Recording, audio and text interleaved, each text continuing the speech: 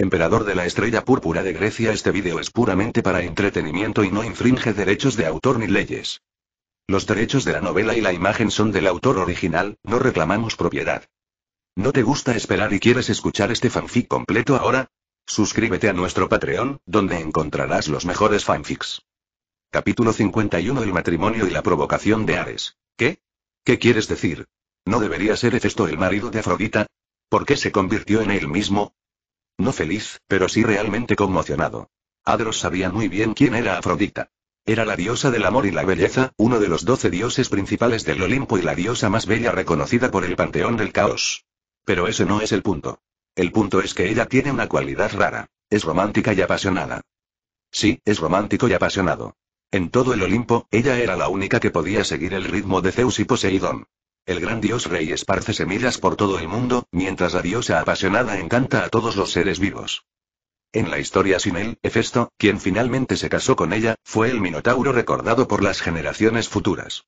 Aunque no son tres mil rostros, si hay una serie de amantes conocidos y desconocidos como Ares, el dios de la guerra, Hermes, el mensajero de Dios, el héroe humano Anchise, el chico guapo Adonis, etcétera, etcétera. Incluso el propio Adros estaba considerando en privado si intentaría conectarse con esta diosa y desarrollar una relación de superamistad cuando llegó al monte Olimpo. Ahora que la relación no se ha desarrollado, esta diosa se convertirá en su esposa oficial. No, absolutamente no. Ya llevaba una camisa verde y Adros no quería volver a usar un sombrero verde. Espere un momento, Su Majestad, Reina Dios, ¿cómo es que no sé nada de este compromiso? Adros se levantó y le preguntó a la reina Hera. Esta es una decisión tomada conjuntamente por los dioses del Olimpo. Entre los dioses presentes, tu padre Zeus, Hades, Poseidón, la diosa de la justicia, Estia, Demeter y esto es lo que queremos decir yo y tus hermanos y hermanas, y la diosa Afrodita. También está dispuesto a casarse contigo. ¿Aún tienes alguna objeción? Era sonrió suavemente y le dijo a este chico que se había aprovechado de ella. Si no fuera por la defensa de Zeus, no sería su turno de casarse con esta bella diosa. Sí, pequeño Adros, todos estamos de acuerdo. ¿No nos dijiste a Apolo y a mí cuando eras joven que querías encontrar una hermosa diosa como tu esposa? Ahora te hemos ayudado a cumplir este deseo, dijo Artemisa con una sonrisa. A él. También dije sobre abrir el harén. ¿Por qué no lo recuerdas? Adros puso los ojos en blanco ante esta hermosa hermana y luego le dijo a Hera. Su Majestad, siento que mi talento es demasiado pobre y mi poder es demasiado pobre. Demasiado débil. No es digno de la diosa Afrodita, dijo Adros eufemísticamente. No podía decírselo a Hera directamente porque le preocupaba que Afrodita tuviera una aventura e hiciera que su sombrero se volviera verde y se convirtiera en un minotauro, por lo que tenía que actuar bien. Por el bien de Afrodita, espero que puedan cancelar el compromiso. No importa, no me importará tu falta de talento y poder divino, llegó una voz hermosa y encantadora, y el dios del amor y la belleza a un lado ya había hablado. Sin embargo, en los oídos de Adros, había otra frase. No sé por qué no quieres casarte conmigo, pero casarme contigo es mi mejor opción en el Olimpo. Tienes que pensar con claridad y hablar sobre las consecuencias del rechazo. La misma voz, pero había una amenaza manifiesta en esta frase. Adros volvió a mirar a Afrodita y vio una sonrisa encantadora en su rostro. Su largo cabello como una cascada extendido sobre su elegante cuello y su pecho blanco eran deslumbrantes. Juan dijo. De hecho, es un duende. Desde que tú. Quiero jugar, jugaré contigo. Si no me crees, no puedo lidiar contigo. Pensando en esto, Adros asintió con una expresión agradecida en su rostro. Gracias a Afrodita, la diosa no lo hace. Bueno, ya que Hera lo dijo, celebremos tu boda en tres días y los dioses celebrarán juntos. Zeus parecía impaciente que originalmente era la carne de sus labios, inesperadamente terminó en el cuenco de su hijo. Sabía que este hijo llamado Adros era débil en poderes sobrenaturales, y originalmente planeó tener una historia de amor clandestina en secreto incluso si Afrodita se casaba con él, siempre y cuando era no lo supiera. ¿Quién hubiera pensado que este hijo aparentemente amable resultó ser una mala persona? Incluso Tipón cayó en sus manos. Independientemente de lo que quisiera hacer en el futuro, aún tenía que considerar la amenaza de esa flecha. Pensó que era un gato, pero no esperaba que se convirtiera en un tigre. Al pensar en esto, Zeus se sintió incómodo. Una vez terminada la conferencia, llegó el momento de que los dioses charlaran.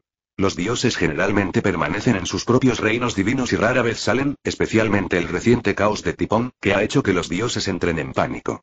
Finalmente, el mundo estaba en paz y los dioses aprovecharon esta oportunidad para reunirse en el Olimpo para conectarse entre sí. Adros llegó al lugar donde estaban Estia, Demeter y la reina Perséfone. Tan pronto como llegó, Perséfone lo abrazó y su rostro quedó enterrado en esos grandes pechos. Perséfone heredó perfectamente las ventajas de su madre, la diosa de la cosecha de Meter. Estaba abultada hacia adelante y hacia atrás, regordeta y atractiva, y se sentía avergonzada cuando Adroston estaba en sus brazos. De repente, sintió un escalofrío y rápidamente salió luchando, y efectivamente encontró a Hades, el rey de Hades, con un rostro sombrío a su lado. ¿Quién te pidió que vinieras aquí? No asustes al hermano Adros, dijo Perséfone con una expresión de enojo en su rostro, sin ser cortés en absoluto. Luego agarró la cara de Adros y dijo, no le tengas miedo, Adros. Punto. Lo que sorprendió a Adros fue que el sombrío Hades se fue así después de que Perséfone se lo dijera.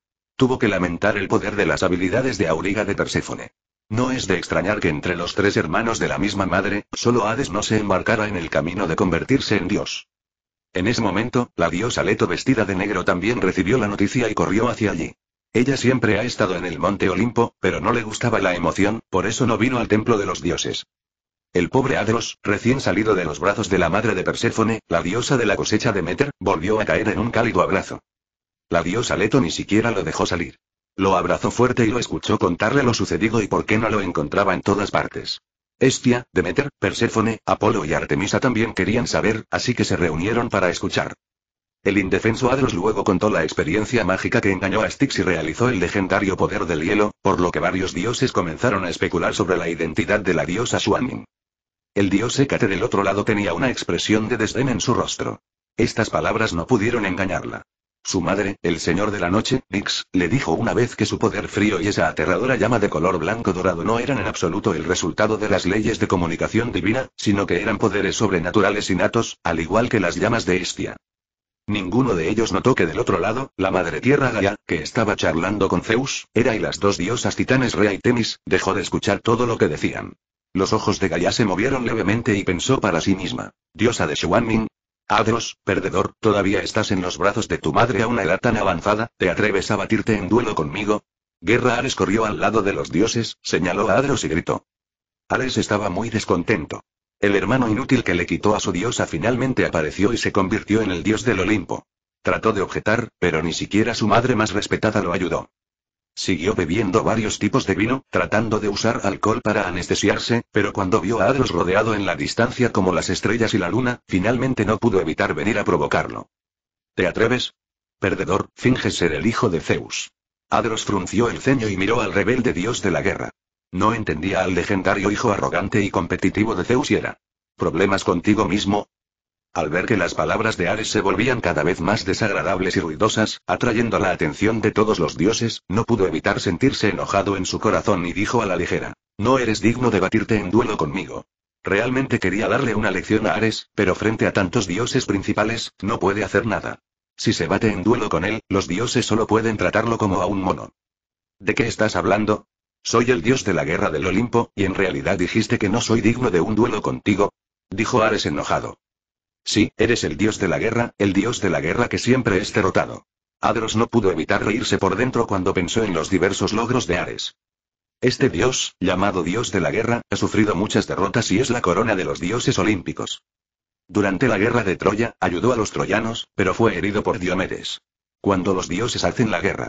Intentó asesinar a la diosa Atenea, pero Atenea lo derribó con una piedra enorme. Con la ayuda de Atenea, Hércules mató a su hijo Quipnos.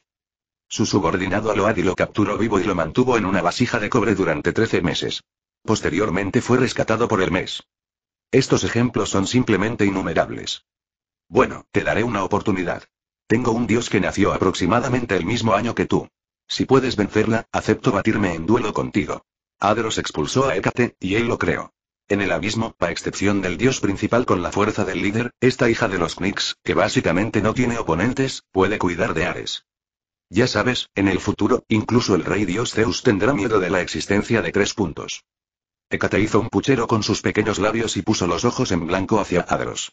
Este dios principal sin escrúpulos realmente había sufrido una gran pérdida cuando pensó que era un dios, por lo que no tuvo más remedio que ponerse de pie.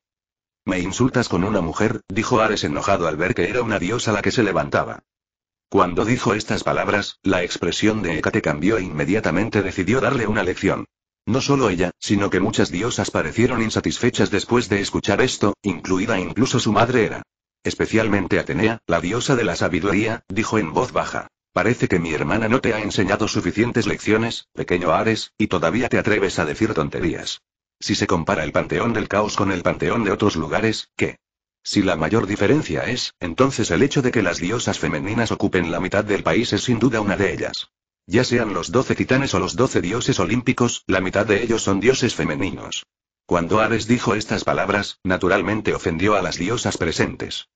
Gracias a los amigos del libro Lost Retreat, Zillo Ezilu, de Struglio Otaku 1996 y Fairy Tale Seasons. Gracias a todos por su apoyo. Parece que el número de votos de recomendación ha llegado a mil. Hoy recibí un aviso de que publicaré nuevas recomendaciones de libros de fantasía la próxima semana. Bueno, decidí actualizar tres veces mañana. Aunque a los amigos de los libros puede que no les guste ver los últimos cuando se publiquen, no puedo evitarlo. Fue escrito hace medio mes y tampoco tengo mucha energía para reescribir cosas buenas. Capítulo 52 La cosecha de Hécate. Ningún transeúnte hizo apuestas y ningún dios se atrevió a juzgar quién perdería o ganaría. No hubo comentarios sarcásticos sobre quién estaba sobreestimando sus habilidades. Ni siquiera hubo una sola palabra de discusión. Todos somos dioses. Es extremadamente estúpido ofender a la gente sin ningún motivo diciendo tonterías.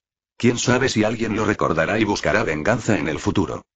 Ares es muy poderoso. Todos los dioses que han experimentado la rebelión tifón y lo han visto luchar contra monstruos lo saben. Su lanza de guerra liberó una intención asesina ilimitada y su poder divino explotó como montañas y mares. De hecho, era tan poderoso como el cielo.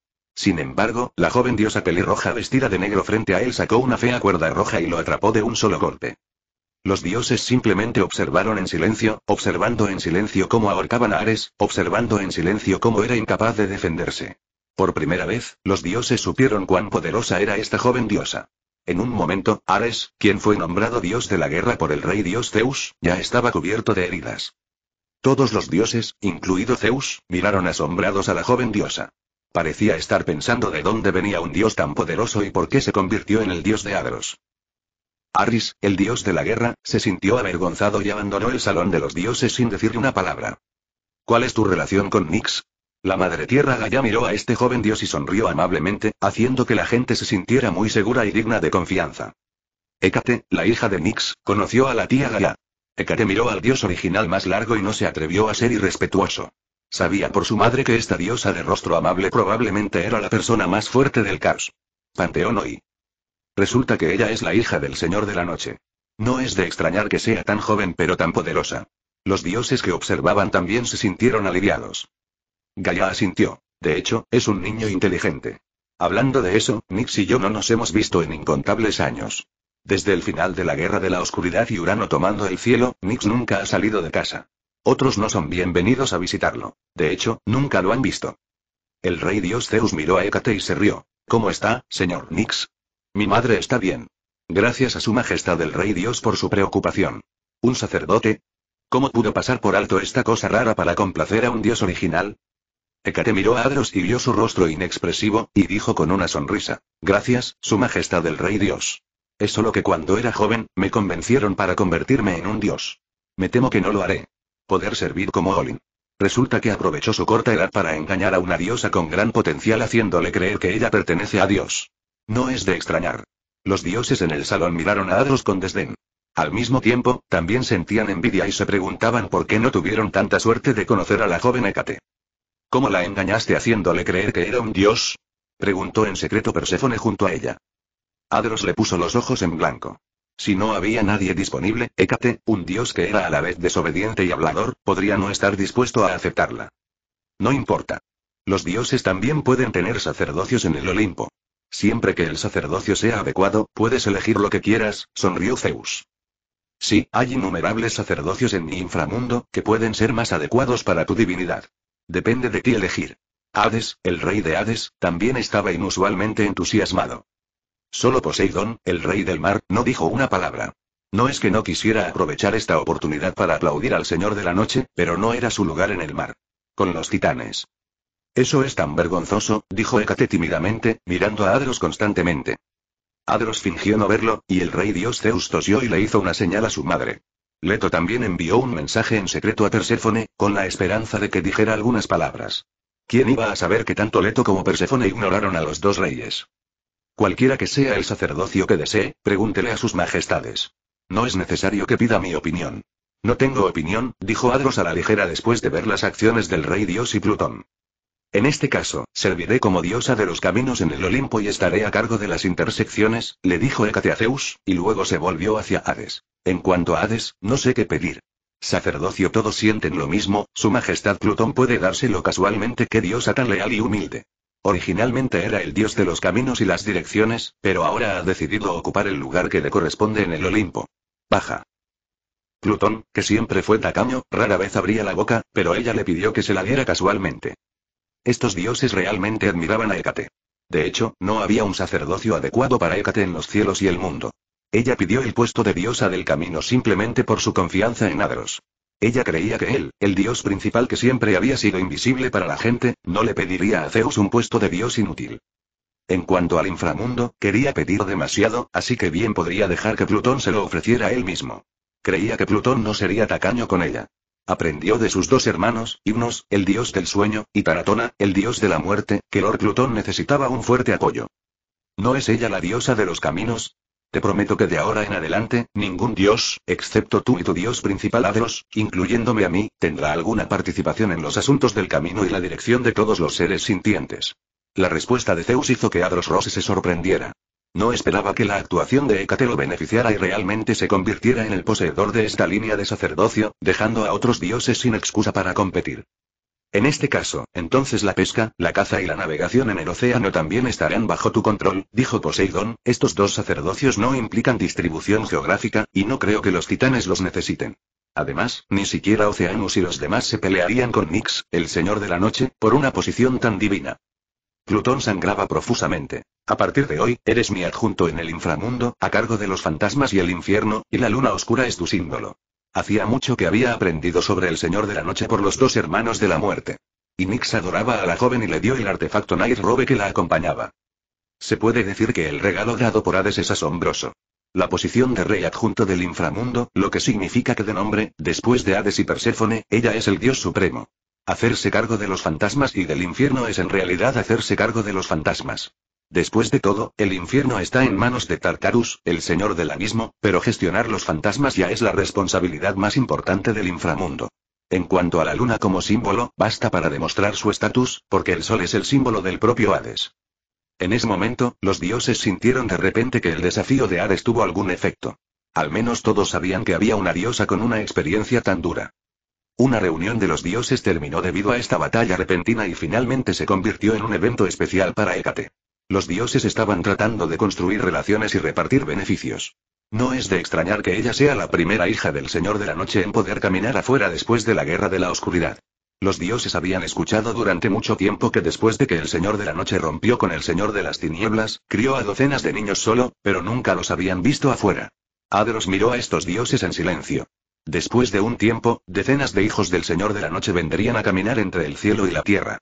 Ustedes serán los que sufrirán a los dioses malvados, dioses malvados, dioses feos, diosas discordias, etc. cuando llegue el momento.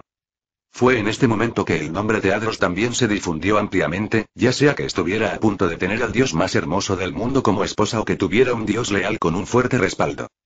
Leto quedó muy satisfecho con la piedad de su hijo y siguió charlando con ella durante tres días seguidos.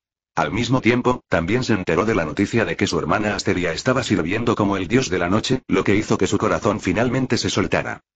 En cuanto a Adros, se ha estado llevando bien con las diosas estos dos últimos días, especialmente con Perséfone, que ha estado con Adros todo el día, dejando a un lado a su marido Hades. Era raro que sus tías y hermanas no estuvieran con él, y Adros exhaló un suspiro de alivio. Aunque era genial estar rodeado de bellezas, también era bastante incómodo que un grupo de bellezas que podían mirar pero no se burlaran de él. Cómelo de vez en cuando. Salió del salón de los dioses y finalmente pudo ir solo al monte Olimpo. Han pasado varios meses desde la rebelión de Tipón y la escena en el Olimpo ha sido completamente restaurada. Después de todo, este es un mundo donde los dioses pueden controlar el crecimiento de todas las cosas. De repente se le ocurrió que hacía mucho tiempo que no veía a su hermano Apolo, así que decidió ir a su palacio a echar un vistazo. Fuera de los salones de los dioses del Olimpo, todos los dioses tienen su propio palacio. Adros había estado alojado en el palacio de Artemisa durante los últimos dos días, porque su madre, la diosa Leto, también vivía allí. Después de dejar el palacio de Artemisa, pasando por el templo de la memoria dejado por Mnemosine pero raramente habitado, llegamos al palacio de Apolo. Todos sus asistentes divinos conocían a Adros y sabían que este era el hermano menor de su dios, por lo que lo dejaron entrar sin decírselo. Hablando de eso, esta también es la costumbre en este mundo. Cuando los invitados familiares vienen de visita, los sirvientes generalmente no les notifican. Solo hay una excepción, y es cuando la puerta está cerrada y al anfitrión le resulta inconveniente ver a los invitados. A diferencia del palacio de Artemisa, que era fresco y elegante, el palacio de Apolo parecía aún más magnífico y majestuoso. Después de entrar, después de dar solo unos pocos pasos, escuchó el sonido de la colisión de armas y Adros se acercó rápidamente. Esta es un área amplia y plana donde dos dioses luchan ferozmente. Uno sostiene una lanza y un escudo afilado, y el otro sostiene un arco y un escudo plateados. Capítulo 53. Inadecuación de las habilidades de combate. Los dos bandos en conflicto son Atenea, la diosa de la sabiduría, y Apolo, el dios de la luz. Junto a ellos hay nueve musas, cada una con sus propias posturas, llenas de encanto y mirando con una sonrisa en sus rostros. Adros también se hizo a un lado, observando en silencio la competencia entre los dos. Pero cuanto más miraba, más se aburría Adros. Es cierto que ambos son poderosos, pero sus batallas no van en el mismo canal. Atenea seguía intentando acercarse y usar su lanza a su favor, mientras que Apolo solo quería distanciarse para que su arco y flecha pudieran mostrar su poder. Entonces, los dos básicamente estaban flotando a una distancia que no era ni lejana ni cercana. Si uno de ellos tenía la ventaja, sería hora de que el escudo surtiera efecto, haciéndolo hermético.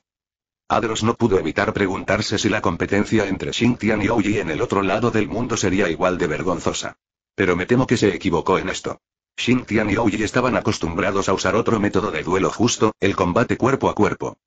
Sin embargo, el uso de la magia divina por parte de los dos hombres demostró plenamente su poderosa fuerza.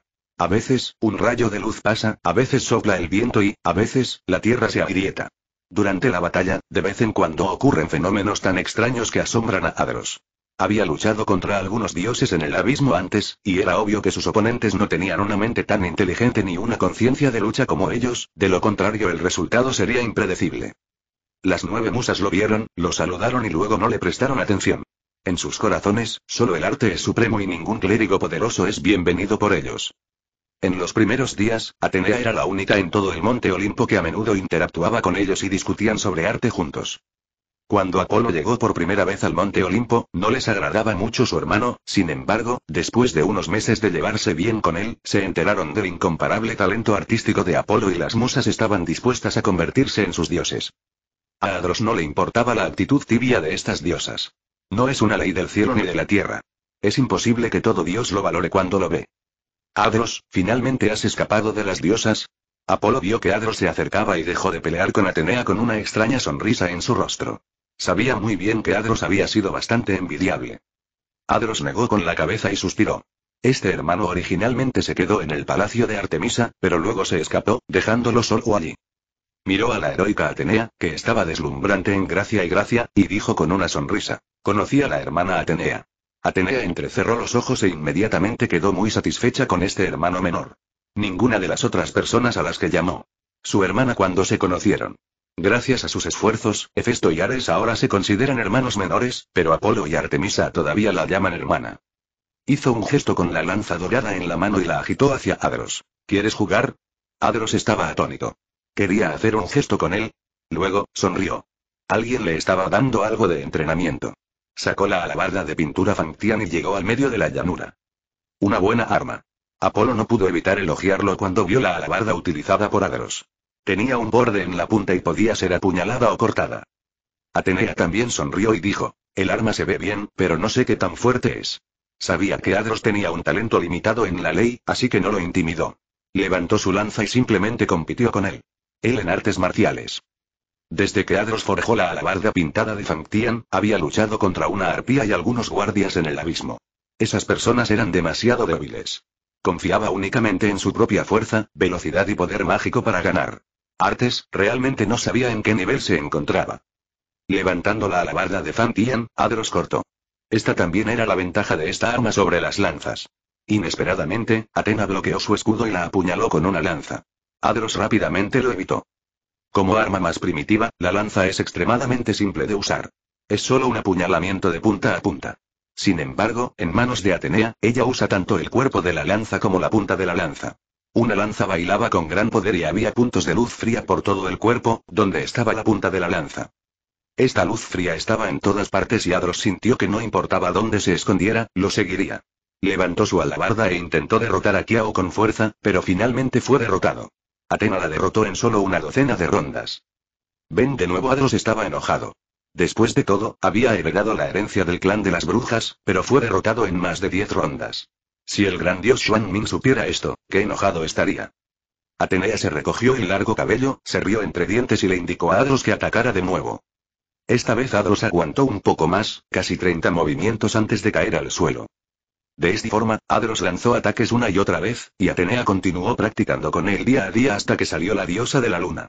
Apolo tampoco se fue. Él y su musa simplemente estaban observando desde su campo de entrenamiento, dando consejos de vez en cuando. Finalmente, a Adros ya no le quedaban fuerzas y yacía inerte en el suelo, sin querer moverse en absoluto. No más peleas, no más peleas, realmente me he quedado sin energía. Había agotado todo su poder divino hace mucho tiempo, y la pelea posterior con Atenea dependió completamente de su propia fuerza. Esto también se debe al hecho de que él es del clan de las brujas y su sangre puede producir energía. De lo contrario, habría estado agotado hace mucho tiempo. Atenea miró a su hermano inmóvil frente a ella, con una sonrisa en los labios y cierta sorpresa en el corazón. Al principio, Adros solo podía luchar contra él con docenas de movimientos. Luego, se volvió cada vez más hábil. Al final, necesitó cientos de movimientos para encontrar sus defectos y derrotarlo. ¿Desarrollaste tus habilidades en artes marciales en el campo de batalla? ¿Es probablemente un campo de batalla humano? Atenea se sentó a su lado y dijo tranquilamente. ¿Cómo lo sabes? Adros no pudo evitar preguntarse. Aunque la diosa Leto le enseñó artes marciales desde que era un niño, y luego siguió a Styx y los demás, también aprendió más o menos, pero era joven en ese momento y no tenía poder mágico. Era humilde y no mejoró mucho. Más tarde, cuando llegó a la tribu de Ian y estaba en el campo de batalla humano, gradualmente ganó algo de sentido del combate. En todas direcciones este es un buen hábito, pero los dos contra el enemigo, algunos movimientos oculares son un poco redundantes. Sumado al hecho de que a menudo ignoras los ataques en el aire, obviamente no luchas contra los dioses con frecuencia. Este hábito solo puede desarrollarse en el campo de batalla humano. Adros de repente se dio cuenta y preguntó rápidamente, ¿hay alguna forma de cambiar este hábito? La túnica de Atenea ondeó y sus labios se levantaron levemente. Solo pelea conmigo unas cuantas veces. Apolo también sonrió a su lado. Realmente necesitas luchar más con los dioses. Después de todo, tus enemigos en el futuro no pueden ser mortales. Adros y Apolo Atenea continuaron intercambiando habilidades de lucha.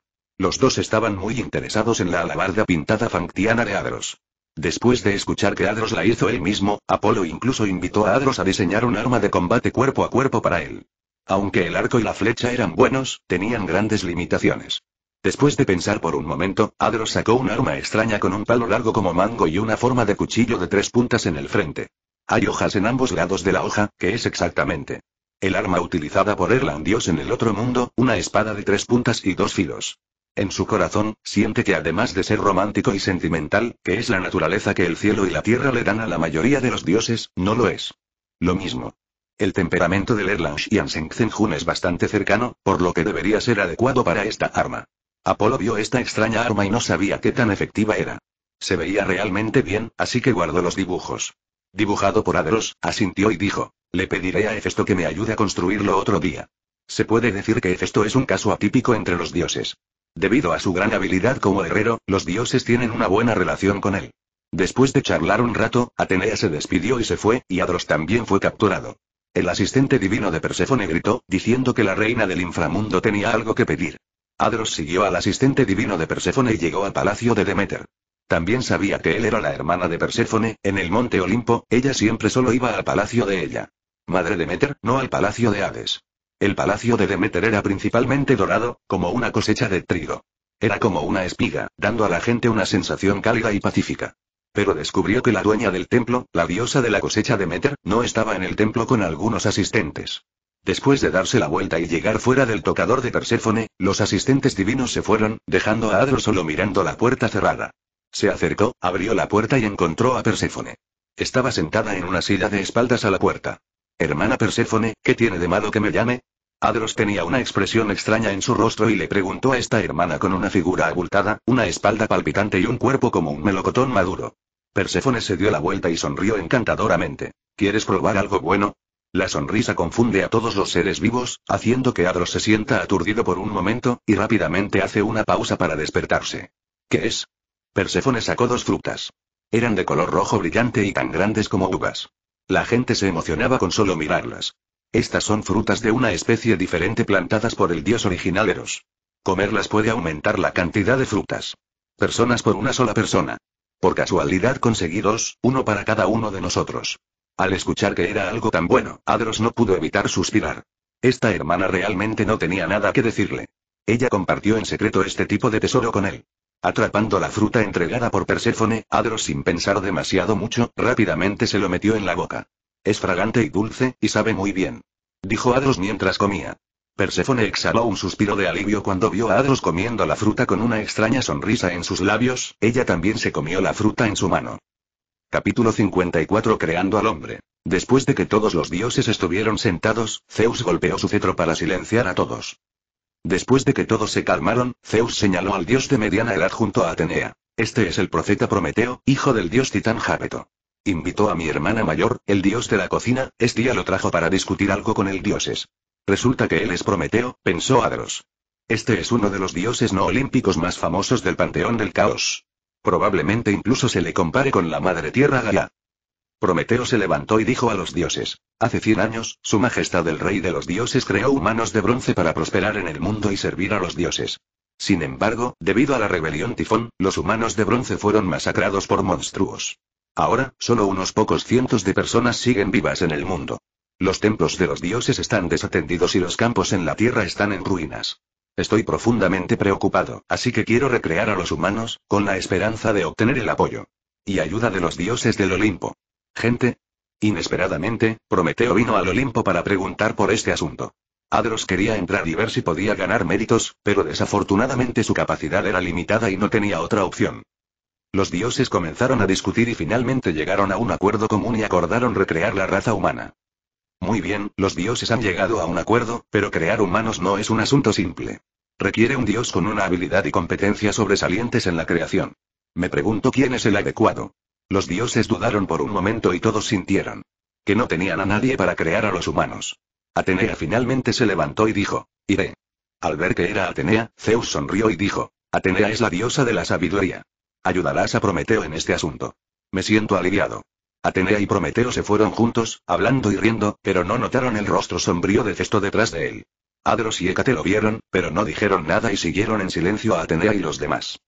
Era una reunión poco común de los dioses, por lo que Zeus convocó nuevamente a las musas y comenzó un banquete de cantos y danzas que no se había celebrado durante mucho tiempo.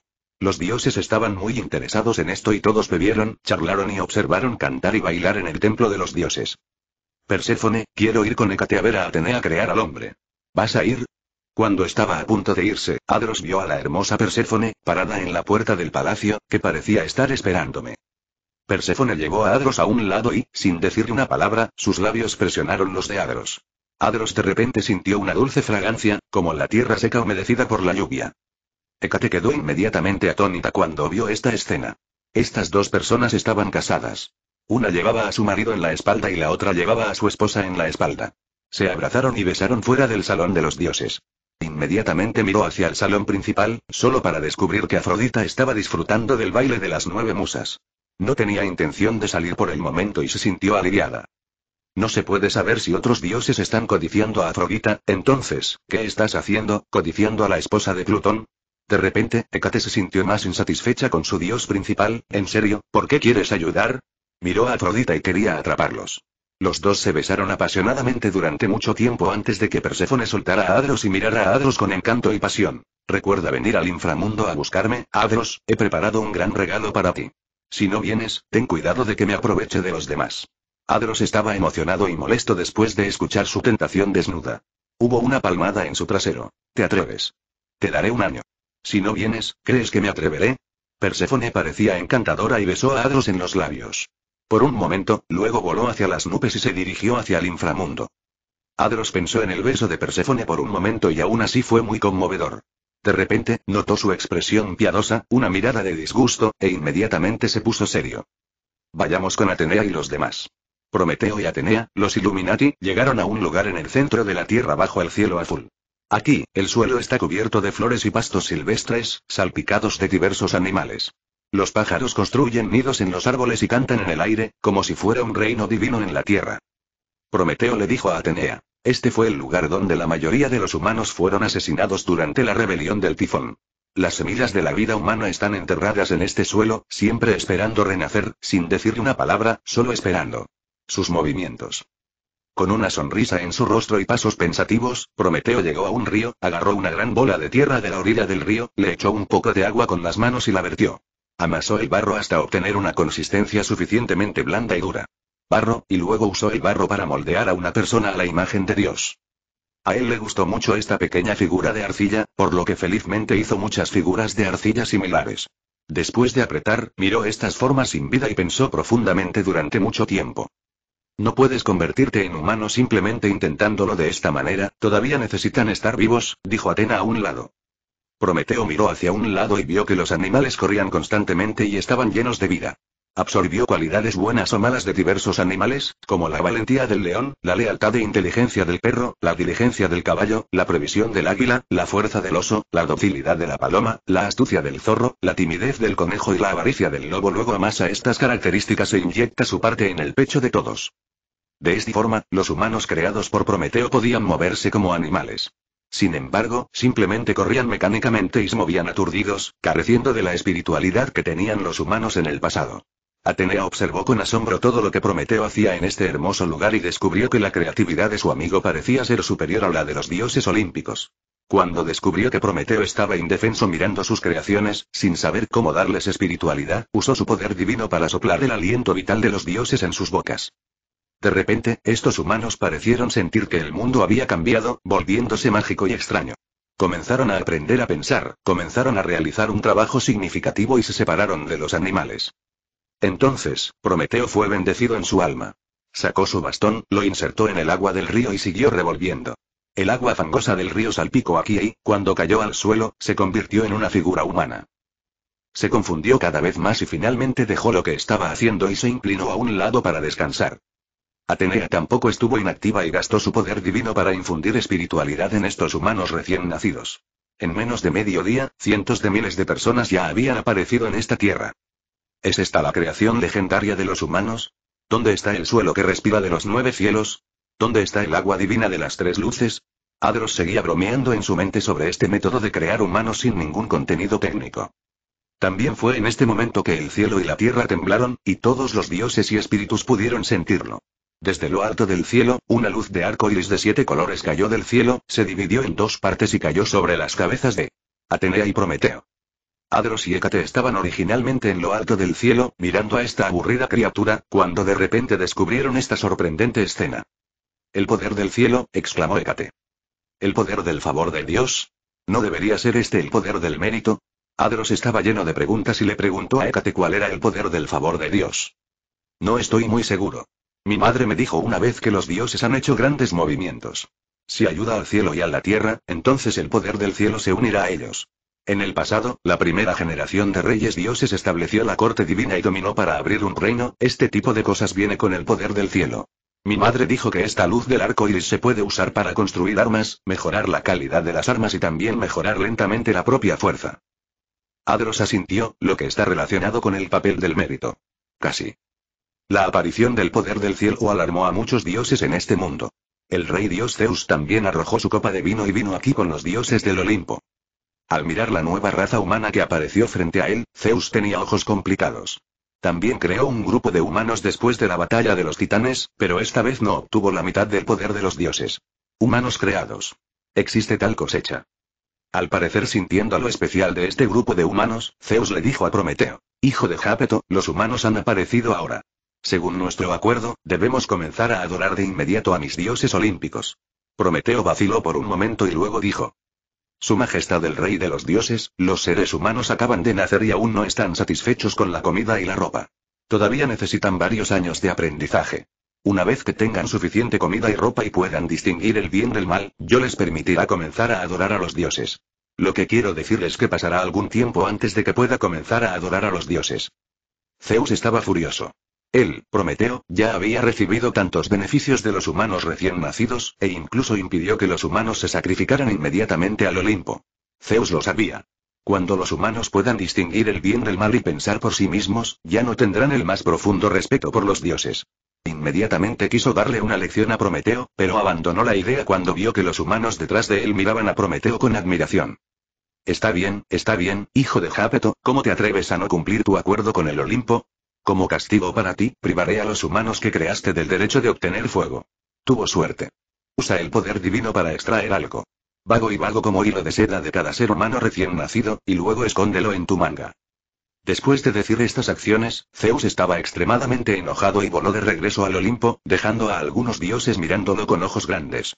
Miraron a los humanos parecidos a bestias recién nacidos y sintieron que no era interesante, por lo que siguieron a Zeus y regresaron al Olimpo. Puedes cuidar de ti misma. Atena suspiró y se fue. Como diosa de la sabiduría y buena amiga de Prometeo, ¿cómo no podía adivinar lo que estaba pensando? Quería que los humanos que creó estuvieran lo más libres posible del control de los dioses, pero ¿cómo podría ser posible? El poder de los dioses está mucho más allá de lo que los humanos pueden igualar. Prometeo miró a este ser humano como si mirara a su hijo recién nacido, con el corazón lleno de espíritu de lucha y pasión. Gracias a los amigos del libro Jin Yuyujin, Fen Gisen, Damiauxin, Seven Atretso Fon Lime, Tianfo de Monkin y Vesalius por sus recompensas. Gracias a todos por sus recomendaciones y apoyo. Haré todo lo posible para representar la historia en mi corazón. Capítulo 55 El propósito de Hera. Sin interés en prestar atención a cómo Prometeo cuidaba a los humanos recién nacidos, Adros y Hécate regresaron silenciosamente al Olimpo. A diferencia de los dioses, no tenían ningún interés en el banquete. Los dos comenzaron a estudiar el misterioso poder de Hécate. Este tipo de poder es algo similar al poder divino, ambos están relacionados con la sangre, pero son completamente diferentes. El poder divino proviene del linaje del dios creador Caos, y todos sus descendientes pueden obtener este poder. No tiene una forma externa específica y su poder solo puede reflejarse cuando se usa. Este tipo de poder que solo los dioses pueden percibir generalmente está oculto en el cuerpo de los dioses. Una vez que el cuerpo de los dioses se pierde, los dioses también perderán su autoridad. Pero el poder recién descubierto de Hécate era diferente. Podía sentir que era una especie de poder frío que surgía de vez en cuando, vagaba por su cuerpo y luego se hacía más fuerte.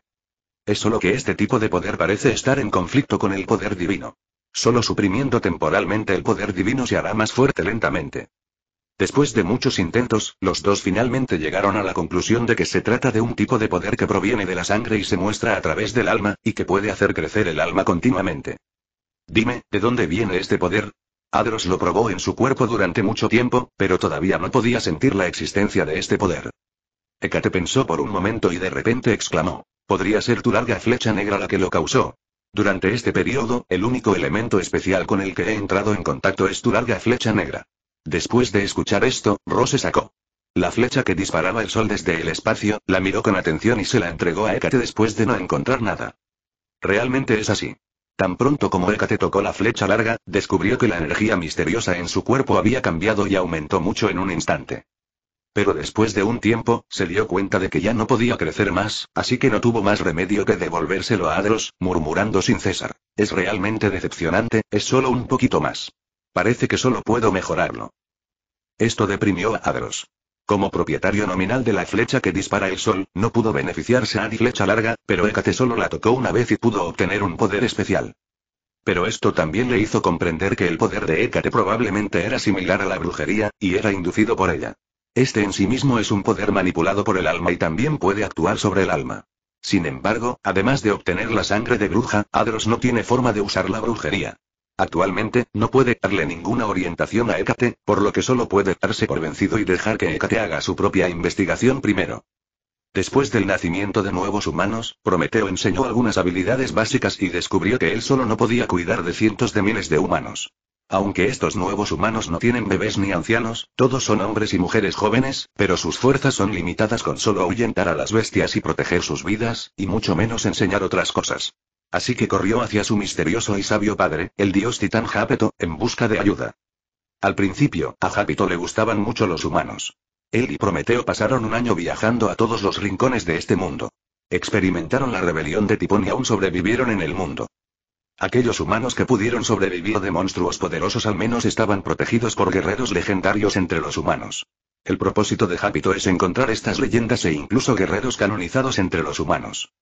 Invitó a estos guerreros, los hijos reyes entre los humanos y les pidió que llevaran a los humanos recién nacidos a buscar un lugar donde establecerse. Como resultado, comenzó con gran vigor una actividad humana de construcción de ciudades que se extendió por toda la tierra.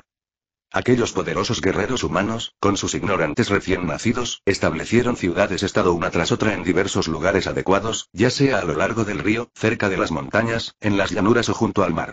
Y estos guerreros que estaban por encima del nivel legendario se convirtieron en reyes o nobles de ciudades-estado. A Hábito todavía no le gustaba el lento movimiento de estas personas y le preocupaba que no pudieran cuidar de él. Corrió al monte Olimpo y persuadió al enojado Zeus. Dejemos que Zeus acepte que los dioses protejan las ciudades-estado humanas. Como trato, todas las ciudades-estado humanas deben adorar al menos un templo de un dios del Olimpo.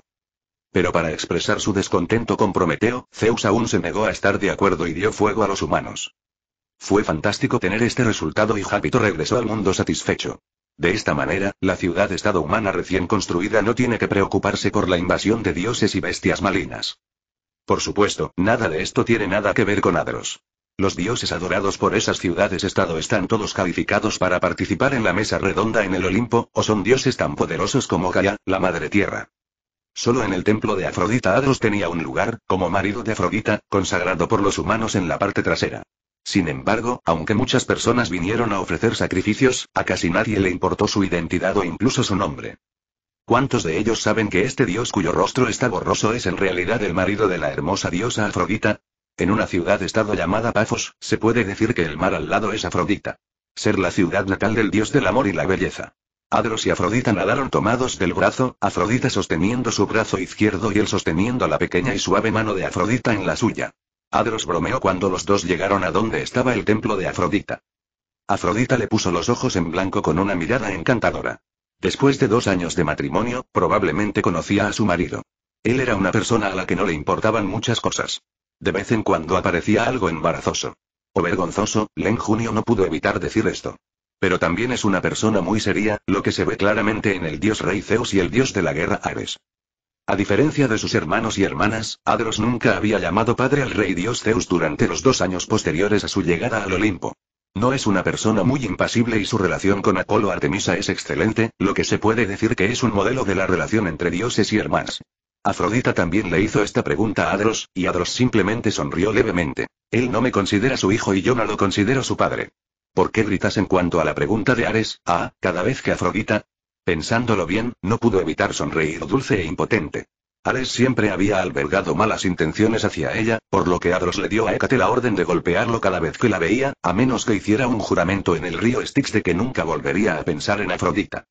Este es el día después de la cosecha de otoño. La gente se levanta al amanecer, se pone sus ropas más hermosas, sostiene a los viejos y a los jóvenes y corre hacia el templo desde todas direcciones. Frente al templo cantaban y bailaban, y dentro del templo quemaban incienso y adoraban. Algunas personas incluso van a la playa y arrojan al agua azul ramos de flores brillantes, expresando sus sentimientos por esta hija del mar, encarnación del amor y la belleza. No solo puso flores, sino que también murmuró palabras, diciéndole constantemente su gran amor por Afrodita. De repente, las olas rodaron y golpearon directamente al hombre que estaba pensando en Afrodita, dejándolo en pánico. Acurrucada contra Adros, Afrodita miró la escena frente a ella, vio la expresión oscura de Adros y no pudo evitar evocar una sonrisa embriagadora. Un marido así sería amable con ella, celoso de ella y protector con ella. Muy bien. Estaba muy satisfecha y su cuerpo inconscientemente se acercó a él, sintiendo el cálido sol de la mañana. Oye, parece que vine en un momento desafortunado y molesté a tu cita, llegó una voz digna y hermosa, con un tono lleno de burla. Afrodita se sintió un poco avergonzada cuando escuchó la voz. Estaba a punto de soltar la mano de Adros, pero él la abrazó con fuerza, por lo que solo pudo darse por vencida y dejarlo hacer lo que quisiera. ¿No es esta la reina de los dioses? Pues, su majestad el dios rey, que no está en el Olimpo para criar al bebé en paz, sino también para mirarnos, ha venido a ver a nuestro marido y a nuestra mujer hacer el amor cuando él tiene. Las palabras de Adros fueron tan extrañas como sus palabras, y miró a lo lejos. La diosa era llegó lentamente. Aunque ya estaba embarazada, su encantador encanto no había disminuido en absoluto. Era lo fulminó con la mirada. No podía soportar la lengua afilada del hijo menor de Leto. Cuando habla consigo mismo, nunca le importa su rostro, ya sea que esté señalando sus defectos o haciendo comentarios explícitos, de todos modos tiene que decir lo que no le gusta escuchar.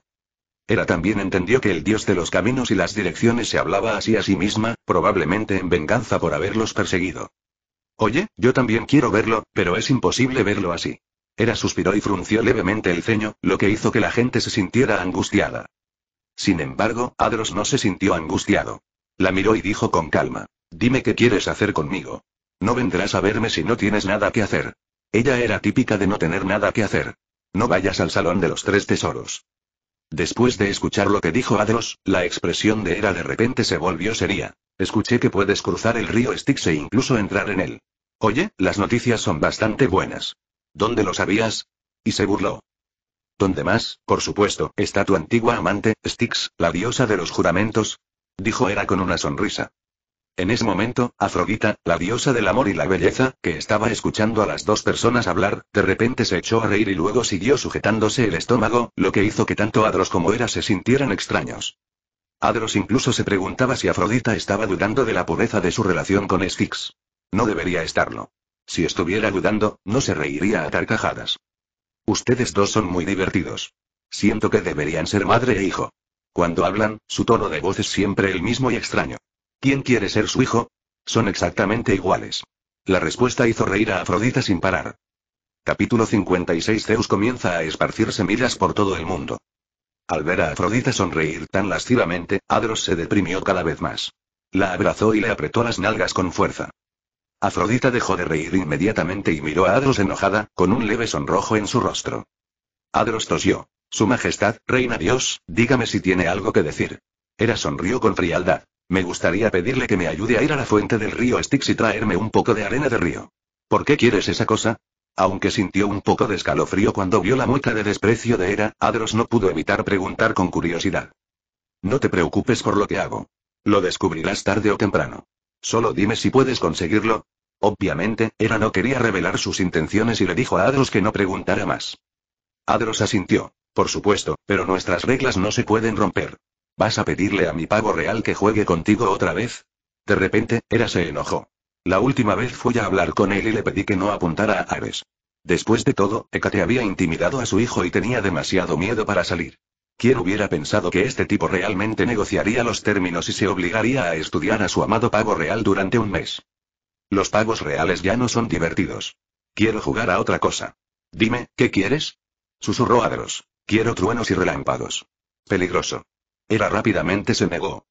Los truenos y relámpagos de los que hablaba Adros no eran otra cosa, sino la autoridad de Zeus como rey de los dioses.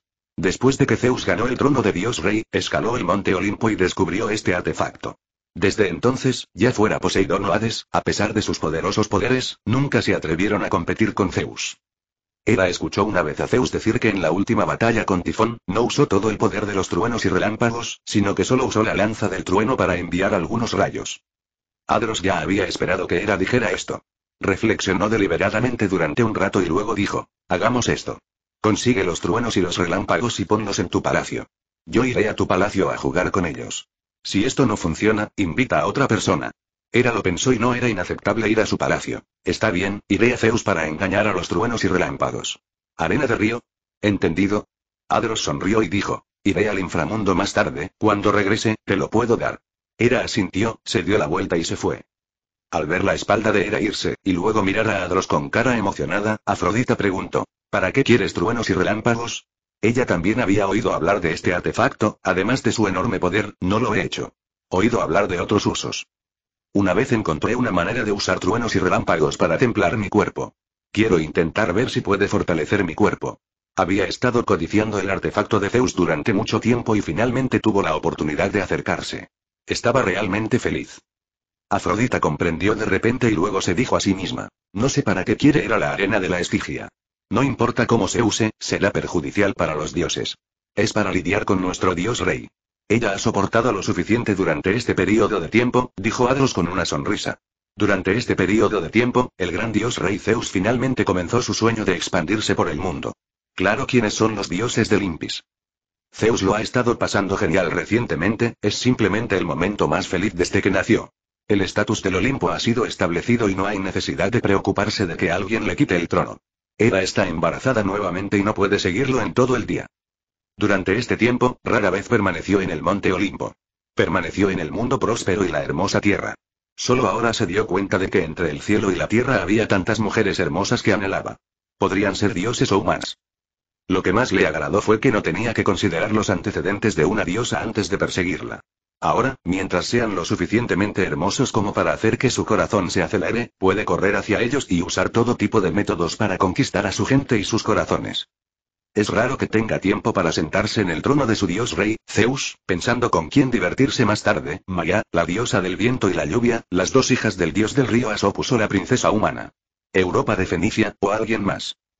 Tenía que ser feliz, pero a los pocos meses ya se había ganado varios amantes. Se llenó de orgullo cuando Maya, la diosa del viento y la lluvia, hija de su primo Atlas, rechazó al hermoso Orión, hijo de Poseidón, rey del mar, y eligió estar con él. La princesa Dayana de Argos está ahora embarazada de su hijo. Asimismo, estaban con él las dos hijas del dios del río Asopo, y las dos hermanas que vivían en la ciudad de Tebas estaban embarazadas de sus hijos. Una serie de buenas noticias le dicen a Zeus que tendrá hijos cada vez más poderosos, ya sean dioses o hombres fuertes entre los humanos, extenderán su majestad por todas partes. Zeus, ¿estás dispuesto a volver? Llegó una voz dulce y digna, interrumpiendo los pensamientos en la mente de Zeus, Hera abrió la puerta con una gran barriga. Hera, ¿por qué estás aquí? Zeus parecía confundido desde la última vez que los dos pelearon, Hera nunca había vuelto a verlo. ¿Por qué? Vengo aquí para impedirte que salgas a buscar un amante. Resopló Hera con frialdad. Zeus sonrió torpemente. Esto es algo que no sucede. En mi corazón, tú eres el único, ¿cómo puedes encontrar un amante? Al escuchar sus dulces palabras, Hera sonrió con frialdad y luego dijo, no lo haces. No quiero dejar que este asunto suceda a menos que no lo dejes pasar. Lo entendí, de lo contrario ninguno de tus amantes terminará bien. Después de una pausa, Hera volvió a decir, ten cuidado afuera recientemente. Accidentalmente vislumbré un vistazo. La figura de Tipón parece estar en esta tierra la última vez. Zeus se sorprendió cuando escuchó esto, pero después de pensarlo, Tipón estaba gravemente herido ahora, por lo que no había necesidad de asustarse demasiado. Era solo Estia en el monte Olimpo. Demeter y Demeter están en el mundo. Ha pasado más de un año desde que Temis y Rea fueron llamadas por la Madre Tierra, Poseidón, que está sobre el mar y Hades está en el inframundo. Él, el único era, el dios principal, estaba nuevamente embarazada, lo que lo preocupaba mucho. Aunque estaba preocupado, Zeus todavía no podía dejar ir a los muchos amantes fuera del Olimpo. Pensó por un momento y le dijo a Hera, bueno, te daré los truenos y los relámpagos, para que no tengas que preocuparte. Tifón. Entrega de truenos y relámpagos, dámelo, ¿qué estás haciendo? Hera lo fulminó con la mirada. Zeus miró a la enojada Hera y dijo seriamente, ahora que los humanos acaban de nacer, definitivamente habrá muchos problemas. Como rey Dios, necesito prestar atención constante en el mundo humano. Así que durante este tiempo, el Olimpo todavía confía. Era frunció los labios y dejó de hablar. ¿Cómo podía no saber lo que estaba pensando Zeus? Pero el propósito de venir aquí esta vez se ha logrado. En cuanto a otras cosas, todavía hay oportunidades.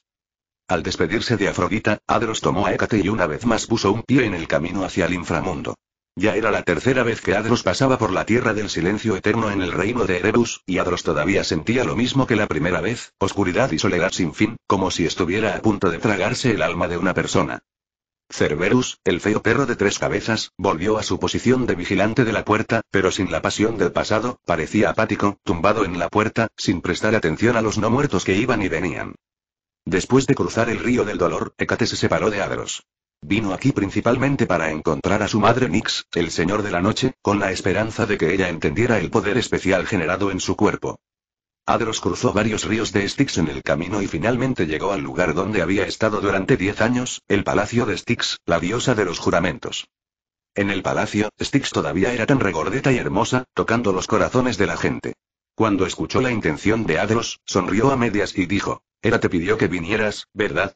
Adros asintió, no hay nada que esconder. Este tipo de cosas. Sin embargo, también tenía algunas dudas.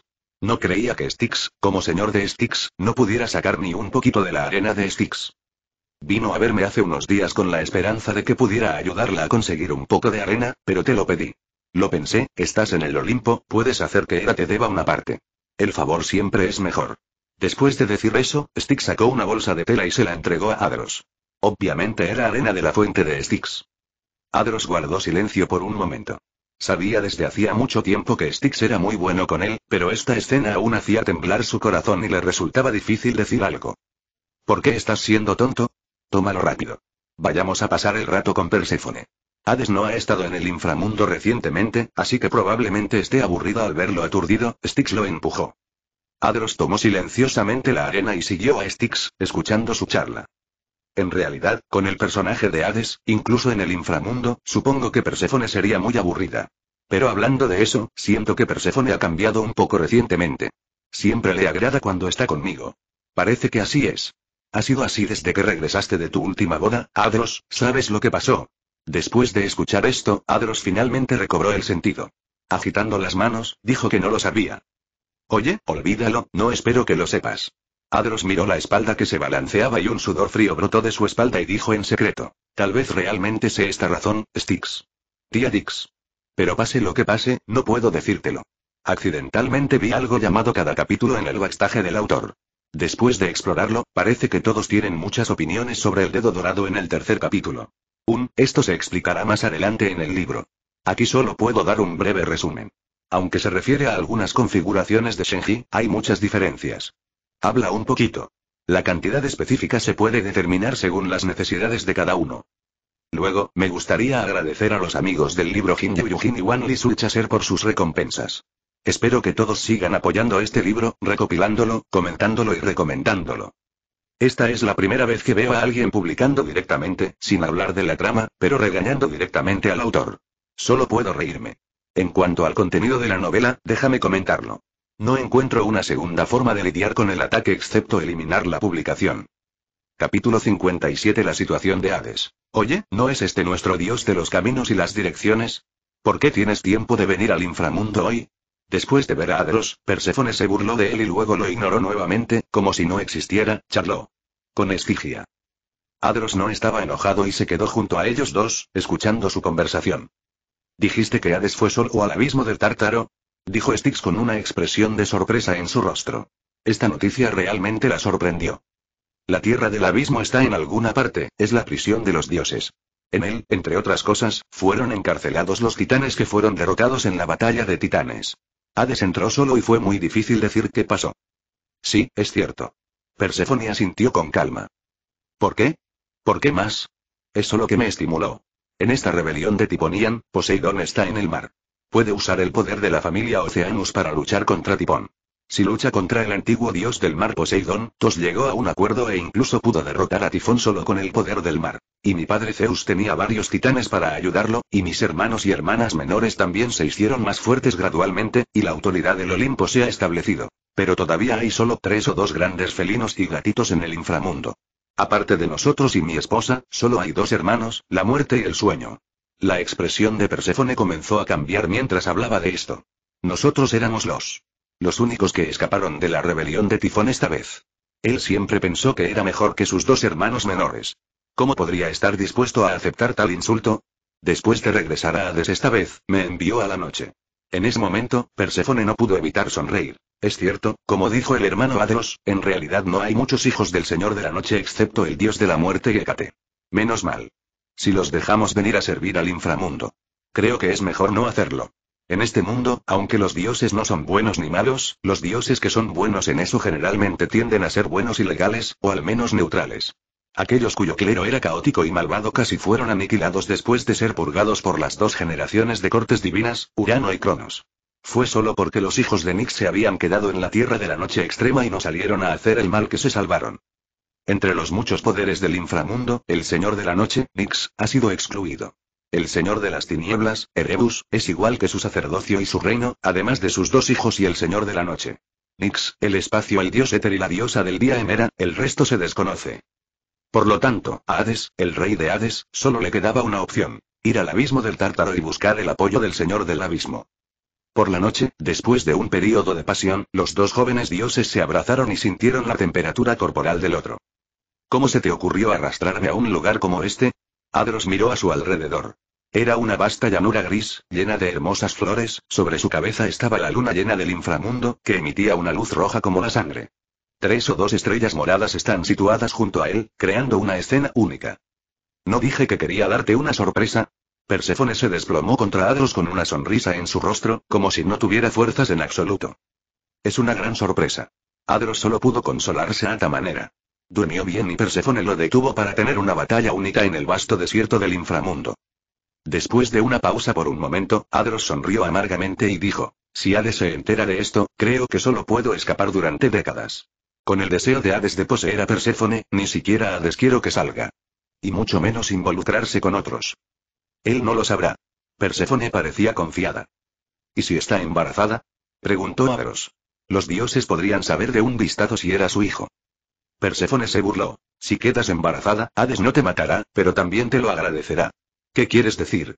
Estas palabras hicieron que Adros ya fuera un cornudo. Oso. Si da a luz a un niño para Lao Wan, el vecino, me temo que uno de ellos morirá. Perséfone suspiró. Hades no puede tener hijos. Por supuesto que no, él no es una diosa y yo no puedo. Adros de repente recobró el sentido cuando dijo esto. Entiende lo que quería decir Perséfone. Tú. Es decir, ¿no puede dejarte embarazada? Así es, durante la batalla de Titanes, fue maldecido por Cronos y no pudo tener hijos por el resto de su vida. Ninguno de los dioses sabe sobre esto, pero él sí. No se atrevió a ocultármelo. Realmente no se atrevió a ocultárselo. Debes saber que las diosas del panteón Coos tienen una tasa de embarazo muy alta. Dos de los dioses originales, Gaia, la Madre Tierra, y Nix, el Señor de la Noche, son representantes. Y Perséfone y Hades llevan diez años casados sin ningún movimiento, lo que realmente no tiene sentido. Adros de repente pensó que parecía que nunca había oído hablar de que Plutón y Plutón hubieran tenido hijos en su vida anterior. Por el contrario, los dos hermanos menores de Hades eran románticos y promiscuos, pero Hades, el hermano mayor de la misma familia, era un marido modelo absoluto. ¿Será esta la razón? Es solo que su padre es bastante capaz y es realmente sorprendente que pueda maldecir a su hijo para que no tenga hijos. Pero no sabía que en el incidente en el que Laoz tomó el trono, el primer rey dios Urano fue derrocado por los titanes. La parte inferior de su cuerpo fue golpeada por Cronos y Laoz lo cortó directamente. El doloroso Urano maldijo a Cronos frente a los dioses. Tú serás derrocado por tu hijo, y tu hijo será derrocado por tu hijo. Esta maldición continuará de generación en generación. Efectivamente, Cronos. Aunque Norte intentó todos los medios, incluso tragándose a sus hijos uno por uno, todavía no pudo romper la maldición. Cronos, que estaba a punto de ser derrocado, pensó en los tres niños y sintió que Hades era el más fuerte, tenía el mejor temperamento y el más adecuado para convertirse en el rey dios, por lo que le dio la maldición de no tener hijos. Pero ¿quién iba a saber que los tres hermanos escucharon la sugerencia de Prometeo y decidieron sus respectivos territorios mediante sorteo? Al final, fue Zeus quien ascendió al trono de Dios Rey. Se puede decir que Hades simplemente fue engañado por su abuelo y su padre, pero no podía hacer nada. No pienses más en esto, continuemos, dijo Perséfone con ojos encantadores y respiró en el oído de Adros. Adros, naturalmente, no se negaría, pero los dos no sabían que justo cuando comenzaron a pelear de nuevo, en la distancia del jardín de la verdad, Styx estaba detrás de un árbol, mirándolos con una cara bonita. Después de que Adros dejó a Hades, y cuando estaba pensando en irse, Styx seguía mirándolo a él y a Perséfone, con ojos medio sonrientes, pero aún no se daba cuenta de que algo andaba mal entre los dos. Ellos. La relación entre ellos debería haber sido descubierta por Styx. Sin embargo, a Adros no le preocupaba que Styx nunca contara este asunto, pero también le advirtió que debe tener cuidado en el futuro y que es mejor no actuar imprudentemente, ya que pueden ocurrir accidentes fácilmente. Fue a la Tierra de la Noche Polar, pero su tía, la diosa del meteorito Asteria, le dijo que el Señor de la Noche había llevado a Hécate a un lugar desconocido. ¿Tierra desconocida? Adros estaba muy confundido. Entre el cielo y la tierra, había un lugar llamado Tierra desconocida por el dios original. Asteria miró a su pequeño sobrino con cara amable y dijo en voz baja. El Señor dijo una vez que aunque nacieron del caos, todavía hay muchos misterios entre el cielo y la tierra que ellos no conocen. Esta vez, Ekad le habló de su situación, y sintió que tenía alguna conexión con esa tierra desconocida, por lo que la llevó allí. Adros de repente comprendió que Nix, como el dios primitivo, podría estar bien informado. Puede ayudar a Hécate a dominar este poder antes. ¿No es este el apuesto príncipe del Olimpo, su Alteza Adros, el gran dios de la dirección y el camino? Mientras Adros charlaba con su tía Asteria, de repente se acercó un hombre un poco más alto. Una hermosa diosa con una barbilla delgada y rubia. Piel, comenzó a felicitar a Adros tan pronto como se acercó, lo que hizo que él no estuviera muy acostumbrado a ello, y quedó atónito por un momento. Asteria vio a Adros aturdida y no pudo evitar sonreír. Esta es la hija del señor, la diosa de la lucha Eris. Conocía a la diosa Eris, saludó a Eris con mucha cortesía. Ser grosero incluso si saludo a esta diosa de la discordia, y aún más poderosa es otro sacerdocio, la diosa de la discordia. La guerra de Troya, que duró diez años y en la que participaron todos los héroes y la mayoría de los dioses del mundo, fue desencadenada por una manzana dorada de esta diosa. La razón por la que sucedió fue extremadamente simple, fue porque no fue invitada a una boda. Escuché que su Alteza Adros se casó con la hermosa diosa Afrodita no hace mucho. Todos los dioses han recibido invitaciones, pero ¿por qué nosotros, nuestros hermanos y hermanas en la Tierra de la Noche Extrema, no fuimos invitados? ¿Tienes miedo de? ¿No recibió la diosa la invitación? Le dije a Hécate que el tiempo era corto y que no podía soportarlo, así que debía enviar una invitación a sus hermanos y hermanas para evitar tener celos de la diosa, Aderose. Pensó para sí misma. Deberías asumir la culpa por mí, mi amado Dios. Así que eso es todo. ¿Crees que Su Alteza Adros menosprecia a nuestros hermanos y hermanas? Parece que la pequeña Hécate deliberadamente no nos contó sobre él. Se verá bien cuando regrese de la tierra desconocida. Eris asintió antes de dejar ir a Adros y se volvió insatisfecha con Hécate. Adros exhaló un suspiro de alivio y rápidamente cambió de tema. ¿No dijo el señor Nix que después del nacimiento de la humanidad, ustedes, hermanos y hermanas, pueden abandonar la tierra de la noche polar? ¿Por qué la diosa Eris sigue aquí? Si estás escuchando esta novela en un canal distinto a Mundo Fanfic Novelas, significa que lo descargaron y subieron sin esfuerzo. Te invitamos cordialmente a visitar nuestro canal. Mundo Fanfic Novelas allí encontrarás la versión original de esta historia y podrás explorar muchas otras novelas de diversos géneros. Te esperamos para sumergirte en un mundo de novelas increíbles. Capítulo 58 Primera aparición. Con la llegada de los seres humanos, muchos dioses de la Tierra de la Noche Extrema han abandonado este hermoso mundo nocturno uno por uno. En el camino, Adros vio solo un dios, Asteria, a excepción de algunos asistentes divinos. Y esta diosa de la discordia apareció de repente de la nada. Eris, la diosa de la discordia, suspiró. Solo se puede decir que las cosas buenas son difíciles de hacer. Me pregunto qué cosas buenas has hecho de nuevo, dijo Asteria en broma, pero conocía bien a esta persona. Hago todo con el fin de hacer cosas buenas, pero desafortunadamente nunca logro nada bueno. En esta tierra de extrema oscuridad, no es raro que los dioses luchen por sus buenas obras. Eris suspiró de nuevo y dijo tranquilamente. ¿Conoces a Eos? Sí, lo sé. Asteria y Agros asintieron al mismo tiempo. Eos, la diosa del amanecer, hija del dios Titán Hiperión, el señor del cielo, y Teía, la diosa de la luz, y hermana del dios Sol y la diosa de la luna Selene. Incluso sabían que cuando los padres de Asteria y Leto, los abuelos maternos de Adros, Koos, el dios de las estrellas, y Phoebe, la diosa del resplandor, fueron al monte Olimpo para luchar contra Hiperión. Después de la batalla con Teía, la diosa del amanecer fue nacido. Es posible que nunca hayas visto a esta diosa del amanecer. Es tan elegante y afectuosa. Todos los dioses masculinos que la han visto están fascinados. Eris continuó. Fue al mar a jugar y conoció a Asno, el hijo de Cleos. Los dos se juntaron allí, quedaron embarazadas dos veces y dieron a luz a cuatro dioses del viento y cinco dioses de las estrellas respectivamente. Son bastante fértiles, casi tan buenos como la diosa del océano. ¿Qué sigue de repente? Entre los dioses, se reconoce que la diosa del mar es la más fértil, por lo que son los más perseguidos. Por supuesto, hay dos sorpresas, a saber, los dos dioses originales, pero nadie se atreve a hablar de ellos. Eris puso los ojos en blanco hacia Adros, regañándolo por interrumpir sus palabras, y luego dijo, piénsalo, este Astraeus es el hijo del dios titán Cleos y el mar fuerte Euribia. Cleos Olimpo fue arrojado al abismo del Tártaro debido a su oposición a Zeus, y el padre de Euribia, el antiguo dios del mar Ponto, aún ignoraba al Olimpo. Si Zeus conocía esta situación, debo pelear. Eso es, dijo Asteria. Así es. Eris le dio una palmada en el hombro a Asteria y le dijo, ¿incluso tú lo crees? Como amiga de Hiperión, el señor del cielo, y Teía, la diosa de la luz, debería hacer más por ellos. Considere, piénsalo, sus hijos, Helios, el dios del sol, y Selene, la diosa de la luna, todavía están sirviendo a Zeus en el Olimpo. Espera un momento. Detuvo a Eris. ¿Cuándo te volviste amigo de Hiperión y Teía? ¿Cómo es que? No lo sabía. Eris se sintió avergonzada por un momento, luego hizo un gesto con la mano. Estos no son importantes, lo importante es que tengo que encontrar una manera de ayudarlos a resolver esta crisis. Bueno, ¿qué hiciste? ¿Qué haces? Durante este tiempo, veo que Zeus ha estado vagando por el mundo, saliendo con diosas en todas partes. Creo que una más no es suficiente, y una menos no es suficiente. Simplemente encontré a Eos. Jugando en la playa, así que atraje a Zeus y no tuve que hacer el resto. Nuestro hermoso y encantador rey dios Zeus y la hermosa y elegante diosa del amanecer. Se encendió y comenzó una hermosa historia, sin importar el lugar.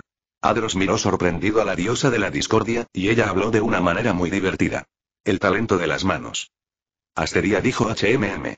Ella también conocía muy bien la personalidad del dios rey Zeus. Después de alcanzar a su hermana Leto, ella también lo persiguió locamente, obligándose a convertirse en una codorniz y escapar al mar, solo para deshacerse de él. Esto no parece tener nada que ver con tu regreso a la Tierra de la Noche Polar, ¿verdad? Dijo Adros. Eris miró a Adros. No he hablado de por qué un joven como tú no tiene paciencia. Después de una pausa, Eris continuó. Las acciones de los dos pueden ser demasiado intensas. Atrajo a la fuerte Euribia. Y Astraeus, madre e hijo, así como la diosa del mar, Tetis, y luego Tetis también me descubrió. Madre e hijo no son rival para Zeus. No podemos hacerle nada, así que vienen a molestarme.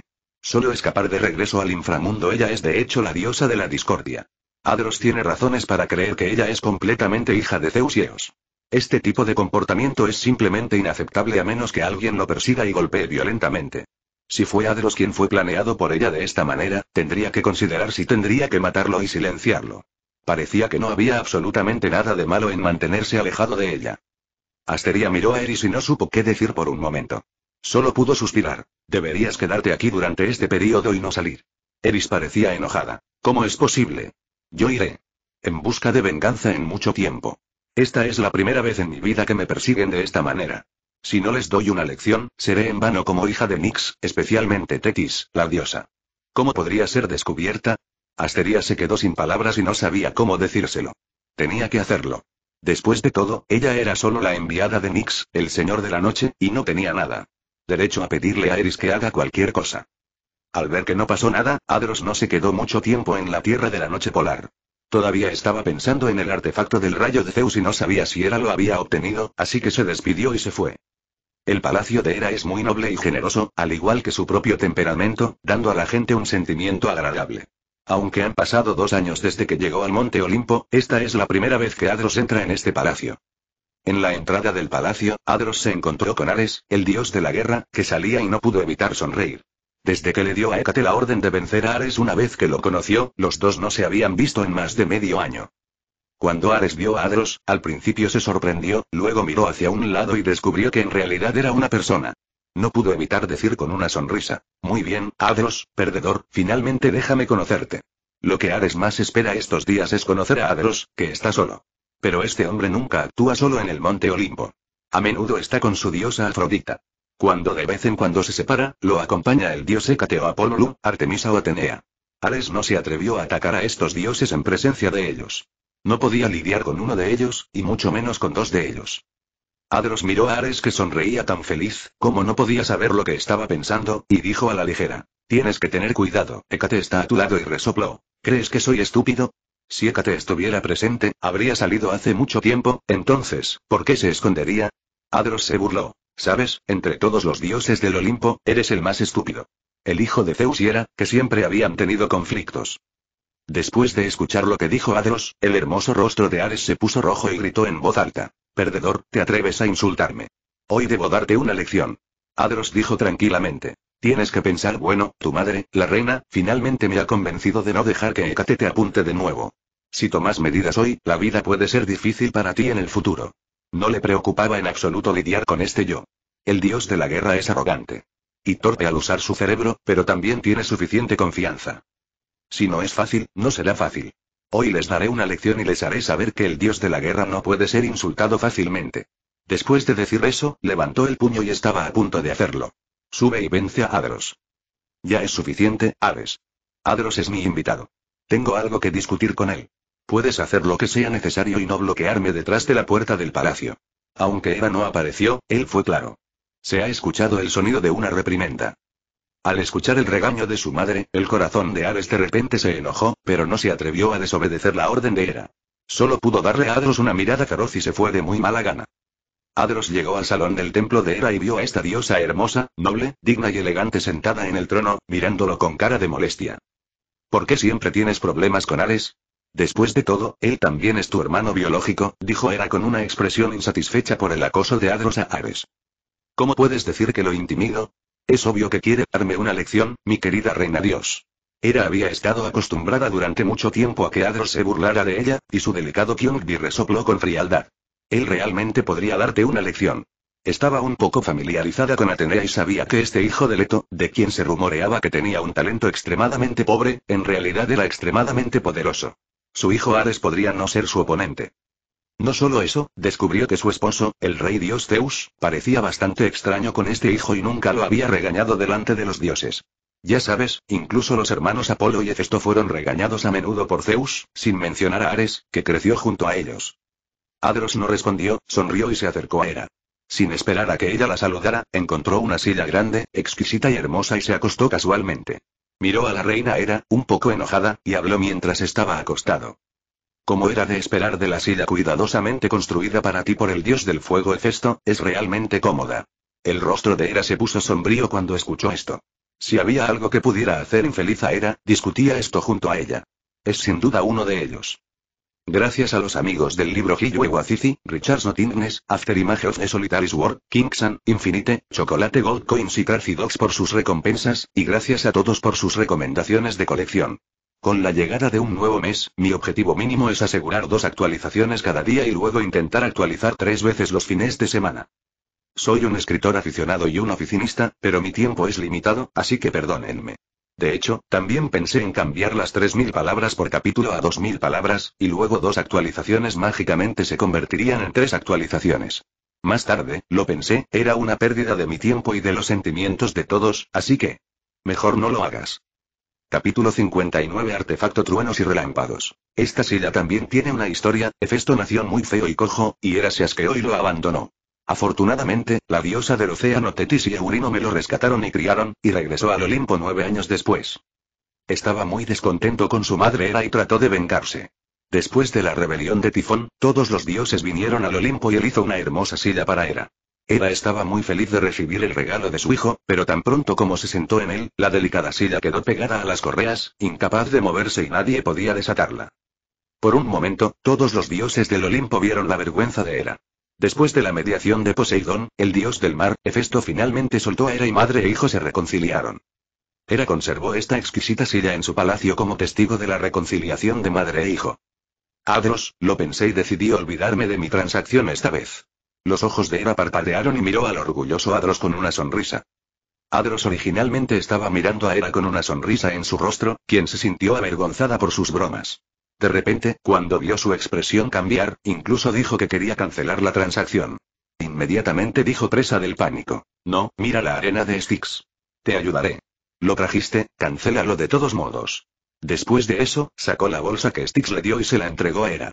Inesperadamente, Era negó con la cabeza y no recogió la bolsa. Simplemente frunció los labios y sonrió. De repente sentí que no tengo que tener esta arena. Buscando amantes afuera todos los días, ni siquiera yo puedo soportarlo más. Como reina de los dioses, la diosa más noble y hermosa del mundo, ¿cómo puedo soportarlo? Que Hera está tratando deliberadamente de apaciguarme, todavía quiero pedirlo. Hombre, Adros no tenía más que cosas buenas que decir. Y el dios rey Zeus se ha convertido sin duda en el mejor ejemplo para complacer a Hera. Hera escuchó, con los ojos llenos de sonrisas, sus ojos entrecerrados en dos lunas crecientes. La más noble y hermosa, más hermosa que Afrodita. Tu noble temperamento. Nosotros, el Señor Dios, no sabemos cómo apreciarlo, y de hecho salimos a buscar a otros.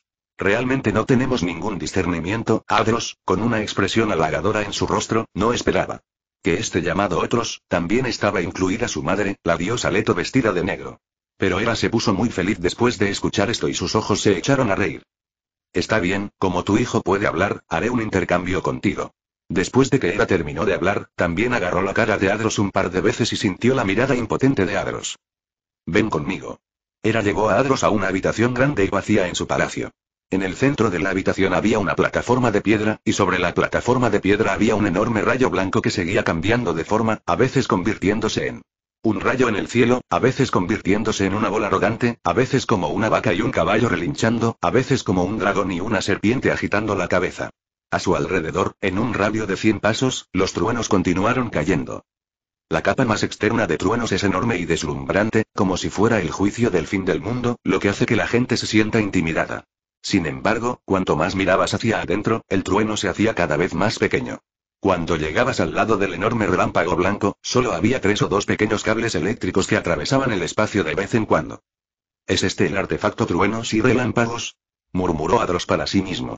Al ver estos innumerables relámpagos, de repente se sintió humilde, como si este relámpago fuera un castigo del cielo y sus crímenes fueran juzgados. Si llegara un rayo, parecería inevitable. Sí, después de la batalla de los titanes, el arma divina cayó en los brazos de Zeus, por lo que los dioses lo convirtieron en dios rey, dijo Hera tranquilamente, pareciendo perderse la batalla de hace cien años. ¿No dijiste que el rey de los dioses se determina por sorteo? Se burló Hera. ¿Puedes creer también que los personajes de Hades y Poseidón renunciarían a la posición de reyes de los dioses solo por un sorteo? Pero fue justo al principio que Zeus aún no había refinado completamente el rayo, por lo que pidió a los dioses que difundieran la noticia porque estaba preocupado por eso resulta que no es mala suerte que Hades no haya logrado convertirse en rey de dioses otra vez, pero resultó ser la voluntad de Dios, ah. Está bien, te dejaré los truenos y relámpagos. Con tu fuerza, se estima que será difícil acercarte al área central, pero recuerda no usar el poder divino para tocar el área central. Zeus se ha puesto una vez tocado, liberará inmediatamente la fuente del trueno, golpeando directamente el cuerpo y el alma divinos, y no hay forma de evitarlo, ordenó Hera con cara seria. ¿Dónde está el cuerpo divino? ¿Puedo tocarlo? Al escuchar a Hera decir que el poder divino no puede tocarlo, Adros inconscientemente pensó en lo que sucedería si se tocara el cuerpo divino. Si tienes un cuerpo tan fuerte, puedes intentarlo. Hera sonrió levemente. Debería ser un poco más aterrador que el toque divino.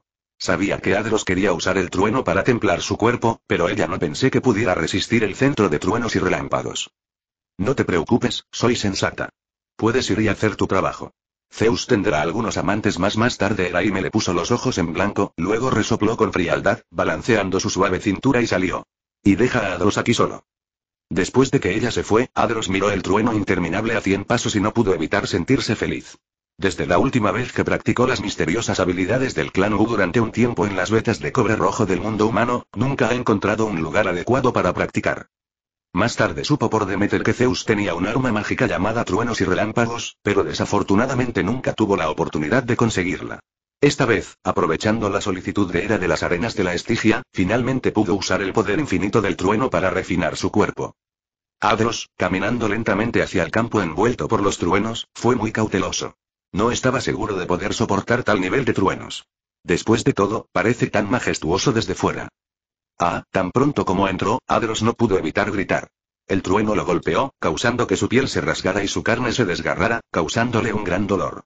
El poder proveniente del trueno entumeció su cuerpo y su alma, como si fuera dolor, y después del dolor, se sintió un poco feliz. Al estar allí, no pudo evitar pensar que las personas con tendencias masoquistas podrían sentirse un poco así cuando se automutilan. El alivio que produce el dolor hace que la gente quiera intentarlo de nuevo. No pensó demasiado en ese momento y comenzó a sentarse con las piernas cruzadas en el suelo, usando el Wuklan Chuanwan que le dio Xishuan Min, usando el poder infinito del trueno para refinar su cuerpo. Aproximadamente medio mes después, Adros sintió que el poder marginal del trueno ya no podía brindarle ninguna ayuda, por lo que se levantó y dio unos pasos hacia adentro. El nuevo trueno cayó. Aunque era un poco más pequeño, de hecho era más poderoso, lo que le permitió disfrutar una vez más de la desgarradora sensación de ser golpeado por un trueno. Después de recibir algunos golpes, Adros rápidamente se calmó y practicó sus misteriosas habilidades en silencio. De esta forma, Adros se enfrentó a los truenos y relámpagos en el palacio de Hera detrás de él. De afuera hacia adentro, probó el poder del trueno paso a paso y templó su cuerpo paso a paso. El viejo dios del río Asopus se sintió muy dolorido e impotente.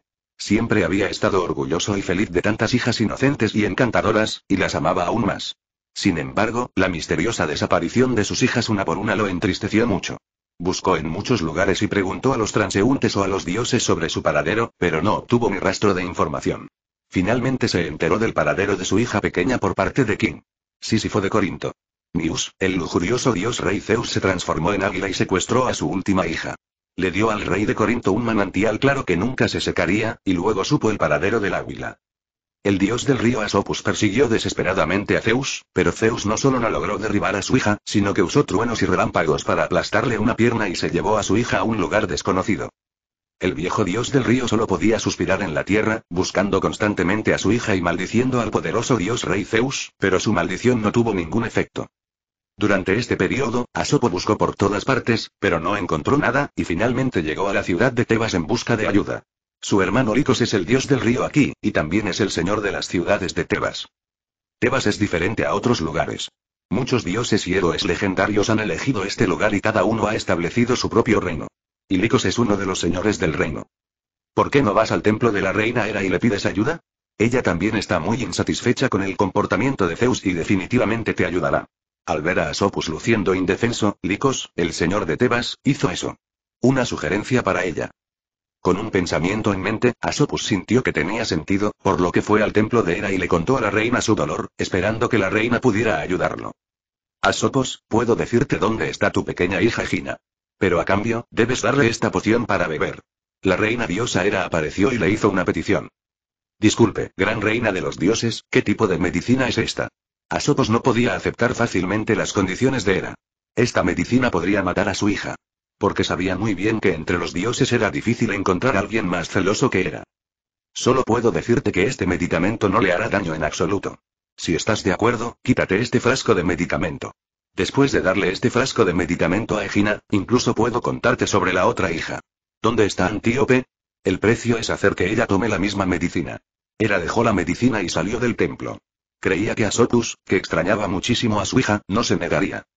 Efectivamente, pensó Asopus durante mucho tiempo, tomó el frasco de medicina en su mano y salió del templo de Hera con dificultad. Para encontrar a su hija, no tenía otra opción. Si Hera quería matar a su hija, no era necesario utilizar este método. Capítulo 60 La maldición de Asopos. En una isla cerca de Ática, la hermosa niña Egina miraba soñadora a lo lejos y se acariciaba el creciente vientre. El corazón de la niña está lleno de dulzura y tristeza. En lo alto del cielo, una figura volaba hacia este lado. La niña se sorprendió de repente. Sin embargo, cuando la figura cayó, su sorpresa se convirtió en otro tipo de sorpresa. Estar más feliz que sorprendido significa estar más sorprendido que feliz. Padre, ¿cómo encontraste este lugar? El viejo dios del río Asopus sostenía un bastón cuando vio a su amada hija, no pudo evitar estallar en lágrimas y gritar de dolor. Al ver el dolor y la alegría de su padre, Egina no pudo evitar las lágrimas en su corazón y lloró junto con su padre. Finalmente, padre e hija dejaron de llorar y Asopo preguntó por Egina. Desde que Egina fue secuestrada por Zeus y llevada a esta isla, no ha tenido a nadie que le haga compañía y ha estado viviendo en el dolor todos los días. Solo el niño que estaba dentro podía darle algo de consuelo a su corazón solitario. Asopo seguía maldiciendo a Zeus. No entendía por qué un dios tan lujurioso y libertino se convertiría en su rey. Sin embargo, Egina impidió que Asopus maldijera, temiendo que Zeus lo castigara. Al mismo tiempo, en su corazón, ya tenía un profundo amor por el dominante y gentil rey dios Zeus. Como si entendiera el corazón de su hija, Asopus suspiró tristemente, sacó un frasco de medicina de sus brazos y engañó a Egina haciéndole decir que era una medicina antifetal. Egina bebió la medicina sin dudarlo. A lo lejos, en el monte Olimpo, la reina Hera vio esta escena a través de su cristal mágico, y las comisuras de su boca se elevaron levemente. Esta es la primera. Asopus vio que su hija lo bebió sin ningún problema. También me recuerda eso. Facilidad. Después de quedarse con Egina por un tiempo, Asopus estaba listo para irse. Iba a encontrar noticias sobre su otra hija. Padre, ¿tienes alguna noticia sobre la hermana Antíope? preguntó Egina sorprendida. No hace mucho se enteró por Zeus de que su hermana aceptó quedar embarazada del hijo del rey Dios, pero Zeus no le dijo el paradero de Opal. Al principio estaba enojada y resentida con esta hermana, pero ahora está incluso un poco agradecida. Fue ella quien le dio la noticia a Zeus, y además fue porque tenía un ser querido y estaba a punto de tener un niño encantador. Después de que Asopus escuchó lo que dijo Egina, su rostro se puso rojo de ira. Nunca pensó que el culpable que le hizo perder a su última hija era en realidad otra hija. Con mirada de desesperación, Asopo regresó al templo de Hera. Vio el frasco de medicina en el templo, sin decirle una palabra, lo recogió y le preguntó a Hera sobre el paradero de Antíope. Ella está en la ciudad de Tebas, escondida en una vivienda en el oeste. Asopus tomó a su hermano Licos, siguió la guía de Hera y finalmente encontró a su otra hija. Antíope, lleno de vergüenza, miró a su padre y a su tío, bajó la cabeza y no se atrevió a decirle una palabra. Sabía desde hacía mucho tiempo que su padre la buscaba constantemente a ella y a su hermano Egina. También sabía que él estaba cerca, pero no se atrevía a salir a su encuentro. Debido a que estaba ávida de placer con Zeus, traicionó a su hermosa e inocente hermana ante Zeus. También fue por su culpa que Zeus dejó lisiado a su anciano padre en una pierna. Asopo miró a Antíope, que también estaba embarazada, y no sintió ninguna alegría al ver a la joven Egina, sino solo una profunda decepción y dolor. No entendía cómo su hija Antíope podía llegar a ser así, olvidarse de tener una aventura y tener un hijo, y traicionar a su hermana por su amante. Aunque su amante es Zeus, el dios rey que controla el cielo y la tierra. También en nombre de la medicina antifectal, se le pidió a Antíope que tomara la medicina que le había dado Hera, la reina del cielo. Asopus lo ignoró y miró a su hermano, Licos, el rey de Teia. En mi vida, las cosas que me han hecho más feliz y orgulloso son mis hijas. Sin embargo, lo que no esperaba es que las que más me avergüenzan y me duelen son en realidad mis hijas. Después de decir esto, él. La muleta que tenía en la mano fue insertada directamente en su corazón y luego cayó al suelo con gran dolor, luchando y retorciéndose. Lico estaba horrorizado y rápidamente se arrodilló junto a Asopo y lo ayudó a levantarse, mientras su hija Antíope caía de rodillas al suelo, llorando de dolor. Asopo tomó la mano de su hermano Lico y dijo temblorosamente: Ayúdame a cuidar de Antíope, pero no seas amable con ella. Debes reprenderla y hacer que se arrepienta y conozca los pecados que ha cometido. Licos miró a su hermano. Asopus que estaba a punto de morir, y luego a su sobrina Antíope que parecía lastimera. Finalmente, mordió la bala y asintió con la cabeza. Al ver que Laicos aceptaba su pedido, Asopus sonrió, luego empujó a Laicos, agotó sus últimas fuerzas y salió corriendo solo. Zeus, eres un dios desvergonzado que seduce a las esposas e hijas de otras personas. Eres indigno de ser el rey de los dioses. Hoy te maldigo con mi vida. Un día perderás tu trono, tu esposa y tu hija. Mi hija también se convertirá en la amante de otra persona. Una gran maldición sonó en la ciudad de Tebas, extendiéndose por todos los rincones, aterrorizando a todos los dioses y humanos. Los dioses cercanos se apresuraron y abandonaron este lugar del bien y del mal, mientras los humanos se arrodillaban en el suelo por temor a ser castigados por los dioses. HMPH. Efectivamente, las nubes oscuras comenzaron a acumularse en el cielo, y un fuerte resoplido hizo que los oídos de todos zumbaran. Un enorme rayo cayó, golpeando el cuerpo de Asopos, el maldito justo ahora. El rayo se alejó, el cuerpo de Asopos desapareció, dejando solo un enorme agujero negro. Miles de años después, aunque la ciudad de Tebas siguió cambiando de manos, este enorme pozo negro todavía existía. La gente lo llamaba la ira de los dioses. La reina era todavía veía esta escena en sus ojos, ni triste ni feliz, pero se dijo a sí misma a la ligera. Está bien, dos han sido resueltos, la próxima debería ser la hija de Aglas, la diosa del viento y la lluvia, Maya.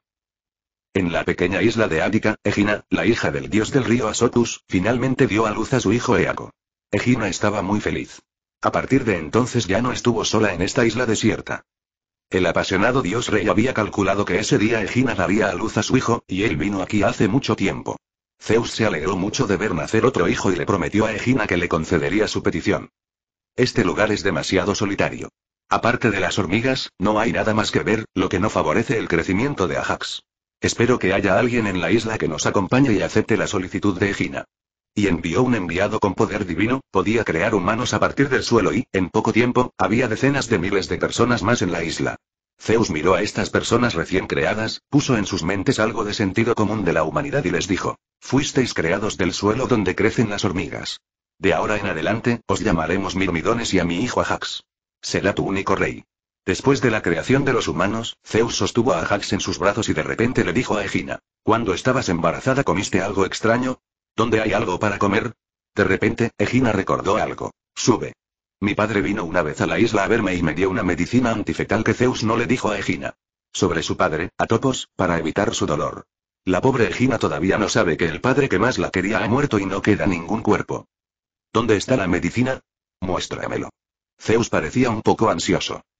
No más, solo quedaba un poquito de la medicina y me lo bebí todo. Egina parecía inquieta. ¿Le pasa algo al pequeño Ajax? Ella lo vio, y después de abrazar a su hijo, Zeus pareció infeliz y comenzó.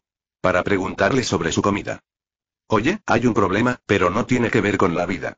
Zeus y Egina son dioses y tienen una esperanza de vida infinita, pero tan pronto como tocó a Jax, se dio cuenta de que no era un dios, sino un semidios. Es poder divino para usar, pero la duración de la vida tiene un final. Después de escuchar lo que dijo Zeus, Egina quedó tan sorprendida que casi lloró. ¿Cómo pudo pasar esto? ¿Por qué mi padre me daría esta comida? Le suplicó a Zeus y le preguntó si había una manera de resolver este problema. Es demasiado difícil. Zeus negó con la cabeza.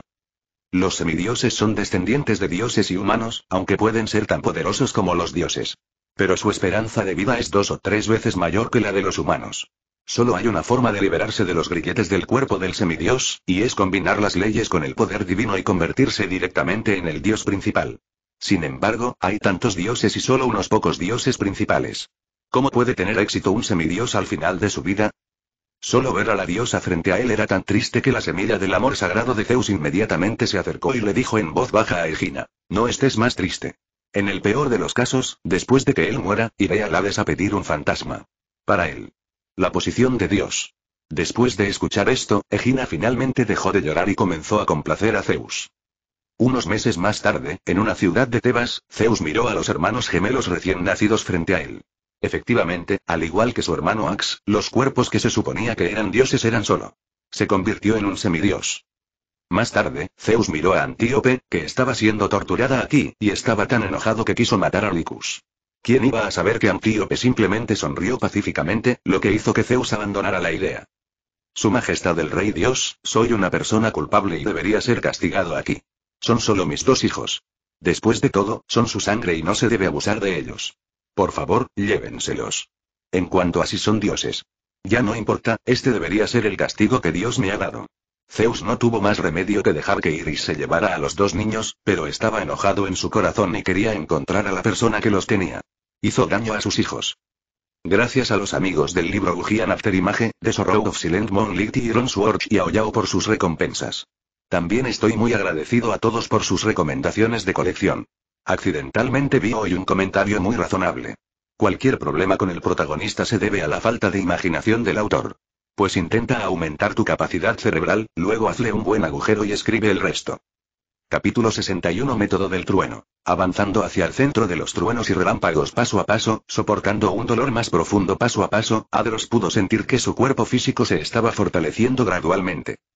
Se puede decir que este artefacto truenos y relámpagos le brinda a Adros un excelente lugar para practicar, desde lo menos profundo hacia lo más profundo, paso a paso, como si estuviera preparado para él.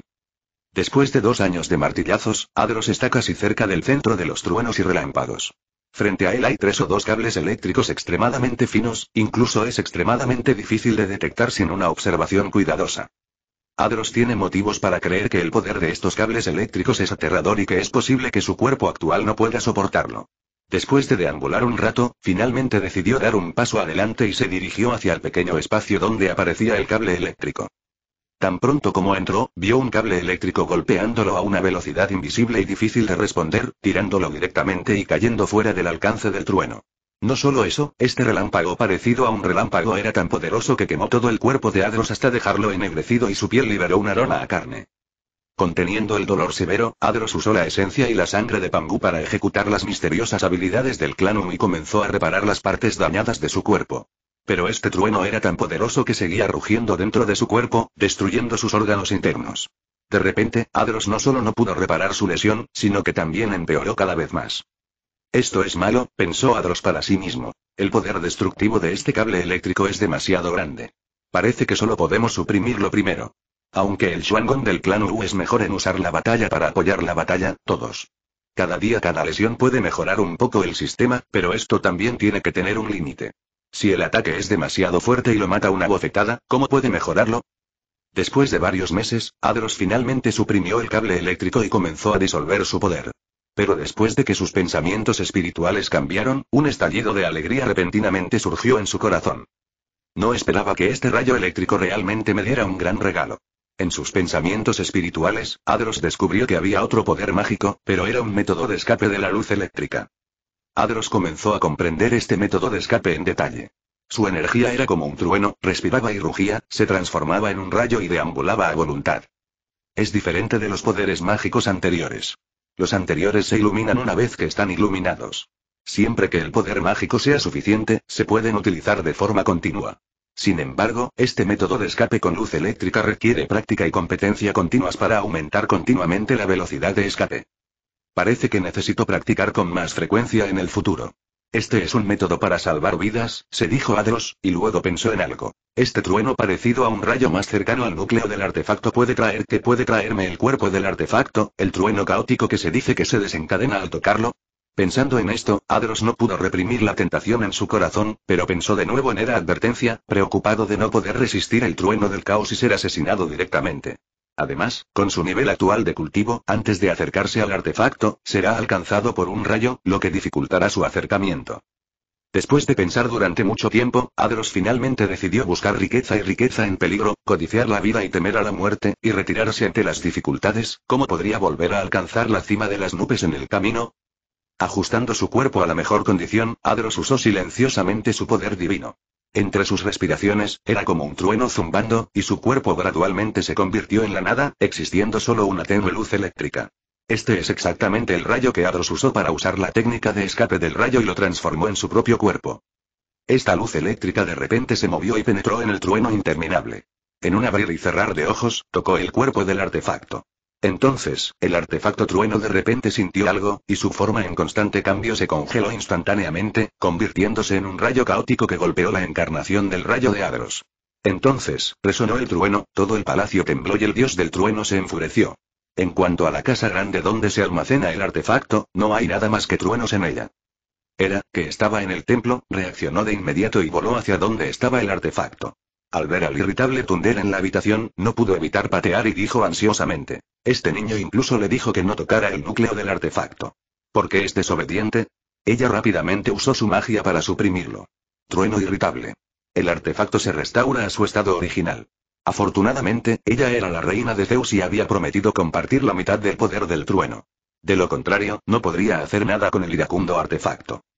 Cuando el trueno se calmó, Era miró dentro de la habitación y encontró un cuerpo oscuro en un rincón. Incluso su ropa había desaparecido. Estaba tirado allí desnudo e inconsciente. Era se acercó apresuradamente para ver cómo estaba Adros y ya estaba preparada para lo peor. Pero miró de cerca y descubrió que solo el cuerpo divino resultó gravemente dañado por el trueno, no el alma, y se sintió aliviada. Si su cuerpo divino estaba dañado, aún podía recuperarse, pero si su alma estaba dañada, no sabía cómo lidiar con eso.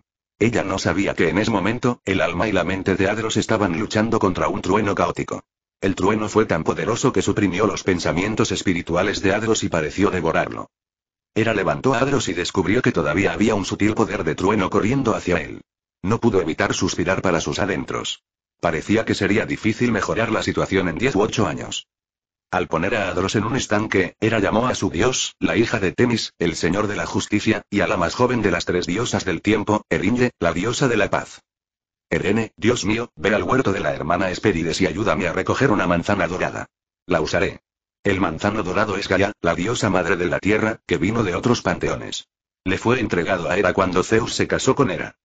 Las manzanas doradas que contiene pueden hacer que las personas sean inmortales y permanecer jóvenes para siempre, y tienen efectos incalculables en los dioses o los cuerpos humanos. Hera amaba tanto este árbol frutal que lo plantó en su jardín favorito y envió a las tres hijas de Aglas, el señor del cielo, la radiante Aegler, la roja Eritea y Uske Esperaritosa, a cuidarlo juntas. A pesar de esto, Hera todavía estaba preocupada y envió a Ratón, el dragón de cien cabezas capturado por su hermana Estia durante la rebelión del tifón. Después de que Eringe fue a buscar las manzanas rojas, no se detuvo y llegó al estanque cuadrado. Usó su poder divino para derretir las manzanas doradas y las convirtió en un líquido dorado, que era radiante y deslumbrante. Al rociar estos líquidos sobre Adros, Hera volvió a comprobar el estado de su cuerpo y descubrió que estaba mejorando, por lo que se fue tranquila. Después de que el trueno caótico golpeó a Adros, comenzó a dañar gradualmente su cuerpo físico y luego inmediatamente enredó el alma de Adros. Adros estaba ansioso, sabiendo que había subestimado el poder de Chaos Tunder y que, si no tenía cuidado, podría caer aquí. El trueno fue tan feroz y dominante que destrozó el alma de Adros. Todo lo que estaba afuera parecía no responder, como si estuviera a punto de morir. Aturdido, le pareció oír sonar una campana y luego perdió de vista su identidad. No sabía que en su mar de conciencia, la mente divina y el trueno del caos estaban enfrascados en una batalla desesperada. Se desconoce el personal de la otra persona, entonces, ¿cómo podrían los pensamientos espirituales restantes ser el oponente del poderoso Chaos Tunder? Justo encima de sus pensamientos espirituales y el trueno del caos, la antigua y vasta campana del caos permaneció en silencio. Una vez que los pensamientos espirituales de Adros estuvieron en desventaja, una campana larga sonó en su mar de conciencia. En el vacío, no sabía nada y no sabía cuánto tiempo pasó antes de que Adros recuperara el conocimiento. Tan pronto como despertó, sintió su situación. Estaba en un charco de agua, y unas misteriosas gotas doradas le transmitían vitalidad, haciendo que sus lesiones físicas mejoraran gradualmente.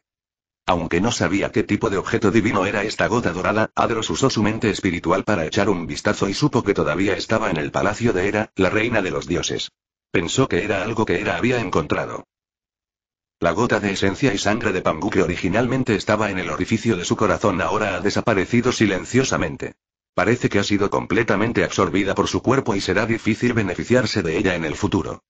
Mirando dentro de sí mismo nuevamente, Adros descubrió que había algo más en el mar de conciencia entre sus cejas. Debajo del simple y vasto reloj divino, había un trueno de colores caóticos, que era como el artefacto trueno y relámpago. Cambiando erráticamente. Dirigió sus pensamientos espirituales hacia este trueno y, de repente, apareció una fórmula mágica en su mente. El trueno es el cardenal del cielo y de la tierra. Por lo tanto, el trueno es el orden del cielo y tiene el mayor poder. Todo en los tres reinos y nueve lugares puede ser controlado por el trueno. La ley del trueno es la forma innata, y el dios del trueno es mi dios. Combina ki con ki. Cuando el espíritu se combina con el espíritu, ¿por qué no responder a él? Cuando la energía se divide por primera vez, me siento renovado y renovado, y no surgen deseos externos. Y el cielo y la tierra están en armonía entre sí, y toda la creación está en mis manos. Puedo sentir los fantasmas y los dioses y ahuyentarlos. El viento y el trueno sirven a todas las cosas y nadie puede ejecutarlos. La energía ancestral del cielo y la tierra, y convertirse en el dios supremo del trueno. Se llama el trueno de los dioses, y miles de métodos terminan aquí. Sí, Adros no pudo evitar sentirse muy feliz después de conocer este secreto. Aprendió de Xuan Min que el método del trueno era uno de los métodos más poderosos del mundo. El Fixiao Divine Tunder y el Dutian Divine Tunder son sin duda el método del trueno definitivo. El primero es el comienzo del método del trueno y es el método del trueno más elevado del sintoísmo. Método de brujería. Se dice que cuando Tangu creó el mundo, usó este método del trueno. Era extremadamente poderoso, pero fue una pena que no se transmitiera. Incluso Lukian Girian, el antepasado original del trueno, no obtuvo la técnica del trueno de este clan Pangu. Adros dijo en secreto, este método del trueno es tan poderoso que es incluso más poderoso que la luz divina del fuego solar. Debería ser mi último recurso. Desafortunadamente, con mi poder divino actual, se estima que incluso uno de ellos será asfixiado. Y mucho menos así es como luchamos contra el enemigo. El camino del clan de las brujas probablemente termina aquí. Una gota de sangre solo puede llegar hasta cierto punto, lo cual es un pequeño truco para los adros débiles en la etapa inicial. El siguiente es el camino de los dioses. Por favor, ten paciencia y léelo, aunque puede que no a todos les guste. Capítulo 62 El nacimiento de Hermes. En el monte Olimpo, se celebró aquí otro banquete de los dioses, Zeus, que estuvo ocupado afuera todo el día, también hizo una rara aparición en el salón de los dioses, invitando a los dioses a divertirse con él. De hecho, es digno de felicidad. Después de Ares, el dios de la guerra, tiene otro hijo que ha sido inspirado por el cielo y la tierra desde su nacimiento. Tomó en brazos al niño de dos o tres años y anunció su nombre a los dioses, Hermes. Hermes es hijo de Zeus y Maya, la diosa del viento y la lluvia. Su madre Maya es hija del dios titán Atlas de segunda generación. Atlas y Pleione dieron a luz a siete hijas, todas las cuales eran ninfas del bosque y fueron llamadas las hermanas Pleiades. Maya era la mayor de ellas. Son medias hermanas de las tres hermanas Espérides que ayudaron a Hera a proteger las manzanas doradas y todas tienen un poder divino considerable. Poco después de nacer, Hermes era todavía un niño que dormía en una cuna. Una vez, sin que su madre se diera cuenta, se soltó de los pañales, salió de la cueva, fue al valle de Pieria y mató a ambos extremos de Apolo. Para no dejar rastros del ganado, primero ató todas las patas del ganado a juncos y ramas, luego se puso sandalias de paja de adultos y condujo al ganado en la dirección opuesta. Mientras caminaba apresuradamente por Beocia, se encontró con un anciano que cultivaba uvas. Le pidió que no le dijera a nadie que lo había visto y luego se fue. Pero algunas personas dijeron que se preocupó más tarde, así que se convirtió en otra persona y encontró al anciano y le preguntó si había visto a un niño conduciendo ganado. El anciano no conocía la historia interna, así que le contó el paradero del niño. Hermes se enojó mucho y convirtió al anciano en piedra. Luego, regresó al bosque y continuó conduciendo a las vacas. Cuando llegó a Pilos, seleccionó dos vacas y las escondió en la cueva. Regresó a la casa de su madre como si nada hubiera pasado y subió. En la cuna.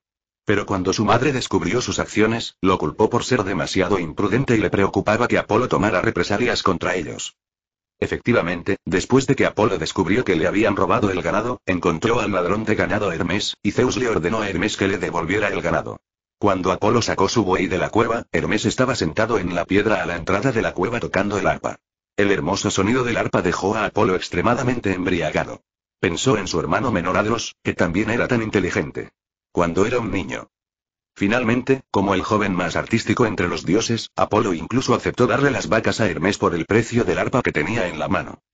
Debes saber que estas vacas fueron sacrificadas a Adros en su templo favorito. Incluso si él no usa los sacrificios de los dioses, rara vez se los da a otros. Durante el banquete, el joven Hermes de repente se levantó y dijo que le daría un regalo al dios rey y reina del Olimpo, lo que sorprendió a Zeus. Nunca había recibido un regalo de sus hijos, por lo que dijo alegremente, si el regalo que me das es satisfactorio, te prometo convertirte en el dios del Olimpo. El joven y encantador Hermes se tapó la boca y robó, riendo. Sacó una lanza de una bolsa de tela que llevaba consigo, con el aura de truenos y relámpagos brillando en ella. Era la lanza de trueno de Zeus, el artefacto construido para él por los cíclopes durante la batalla de los titanes. Zeus se sorprendió de que el joven Hermes pudiera robar la lanza que nunca abandonó su cuerpo. Luego se llenó de alegría y lamentó que el Olimpo tuviera otro mensajero para esparcirle gloria. Está bien, buen trabajo. A partir de hoy, serás mi mensajero y me entregarás mensajes. Cuando seas mayor, te daré otros sacerdocios. Ahora que Hermes aún es joven, Zeus no está seguro de qué leyes puede aplicar. corresponde, solo puede dejarle actuar temporalmente como su mensajero para facilitar su enseñanza. En cuanto a la mensajera original Iris, Zeus había planeado durante mucho tiempo convertirla en dios y mensajera de Hera. Entonces, Zeus sonrió y dijo, me pregunto qué regalos has preparado para Hera. Hera a su lado no dijo nada, pero también tenía curiosidad por saber qué podría darle este afortunado niño. En ese momento, Hermes sacó una pequeña botella gris y no sabía qué había dentro. Le entregó la botella a Hera y dijo con cierta frialdad, ahora ha vuelto a su dueño original. Desde que Hermes sacó la botella pequeña, la expresión de Zeus cambió, y era aún más, su rostro de repente se puso pálido y él. No pude evitar sentirme nervioso. Tomó el frasco que le entregó Hermes, miró al nuevo dios con ojos complicados y permaneció en silencio. Era, ¿no crees que necesitas darme una explicación? La voz de Zeus estaba llena de ira. En sus manos, también sostenía las mismas dos botellas, que había obtenido de Gina y Antíope. Hermás. Sabía muy bien que sus tres hijos, que podían convertirse en dioses poderosos, solo se convirtieron en semidioses gracias a la medicina de este pequeño frasco. Al ver que Hera estaba en silencio, agarró el pequeño frasco de Hera, luego abrió su tercer ojo y observó cuidadosamente el medicamento en el frasco. Después de mucho tiempo, Zeus suspiró. Resultó ser el aliento de Styx, no es de extrañar que interrumpiera la divinidad. Luego, se enojó y su voz enojada se extendió por todo el salón de los dioses, y la alegría en la sala quedó instantáneamente ensombrecida por nubes oscuras. ¿Eres tú, eres tú, por qué destruiste la divinidad de mi hijo? Zeus golpeó violentamente el cetro en el trono y un trueno estalló en el salón, como si fuera el fin del mundo. Hera también se recuperó en ese momento y miró a Zeus a la ligera. ¿Por qué? Tuviste una aventura a mis espaldas y diste a luz a tantos hijos ilegítimos. Ya fui magnánima al no matar a tu amante ni a tus hijos directamente. Rugió de nuevo. ¿Sabes que estos niños son el futuro y la esperanza de nuestro Olimpo? Tenía que estar enojado. Entre los muchos dioses, el Olimpo no era tan poderoso como se imaginaba. Solo desarrollando continuamente su fuerza puede competir con él. Dioses alienígenas descritos por la Madre Tierra para él. La mejor manera de desarrollar fuerza es tener más descendientes de sangre. Pero su esposa Hera destruyó la divinidad de estos niños por celos en su corazón. Hera dijo con frialdad, es tu futuro y tu esperanza, no el mío. Zeus estuvo feliz durante este tiempo y estuvo acompañado de mujeres hermosas en todo el mundo. ¿Pero qué pasa con ella? Un hombre dio a luz a su hija Enio, y Zeus ni siquiera apareció. Al contrario, siempre está preocupado por sus descendientes en el mundo humano. Zeus negó con la cabeza, como si su rostro estuviera lleno de dolor. Tú eres mi reina divina, lo mío es tuyo y lo tuyo es mío. Un, tú también sabes que tienes una reina divina, ¿y qué? ¿Qué significan estas cosas en el mundo mortal? Hera se rió de sí misma. El mío es tuyo, y estos son todos. Señaló a Hefesto y dijo con frialdad. Pero el tuyo puede que no lo sea. Dar a luz a tantos hijos. Si no son tus hijos, los destruirás. ¿Por qué eres tan cruel? Zeus se enojó nuevamente con Hera. En ese momento, Hera escuchó a Zeus comentar sobre sí misma de esta manera por primera vez.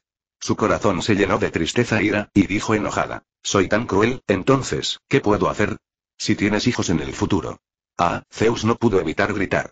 Enfadado, sacó la cadena de oro y el yunque, ató las manos de Hera con la cadena de oro y ató los pies de Hera con el yunque. Y la derribó. Colgada en el aire en el salón del Olimpo, dejó que los dioses la vieran hacer el ridículo. Hera ni siquiera se resistió y permitió que Zeus hiciera lo que hizo.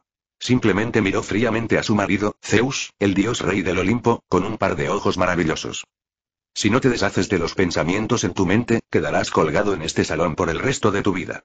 Zeus miró a Hera, aunque no pudo soportarlo, pero finalmente dijo con fuerza. Hera lo miró, sacudió la cabeza e incluso había una pizca de autodesprecio en la comisura de su boca. En este momento, los dioses en el salón de los dioses ya estaban atónitos.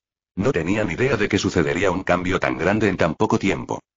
Pero en este momento, mirando al enojado rey dios Zeus y a la algo loca reina dios Hera, ningún dios se atrevió a levantarse e interceder por Hera.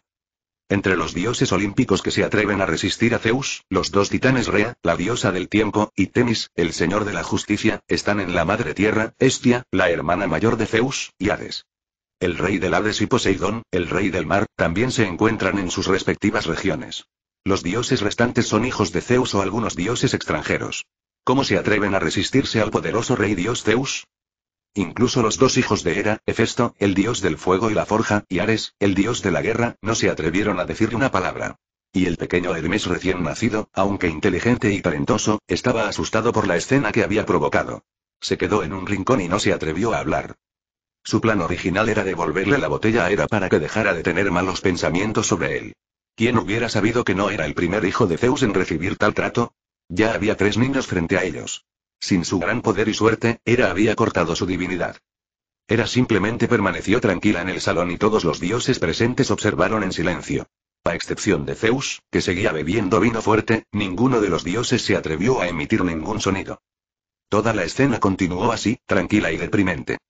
Oye, ¿no es esta la reina de los dioses? ¿Por qué actúas para los dioses aquí? Es demasiado feo. Creo que es mejor olvidarlo.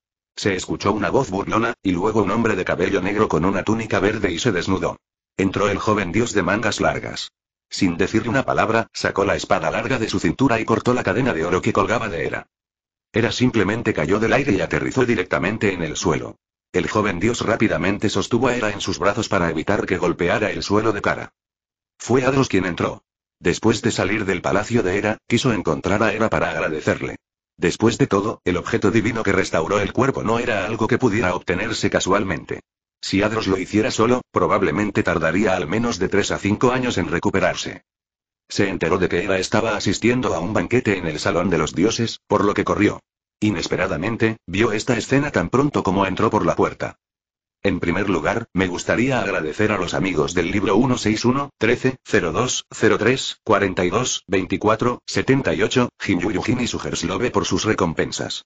Gracias a todos por sus recomendaciones y apoyo. De repente me sentí extraño. No estaba muy satisfecho con el capítulo que escribí esta mañana, pero hoy obtuve la mayor cantidad de votos de recomendación de cualquier día. Pero todavía tengo que decirles a todos los amigos del libro que las siguientes dos tramas todavía no son la historia del Señor de la Estrella Polar. Tendrás que esperar unos diez días antes de poder verla. Solo puedo asegurarles que no alcancé el recuento de palabras sin ningún motivo. Si supiera cómo recuperar el recuento de palabras, no tendría que escribir tanto. Mientras escribo esto, necesito buscarlo en Baidu y luego descubrir lentamente dónde colocar a esta persona y este asunto, y cuándo aparecer.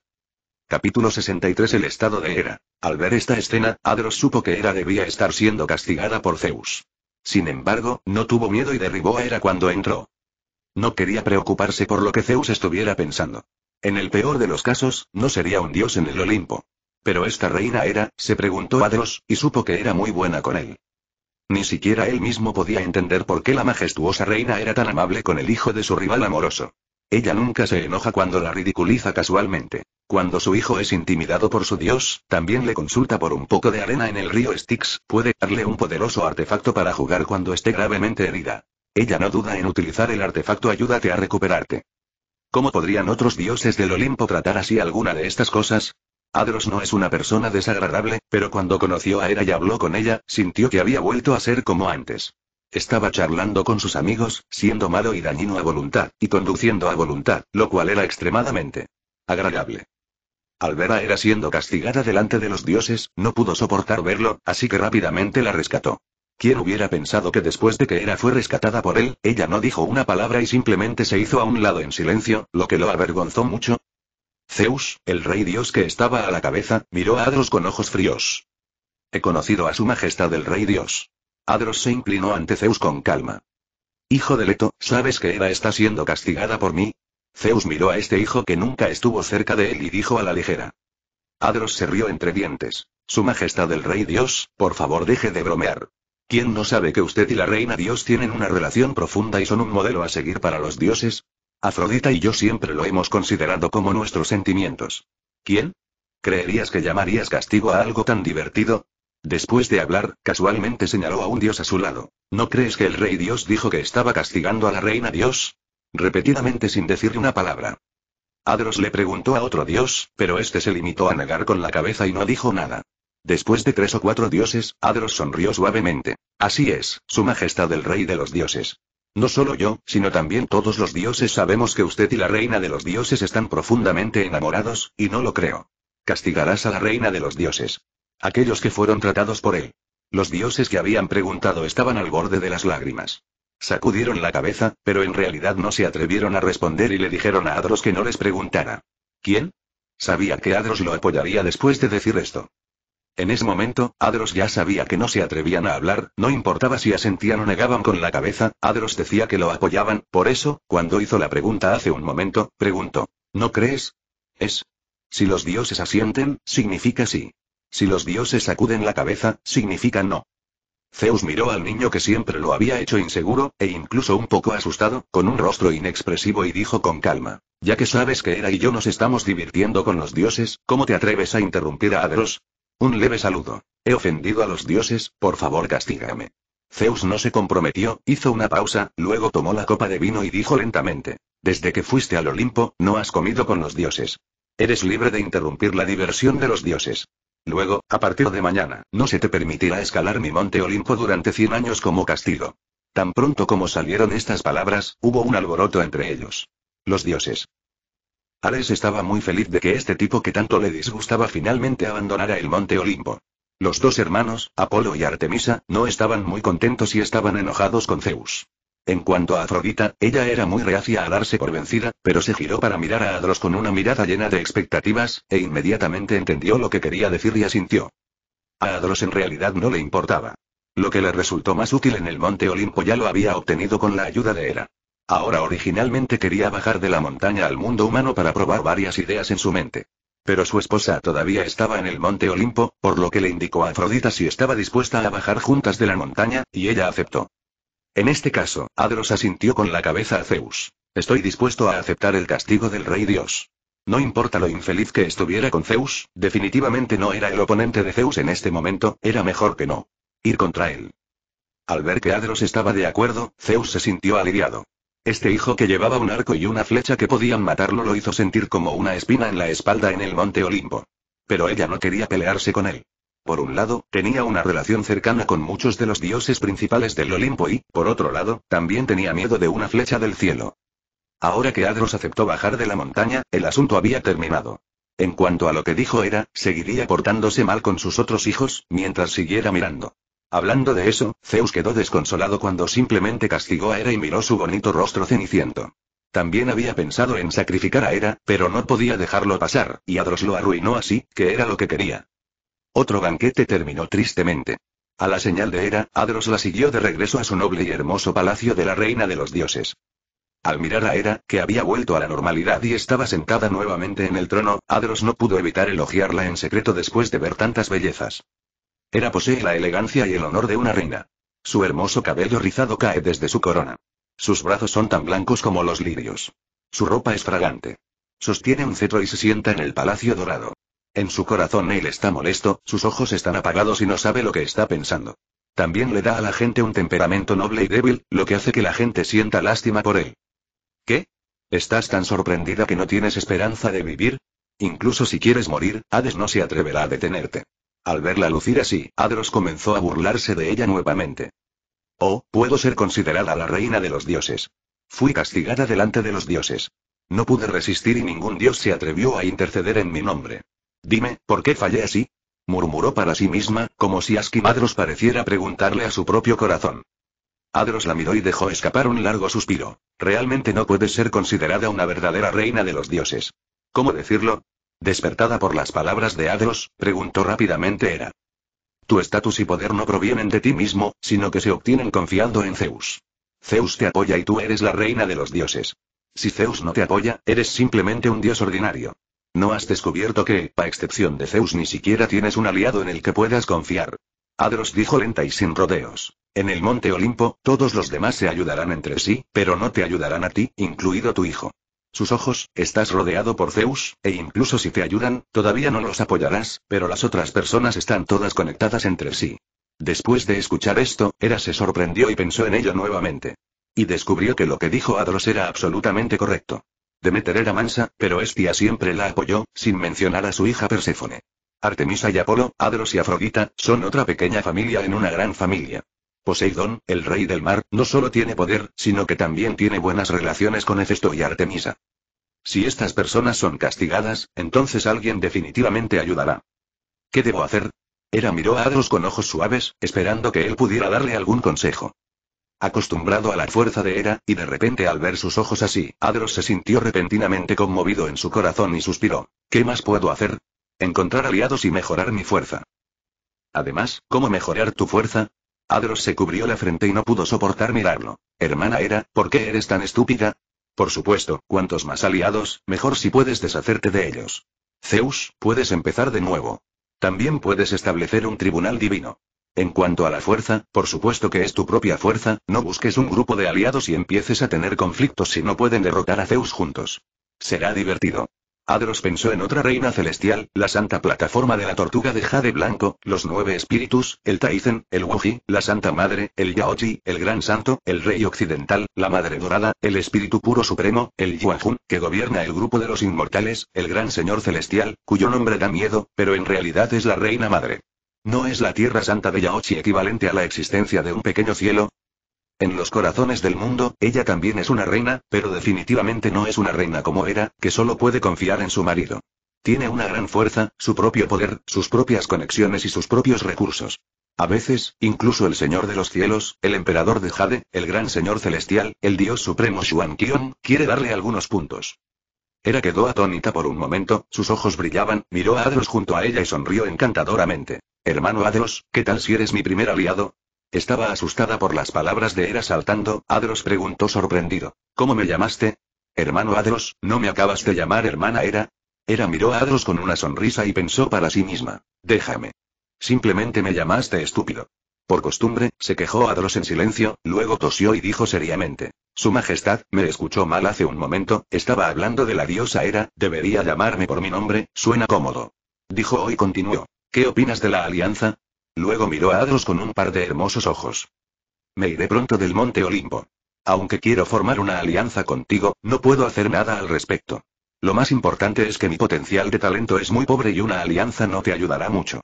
Déjame recomendarte un aliado, la diosa de la sabiduría.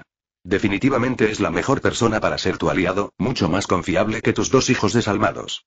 Era le puso los ojos en blanco, ¿cómo podía decir que su hijo lo había hecho? Sin conciencia delante de su madre.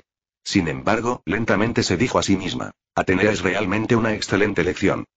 Capítulo 64 Adiós, Olimpo. Afrodita no bajó del Olimpo con Adros al final, pero Adros no se decepcionó en absoluto, porque esta vez, Afrodita le abrió su corazón, sus orígenes, su misión y su propósito estaban claros para Adros. El primer dios rey Urano fue usurpado por la guadaña del titán, la parte inferior de su cuerpo fue castrada y, después de caer al mar, nació Afrodita, la diosa que simbolizaba el amor y la belleza. En otras palabras, Afrodita es en realidad la misma generación de dioses que los titanes y puede ser considerada como la abuela de Adros. Antes de que Afrodita naciera en el mar, el primer rey dios Urano le enseñó, ya sea el uso del poder divino o la ley de la comunicación. No fue hasta que nació Afrodita, cien años después, que Urano se fue. Debido a su buen carácter y al entrenamiento de un dios poderoso, Afrodita se convirtió en un dios principal poderoso tan pronto como nació. El mismo día derrotó a Focis, la ira del mar, el hijo de Ponto, que codiciaba su belleza. Desde su nacimiento, Afrodita ha encontrado un lugar para vivir recluida y sin preocuparse por los asuntos mundanos, por lo que hay pocos rumores sobre ella entre los dioses. Hasta que comenzó la rebelión de Tifón, Urano, que no había sido visto en mil años, comenzó a contactar a Afrodita y le ordenó encontrar formas de penetrar en el Olimpo y convertirse en un miembro importante de ellos. Lo que sucedió después quedó claro. Afrodita fue al Olimpo, luego se convirtió en la diosa del amor y la belleza que le había confiado el rey de los dioses, y luego se casó con Adros, todo con el fin de completar la misión que le había confiado Urano. Ahora que los humanos acaban de nacer, es un buen momento para difundir el poder divino. Uranos incluso le dijo cómo usar la fe humana para templar el poder de la ley. Por lo tanto, Afrodita pasó una noche comunicándose con Adros, lo que finalmente hizo que a Adros le doliera la cintura, antes de aceptar continuar en el monte Olimpo. Antes de irse, Adros besó con fuerza los labios regordetes de Afrodita y dijo de mala gana. Todos los años, después de la cosecha de otoño, iré a tu templo en Pafos para presenciar contigo las celebraciones que tu pueblo te dedica. Recuerda lavarte y esperarme. Cuando dijo esto, tenía una sonrisa maliciosa en su rostro. Las mejillas de Afrodita estaban ligeramente rojas y su rostro de Jade se sintió tímido por un momento. Miró hacia un lado y cuando no vio a nadie más, dijo con amargura. No quiero lavarlo. Está bien, te ayudaré a limpiar. Después de decir eso, Adros no se quedó en el palacio de Afrodita por mucho tiempo, por lo que se despidió de Afrodita y luego fue al templo de caza de Artemisa para reunirse con ella. Leto se despidió de sus hermanos y hermanas. En comparación con la expresión indiferente de Apolo, Leto y Artemisa estaban obviamente un poco tristes. Artemisa incluso dijo insatisfecha. De verdad, ni siquiera pude quedarme en el Olimpo para ayudar a esa mujer. Aunque Leto no dijo nada, miró a Adros. Con un toque de culpa. Adros también entendió que su madre y su hermana aún no habían dejado de lado el hecho de que Hera había enviado gente a cazar a su familia. No quiso decir más. Aunque Hera fue amable con él, una falta es una falta. Simplemente sonrió levemente. Me cansé de quedarme en el monte Olimpo y quería salir a caminar. Si mi madre y mi hermana me extrañan, nos visitarán todos los años. Este mes de mi cumpleaños, los acompañaré al templo de Artemisa en Éfeso. Leto solo pudo asentir con la cabeza. Sus otros hijos, incluida ella, estaban en el monte Olimpo. Recibe adoración del mundo humano, tu fuerza aumentará rápidamente. Es imposible caminar por el mundo humano con Adros todo el día. Quizás el Olimpo sea la sede de la corte divina ortodoxa en este mundo. Sin mencionar a otros dioses, incluso Adros siente que el poder divino crece más rápido en el monte Olimpo que en otros lugares.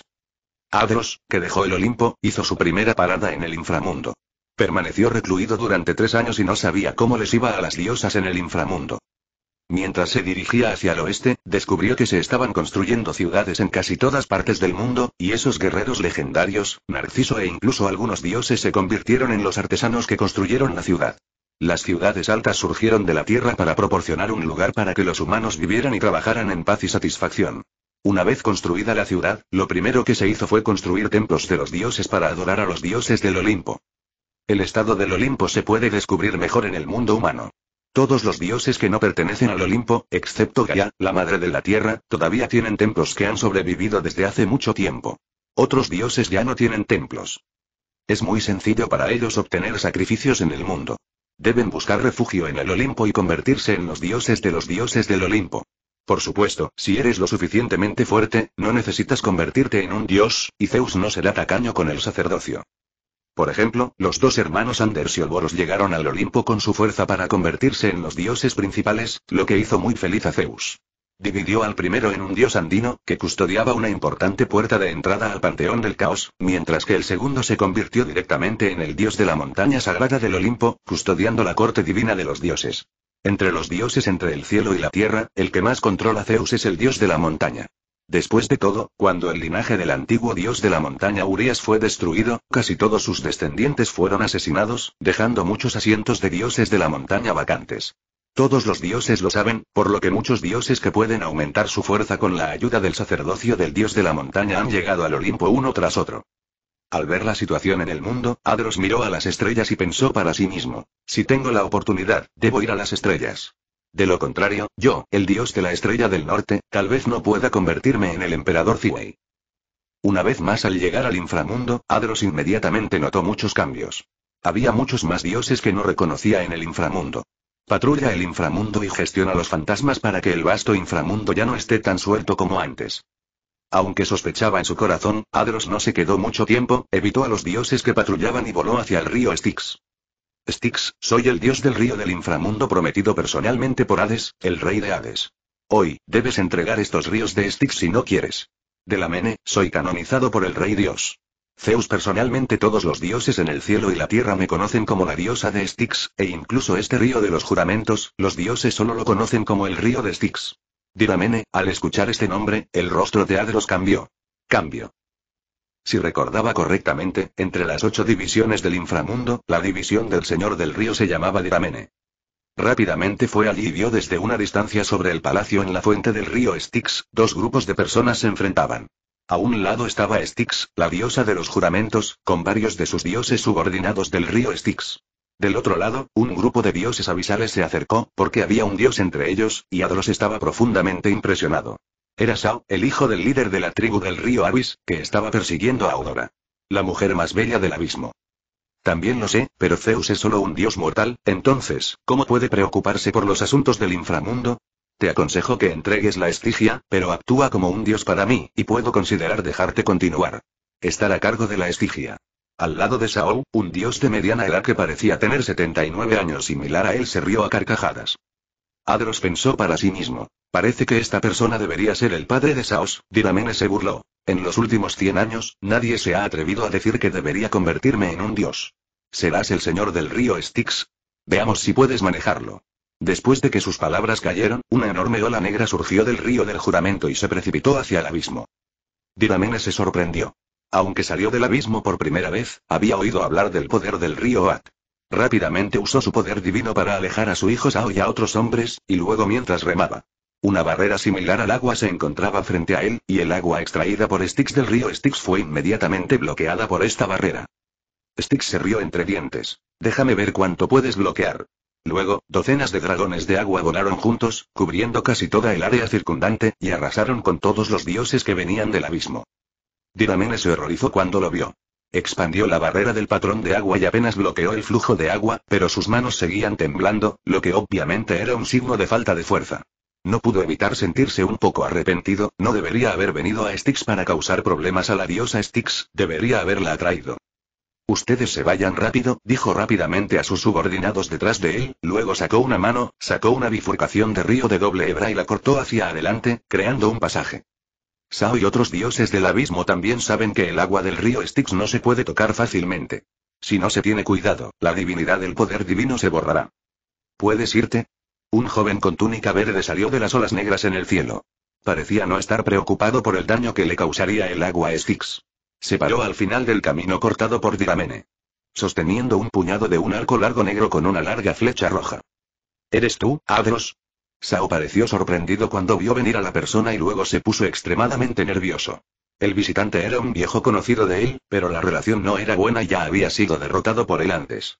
Especialmente el arco y la flecha en su mano, que era el arma mágica que hirió gravemente a la diosa Falusa, la maestra del departamento de espíritus. La aterradora llama de color blanco dorado aún estaba fresca en su memoria.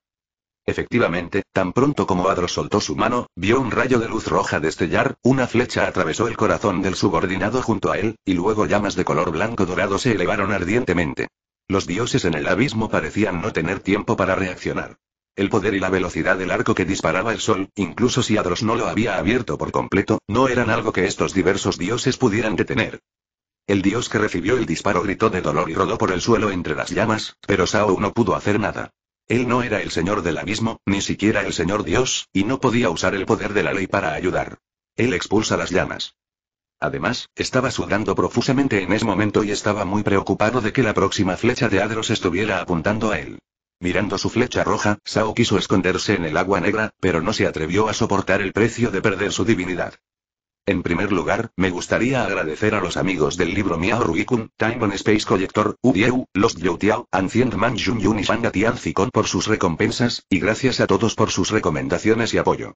Bueno, aunque los resultados no son buenos, también recibí un aviso de que iré a Fantasy Recomendación la próxima semana, esperando tener un mejor resultado. El editor también me apoya mucho y puedo permanecer en la página de fantasía durante al menos tres semanas. Está decidido, la tercera actualización será mañana, espero que todos me apoyen. Si estás escuchando esta novela en un canal distinto a Mundo Fanfic Novelas, significa que lo descargaron y subieron sin esfuerzo. Te invitamos cordialmente a visitar nuestro canal. Mundo Fanfic Novelas allí encontrarás la versión original de esta historia y podrás explorar muchas otras novelas de diversos géneros. Te esperamos para sumergirte en un mundo de novelas increíbles. Capítulo 65 Cambios en el Hades. Adros, ¿te atreves? Justo cuando Adros tensó su arco y estaba a punto de disparar otra flecha, Sao estaba extremadamente nervioso y en un dilema, Diramene de repente gritó enojado. También quedó algo impresionado por este joven dios. Después de todo, la boda de Perses fue uno de los eventos más interesantes en el abismo en un millón de años. Ya sea el accidente en la boda al principio o la llegada del Señor de la Noche al final, el Señor del Departamento Espiritual siendo baleado y herido, y la llegada del Señor del Abismo en persona, todos dejaron una profunda impresión en él. Cuando vio la flecha disparada por Adros, no sabría que fue este joven dios poco espectacular quien hirió a la diosa Felusa en primer lugar. Al escuchar su amenaza, Adros inmediatamente bajó la mano y se disparó un estallido de luz roja. Otro dios murió de dolor, y luego jejeje. He decepcionado a Lord Iramene. ¿Cómo te atreves a adivinar con quién dispararé? ¿Flecha? Me señaló, y no era otro que Sao, hijo de Diramene. En ese momento, Sao entró en pánico y no sabía dónde esconderse. Estaba sudando profusamente y gritó. Padre, sálvame, no quiero morir todavía. Entrando en pánico y pidiendo ayuda, Diramene suspiró. Por favor, deja ir a mi hijo y a estos subordinados. Ya no competiré con la diosa Styx por estos cuatro ríos de Styx. Adros no respondió y solo miró a Styx décimo, déjala. Decidir. Styx pensó por un momento y luego dijo con calma. Júrame, el río Styx, que nunca me ofenderás, el río Styx, ni te vengarás de Adros, y te dejaré ir. Para retener a su hijo, solo pudo señalar a la Estigia y decir, la Estigia está arriba. Yo, Diramene, juro aquí que después de irme con mis subordinados hoy, nunca volveré a invadir los cuatro ríos Estigia en el inframundo, ni haré algo como hoy. Buscando venganza contra Adros. Al ver que Diramene había terminado su juramento, Styx recogió el agua en el cielo y regresó al río Styx. De repente, el mundo quedó vacío y Diramene tomó a su hijo y a sus subordinados y se fue sin decirle una palabra. Pero cuando se fue, miró a Adros con una mirada extremadamente resentida. A Adros no le importó, guardó su arco y sus flechas y los dejó ir. Después de que se fueron, Adros dijo, dejarlos ir así. Sabía muy bien que su tía Styx nunca había sido un dios bondadoso. ¿Cómo pudo dejar ir al enemigo así hoy? Styx suspiró. ¿Qué puedo hacer? Aunque no les tengo miedo, los siguientes no son rival para ellos. Puedo matar a sus subordinados y él también puede matar a mis subordinados. Después de escuchar esto, Styx suspiró. Los dioses detrás de ella, incluido el dios Archerón del río del dolor, el dios Kiulipleton del río del pesar y el dios del río olvidado Let, estaban todos avergonzados y enojados. Se arrodillaron para declararse culpables y se arrastraron. El dios principal está descontento con sus patas traseras. Styx hizo un gesto con la mano. Está bien, regresen todos y mejoren. ¿De qué sirve pedir perdón? Estoy esperando que algún día puedan matar en la puerta de Diramene y vengar su vergüenza. Los tres dioses del río se fueron. Styx miró a Adros frente a él y suspiró. Oye, el pequeño Adros realmente ha crecido y ya puede ayudarme a matar enemigos. Parece que ya lo he hecho. Ella es vieja. Su mejor momento. Si simplemente saliera a caminar, probablemente encantaría a muchos ídolos masculinos. ¿Cómo se la puede llamar vieja? En cuanto a mí, estoy tratando de mejorar mi fuerza, ¿no? Puedo luchar por ti algún día. Adros sonrió. Oye, tu chico ha sido tan bueno hablando desde que eras un niño. Es difícil que no te guste. Styx miró al joven frente a él. Tenía ojos negros y cabello negro. Solo que él era realmente su propio hijo, esos hijos idiotas míos trabajan para otros en el Olimpo todos los días y ni siquiera saben cuándo morirán. Incluso con la cara de Adros, se sintió avergonzado de ser elogiado así por ella, y rápidamente cambió de tema. ¿Qué pasó con el inframundo? ¿Hay gente que viene a atacar a Styx? Después de escuchar esto, la expresión de Styx cambió ligeramente. Y dijo enojado. ¿Qué más podemos hacer? Nuestra Majestad Plutón ha traído un grupo de ayudantes del Tártaro. Después de que vengan, deben dar algunos beneficios. Nosotros, los dioses del río Styx, no hay mucha gente, y si no lo haces entonces, Hades ya está listo para pelear con su tía. El rostro de Adros estaba tan oscuro como la tierra. Si Hades. Pelearse con Styx también significa que Perséfone también se peleó. ¿Con Styx? Lo primero por sí solo estaba bien, pero si era una decisión conjunta entre la pareja, realmente no sabía cómo afrontarlo. En ese momento, Styx miró a Adros en silencio. ¿Qué harás si se pelean conmigo frente a mí? Mientras hablaba, pensó en los hombres y mujeres jóvenes que tuvieron relaciones sexuales en el desierto esa noche. Beth, incluso me sentí un poco celoso. Adros hizo una pausa por un momento, luego con ojos firmes, dijo lentamente. Pase lo que pase, mientras esté aquí, nadie te hará daño. A diferencia de Perséfone, ella tiene una madre que la ama y una madre amorosa. Tiene un marido que valora su tesoro y un padre supremo en el cielo y en la tierra. En cuanto a Styx, su padre la trata como una herramienta matrimonial y su marido se vuelve contra ella. Perros y caballos detrás de ella, hay un grupo de hermanos y hermanas menores que la frenan. Adros decidió que esta vez estaría del lado de Styx, y estos ríos de Styx no podrían ser entregados a otros. En cuanto a Perséfone, solo pueden compensar de otras maneras. De repente, Styx se echó a reír. No te preocupes, no te avergonzaré. Si Perséfone realmente necesita mi Styx, ¿qué pasa si se lo doy? Lo que pasó esta vez debería ser la decisión del propio dios del abismo. Cuanto más decía esto Styx, más se decidía Adros a no dejar que le quitaran su Styx. La diosa a cargo de los juramentos, si el río de los juramentos estaba en manos de otra persona, ¿cómo podría devolverlo? Habrá un futuro. Al ver la expresión complicada de Adros, Styx le dio unas palmaditas en la cabeza. ¿En qué estás pensando? ¿Por qué no vamos directamente a Perséfone y le pedimos que averigüe qué es lo que realmente piensa Ross? Y los dos fueron. Hades otra vez. En el inframundo, las cosas han cambiado drásticamente. Los guardias son extremadamente estrictos y el número de dioses es mucho mayor que antes. Adros y Styx no eran personas que seguían las reglas, por lo que entraron sigilosamente sin tener la intención de anunciarlo en la puerta principal. Cuando regresó Hades del Hades? Parece que ganó mucho. Tantos dioses casi están alcanzando al Olimpo. Styx vaciló. Probablemente solo estos tres o cuatro. Vamos, hace tres o cuatro meses, cuando Demeter tomó Perséfone regresó a Hades, estuve aquí una vez y no vi ningún cambio aquí. Hablando de Styx y Demeter, desde la batalla de los titanes hasta que Perséfone se casó con Hades, siempre se habían disgustado. Pero desde que irrumpieron juntos en el palacio de Hades, su relación se ha vuelto cada vez más profunda, no peor que la relación con Estia. Cada vez que Demeter venía al inframundo, los dos se divertían juntos por un tiempo. Hades ya no debería estar en Hades, de lo contrario nos habrían descubierto tan pronto como entramos, dijo Hades, y luego se movió con arrogancia, para nada como si acabara de colarse. Styx asintió. Esta era la mansión de Hades. Si no reaccionaba ante la entrada de dos dioses, entonces estaría sirviendo como el señor de Hades por nada. Al llegar a la residencia de Perséfone, Adros y Styx notaron que algo andaba mal. En el pasado, generalmente había asistentes divinos yendo y viniendo aquí, pero ahora parecía vacío y silencioso. Es más, cuando los dioses del Hades caminaban por esta zona, siempre caminaban alrededor de ella, como si fuera una zona prohibida. Con la mente llena de preguntas, Adros y Styx siguieron el camino familiar y llegaron directamente a la habitación de Perséfone. Vieron dentro de la habitación, encima de una cama grande y exquisita, a una hermosa mujer. Al ver la urgencia, Adros se acercó rápidamente para comprobar el estado de Perséfone. Cuando lo vio, se sorprendió un poco. Perséfone no estaba dormida ni desmayada. Tenía los ojos muy abiertos, pero estaban apagados y no podía ver su presencia. No reaccionaba en absoluto cuando hablaban a su lado. Adros rápidamente le pidió a Styx que estaba a su lado que lo comprobara. Ella no pudo ver ninguna pista. Simplemente dijo, parece estar relacionado con el alma. No sé los detalles si es el poder de los juramentos o el el poder del odio, ambos están involucrados. Alma, pero hay demasiadas leyes relacionadas con el alma, con diferentes énfasis, por lo que solo puede hacer conjeturas generales. ¿Qué tal si llamas a Hades y le preguntas qué está pasando? sugirió Styx. Adros negó con la cabeza rápidamente. En lo que respecta a los cambios en Hades, la situación de Perséfone era difícil de escapar de las sospechas de Hades. Una vez que lo llamaron, ninguno de los dos podría irse. Pensó por un momento y le dijo a Styx. Estoy familiarizado con el Señor de la Noche. Creo que es mejor llevar a Perséfone a la Tierra de la Noche Polar y ver qué tiene que decir el Señor. Styx asintió. Bueno, el Señor de la Noche tiene el deber de controlar las almas. Si ella no puede hacer nada, entonces realmente no sé quién puede salvar a Perséfone. El Señor de la Noche, Nix, es diferente a ella de la noche, cuyas responsabilidades relacionadas con el alma incluyen sueños, muerte, sueño, destino, dolor, envejecimiento, venganza, etc. Se puede decir que ella es quien mejor comprende la naturaleza del alma entre muchos dioses. El alma está arruinada. Fue Tartarus quien tomó medidas.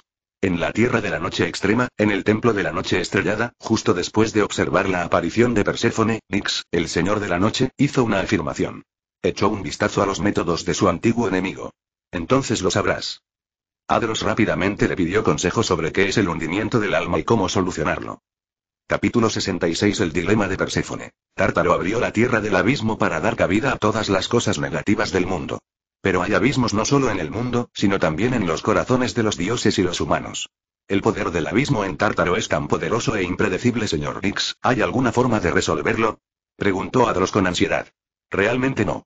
No sé si el método del dios original podrá resolverlo. Por supuesto, dijo Nix con una sonrisa. Esta alma en realidad captura las emociones negativas de las personas y luego las hace continuar arrepintiéndose y sufriendo en el abismo del corazón humano. Este tipo de poder en realidad es el que más teme al poder de la luz.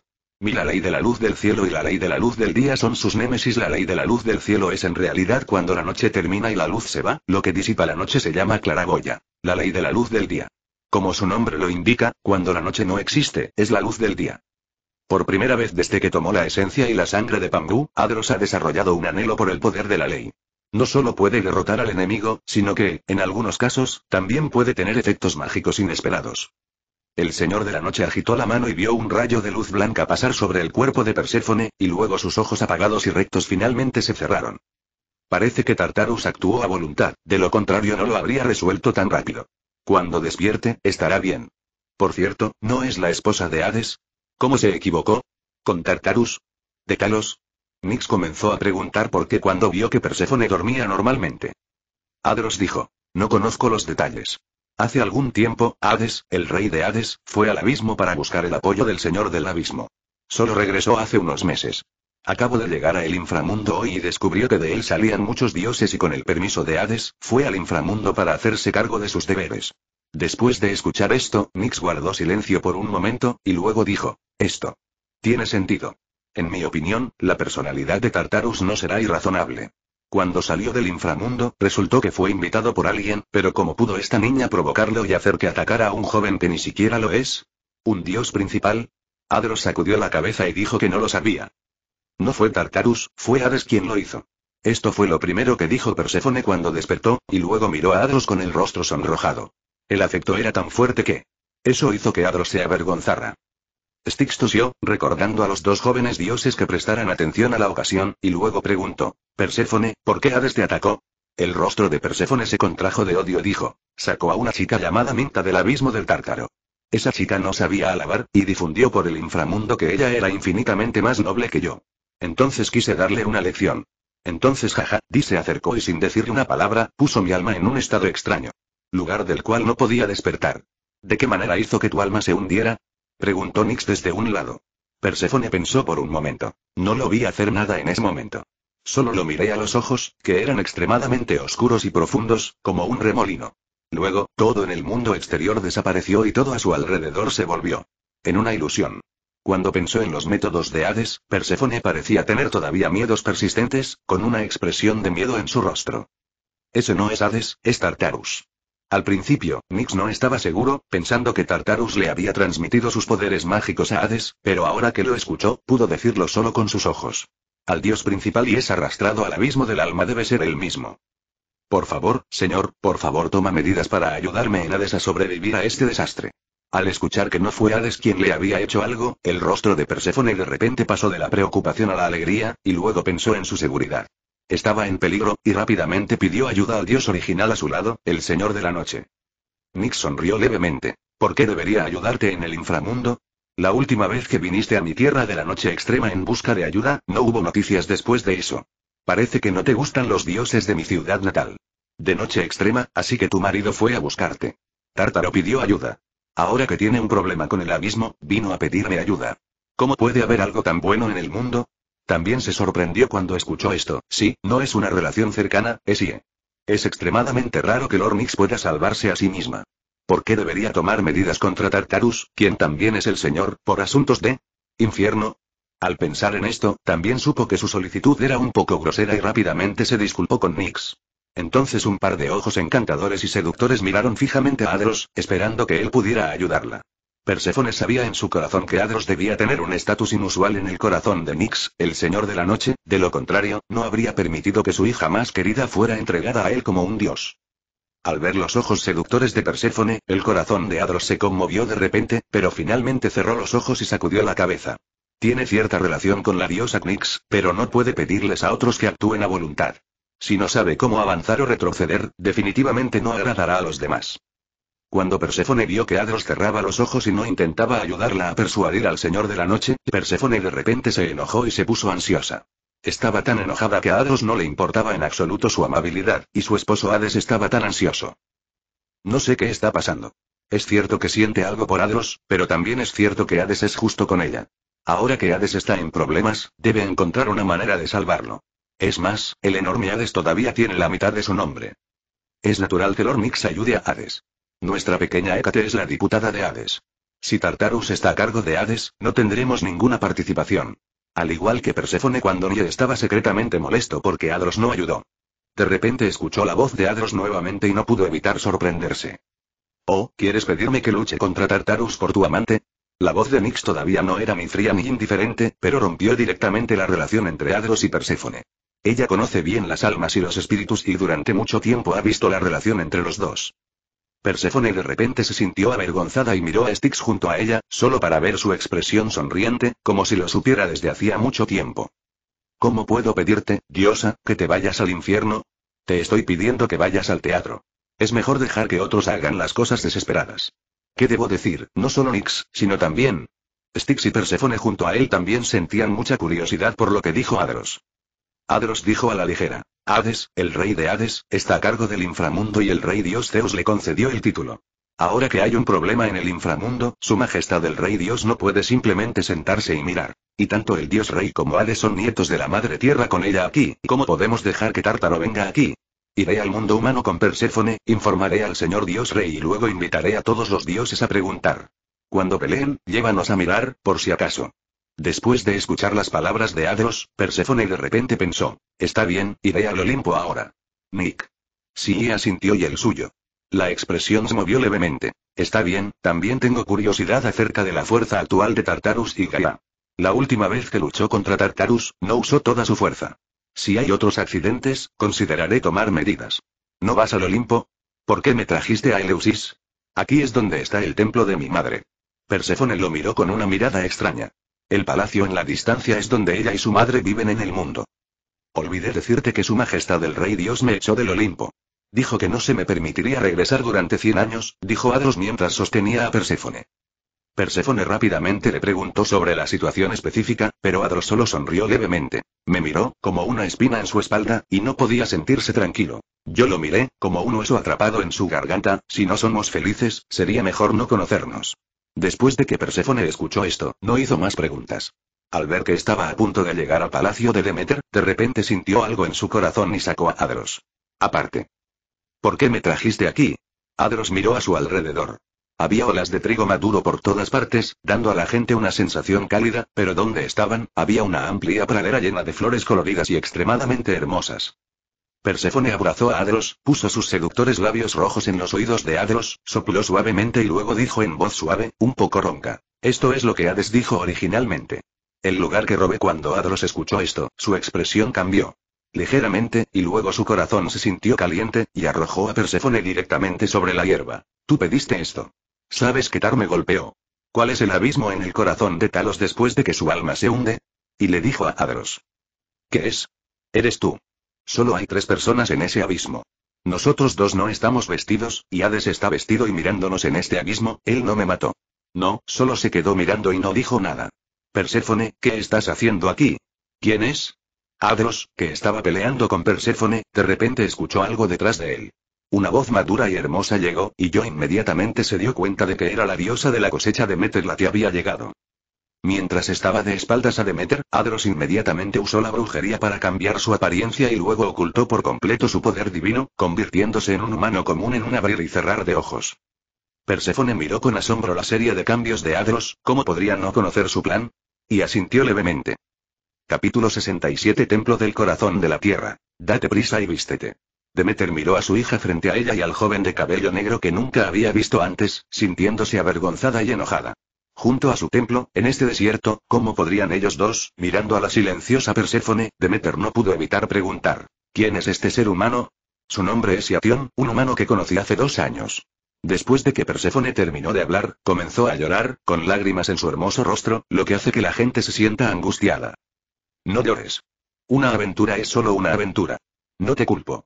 Tu padre tenía una aventura cada tres días y no necesariamente hizo nada bueno, dijo Demeter con ansiedad. Haría esta pregunta, haciendo llorar a mi hija, que siempre ha sido fuerte.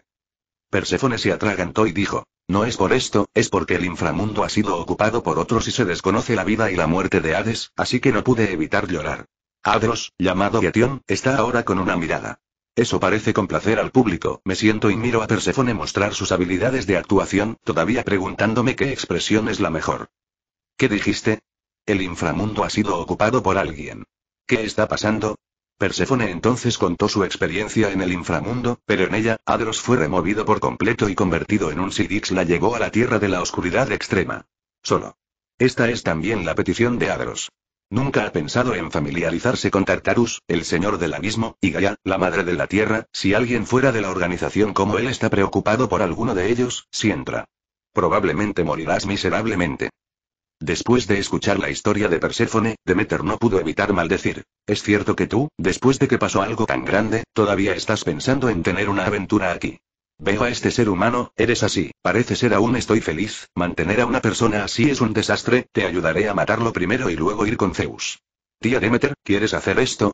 Después de todo, también somos una familia, Adros sudaba violentamente.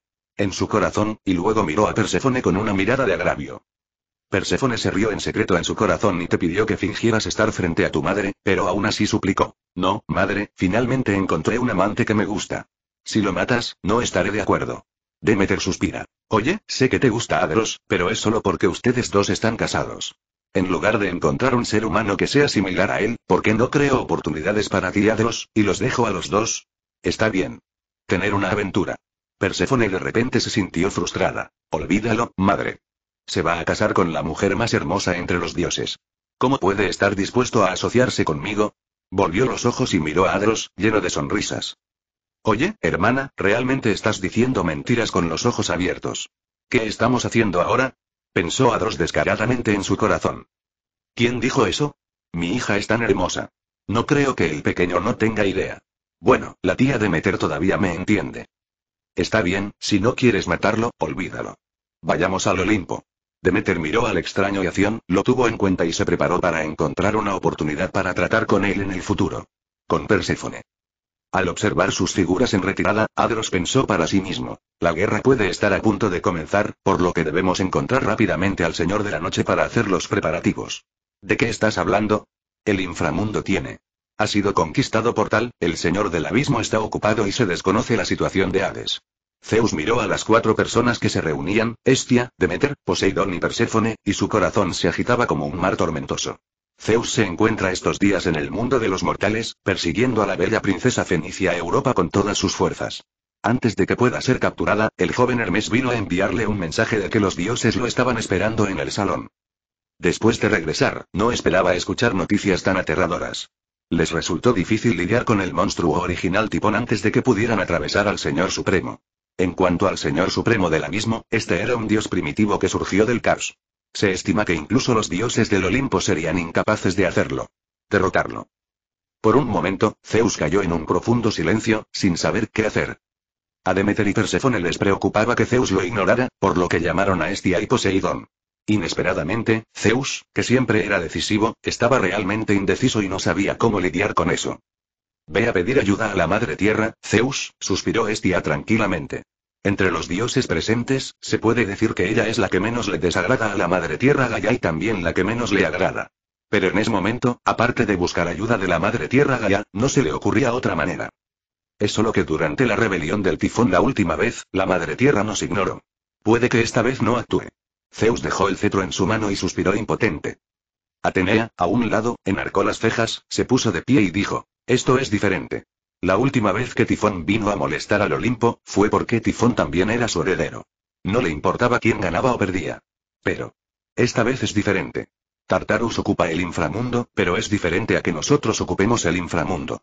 El inframundo está en manos del Olimpo, y él escuchará más o menos sus opiniones, pero es posible que Tartarus no se lo tome en serio. Al escuchar las palabras de Atenea, todos los dioses asintieron, sintiendo que tenía sentido. Ve, Zeus, si es demasiado tarde, el tártaro puede matar al hermano Hades, habló Hera, y lo que dijo sorprendió a todos los dioses. Hera no había llamado a durante décadas. Su título dejó muy satisfechos a Estia, Demeter y Poseidón, sintiendo que Hera no había olvidado los profundos sentimientos entre ellos. Zeus miró a la diosa Hera junto a él. Esto fue lo primero que le dijo Hera después de que la castigó la última vez. Cuando Hera lo vio mirando, rápidamente desvió la mirada y miró hacia afuera del pasillo sin decir una palabra. Zeus se rió entre dientes y recogió el cetro del rey dios. Dioses del Olimpo, venid conmigo para pedirle ayuda a Ares y a mi abuela, el gran dios primordial, la madre tierra Gaia. Si la madre tierra nos rechaza, no os desaniméis. Confiaremos en nuestra propia fuerza y lucharemos hasta la muerte para rescatar a Hades del inframundo.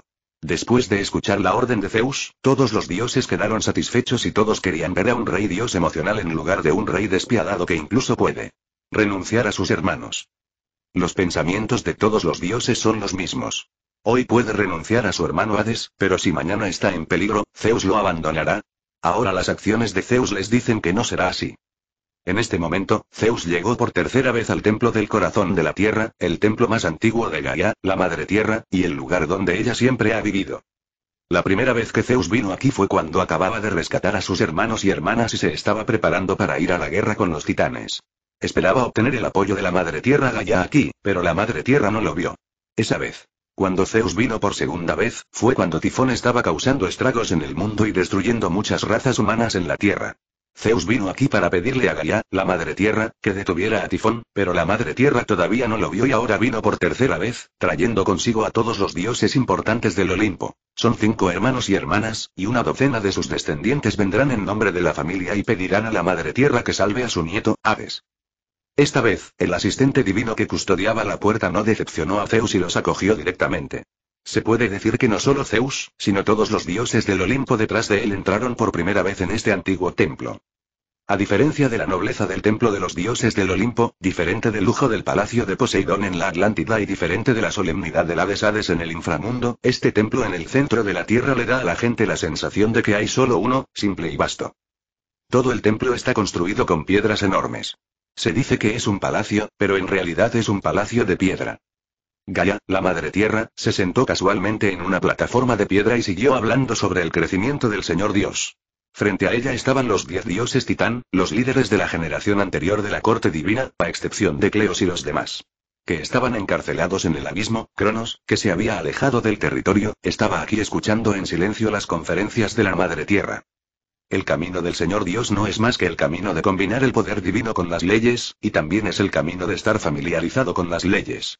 Estos dioses titán tienen talentos sobresalientes, y además están a cargo. De la corte divina, naturalmente han alcanzado este nivel y no parece haber dificultad. Pero por encima de los dioses principales, parece que ningún dios ha visto un gran avance en miles de años. Esta vez, Tipón, el antepasado de todos los monstruos, mostró fuerza en el monte Olimpo, lo que hizo que los titanes que eran mayores que Tipón sintieran la presión. Por sugerencia de Jápeto, todos los titanes se reunieron y pidieron a Gaia, la Madre Tierra, que les explicara el camino por encima del Señor Dios. Incluso la pareja Oceandus, que se dedicaba a criar a su descendencia, y las parejas Coos e Hyperion, que estaban en desacuerdo, dejaron de lado sus prejuicios y se unieron, para no perder esta rara oportunidad. No hubo visiones extravagantes, ni la maravilla de los lotos dorados que emergían de la tierra. El discurso de la Madre Tierra fue pacífico y simple, pero apuntó directamente a la confusión actual del dios titán, haciéndolos asentir con la cabeza, y obviamente se beneficiaron mucho. Justo cuando el dios titán escuchaba absorto, la madre tierra Gaia de repente se detuvo y miró a los descendientes frente a ella en silencio. Su rostro gentil y gentil estaba en silencio, y luego dijo a la ligera: Que entren todos. El dios rey Zeus y los dioses del Olimpo entraron desde afuera. Después de entrar, la madre tierra no esperó a que hablaran y dijo con calma: Siéntate. Luego continuó hablando sobre el camino sobre el Señor Dios que aún no había terminado. El capítulo estaba listo y me fui a beber. Hablando de eso, escribir esta novela me dejó inactivo por las noches durante más de un mes, así que era hora de salir y disfrutar de la luz de la luna.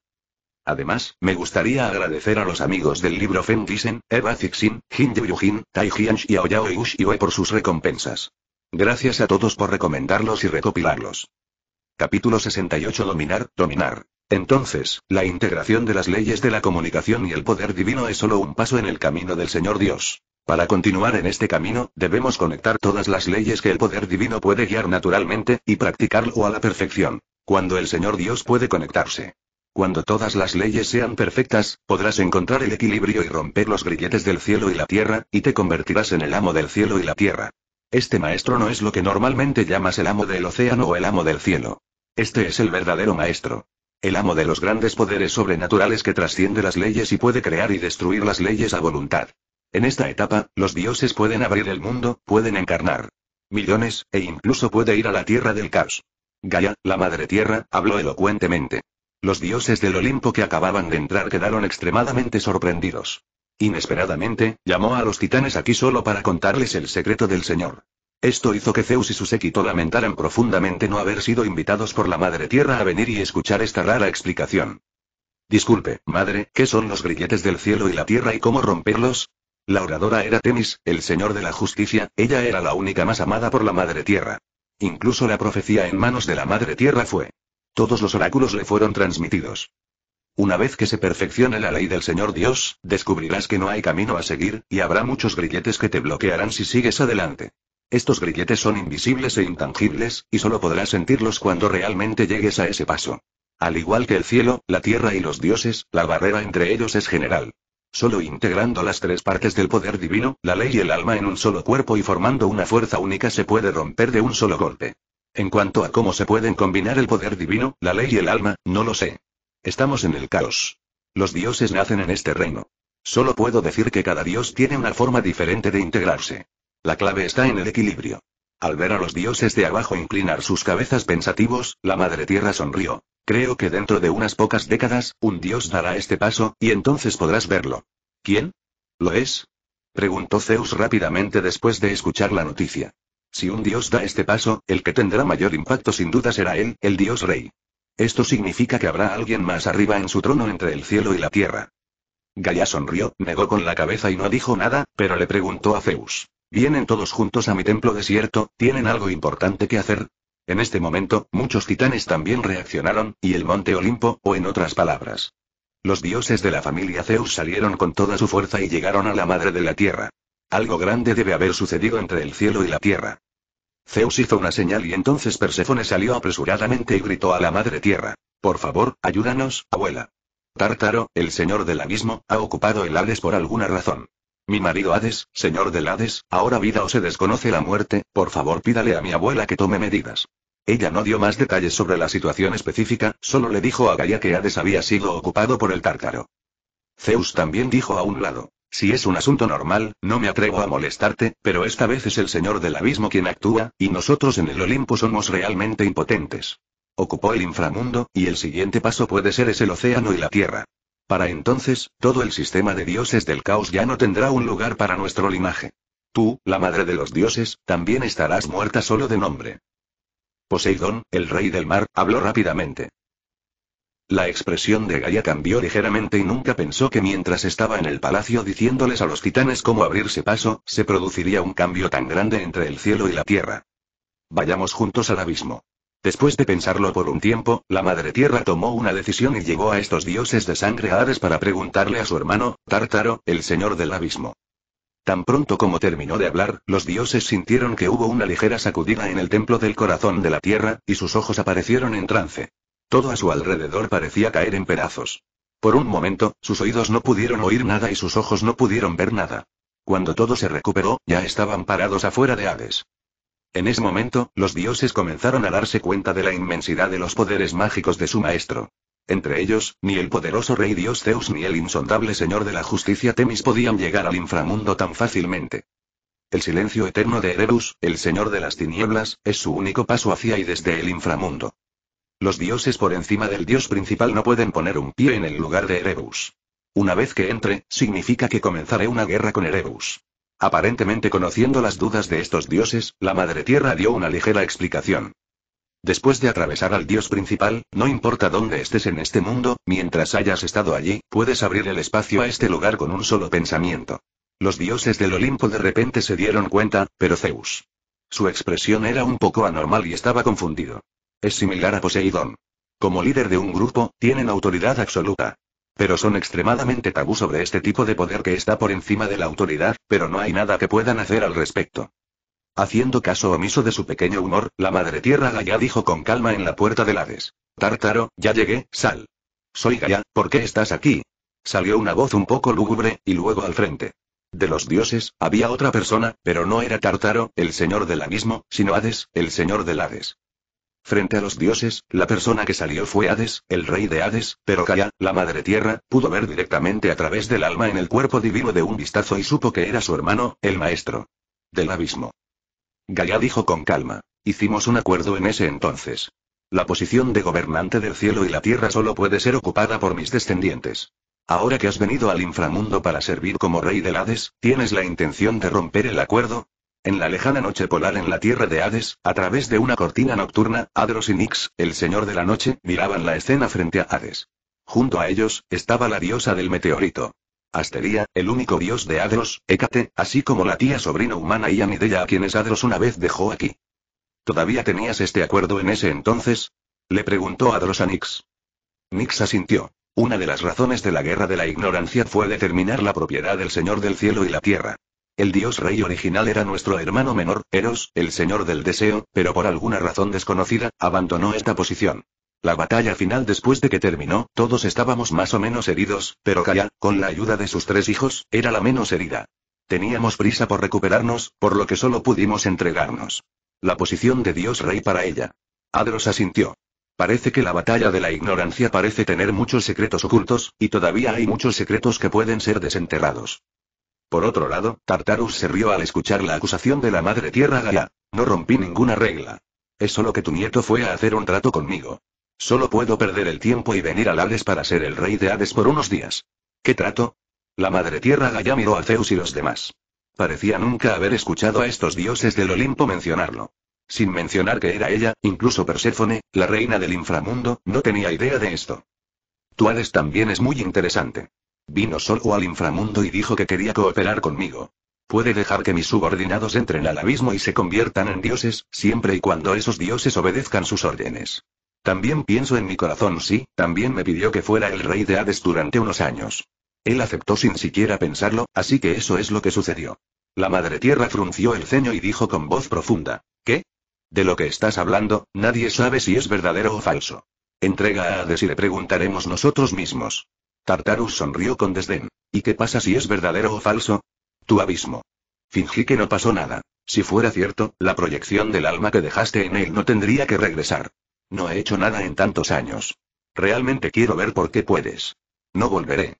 Mi hermana mayor. Tartarus se rió a carcajadas. Uno de sus objetivos al salir del abismo era encontrar una oportunidad para luchar contra sus viejos amigos. Está bien. Has estado acurrucada en el abismo durante estos años. También quiero ver qué progreso has logrado. Gaia sonrió con frialdad, y luego el cielo se derrumbó y todo a su alrededor desapareció gradualmente con ella como centro. El área de color amarillo tierra comenzó a extenderse gradualmente. Todos los dioses estaban vestidos de este amarillo y todas las escenas del inframundo desaparecieron. Entonces, una diosa gigante elegante y de buen corazón apareció en el cielo. Vestía ropas coloridas, sonreía, sostenía una botella cian en la mano y le dijo a Tartarus. No es demasiado tarde para que te vayas ahora. Miró el paisaje circundante y se sorprendió un poco. No la he visto en muchos años, ¿cómo es que su estilo de lucha ha cambiado tanto? Debes saber que en el panteón del caos, los dioses rara vez usan cosas elegantes cuando luchan, incluso los divinos. La magia rara vez se utiliza.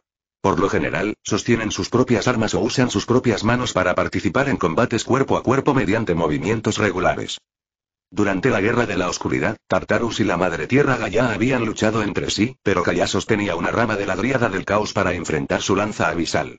Pero ahora, parece que está dispuesto a dejar de pelear consigo mismo de esta manera. No podría importarle menos. Desde que Tartarus decidió salir, ya estaba preparado para luchar contra Gaia, la Madre Tierra. Pensando en esto, el cielo y la tierra de color kaki comenzaron a cambiar, y el lado donde estaba el tártaro comenzó a volverse gris y sin vida. Zeus visitó una vez el lugar del abismo y pudo ver de un vistazo que ese era el escenario del abismo. El tártaro de hoy ya no es el cuerpo de Hades. Todo su cuerpo está envuelto en una niebla gris, de la cabeza a los pies, ninguna parte se escapa. En su mano solo sostenía una lanza negra, lo que permitía a los dioses ver aproximadamente dónde estaba su palma. Tartarus no dijo mucho, dio un paso adelante y apuñaló a Gaia. Aunque no sabía qué estaba haciendo Gaia, todavía le gustaba este tipo de lucha con armas. ¿Nadie ha investigado el origen del nombre Yation? Creo que algunos amantes de los libros estarán interesados. Por supuesto, su historia definitivamente será diferente a la versión original. Capítulo 69. Esas existencias más allá del Señor Dios. Todo el cielo era una mezcla de gris y amarillo. Contra el fondo de estos dos colores, Tartarus era como un relámpago gris oscuro, moviéndose constantemente a través de él. El colorido cuerpo de la Madre Tierra Gaia fue perforado de un lado a otro innumerables veces en un instante. La enorme apariencia de la madre tierra Gaia no cambió en absoluto. Su rostro era amable, sacudió levemente la cabeza y sonrió levemente. A los ojos de Tartarus, esta leve sonrisa se convirtió en una leve burla. Soy el fundamento de la tierra, el comienzo de toda creación y destrucción. Incluso si vienes en mi verdadera forma, es posible que no puedas lastimarme en absoluto, y mucho menos tu clon de Tartarus era tan oscuro como el agua. Mirando a la madre tierra que parecía distante, los ojos de Gaia brillaron con luz, y luego levantó su lanza en alto y apuntó directamente al cielo, murmurando algunas notas extrañas en su boca. Ninguno de los dioses sabía lo que estaba diciendo, pero las sílabas eran desoladas y extrañas. A medida que se pronunciaban, el mundo gris originalmente monótono de un lado parecía teñido con un toque plateado. Luego, el color blanco plateado cambió de disperso a concentrado y se condensó en una forma humana frente a Tartarus. Esta figura de color blanco plateado se superpuso gradualmente con el tártaro, y parecía que llevaba una capa de armadura plateada. Entonces, Tartarus, envuelto en una niebla gris, también reveló su verdadera forma.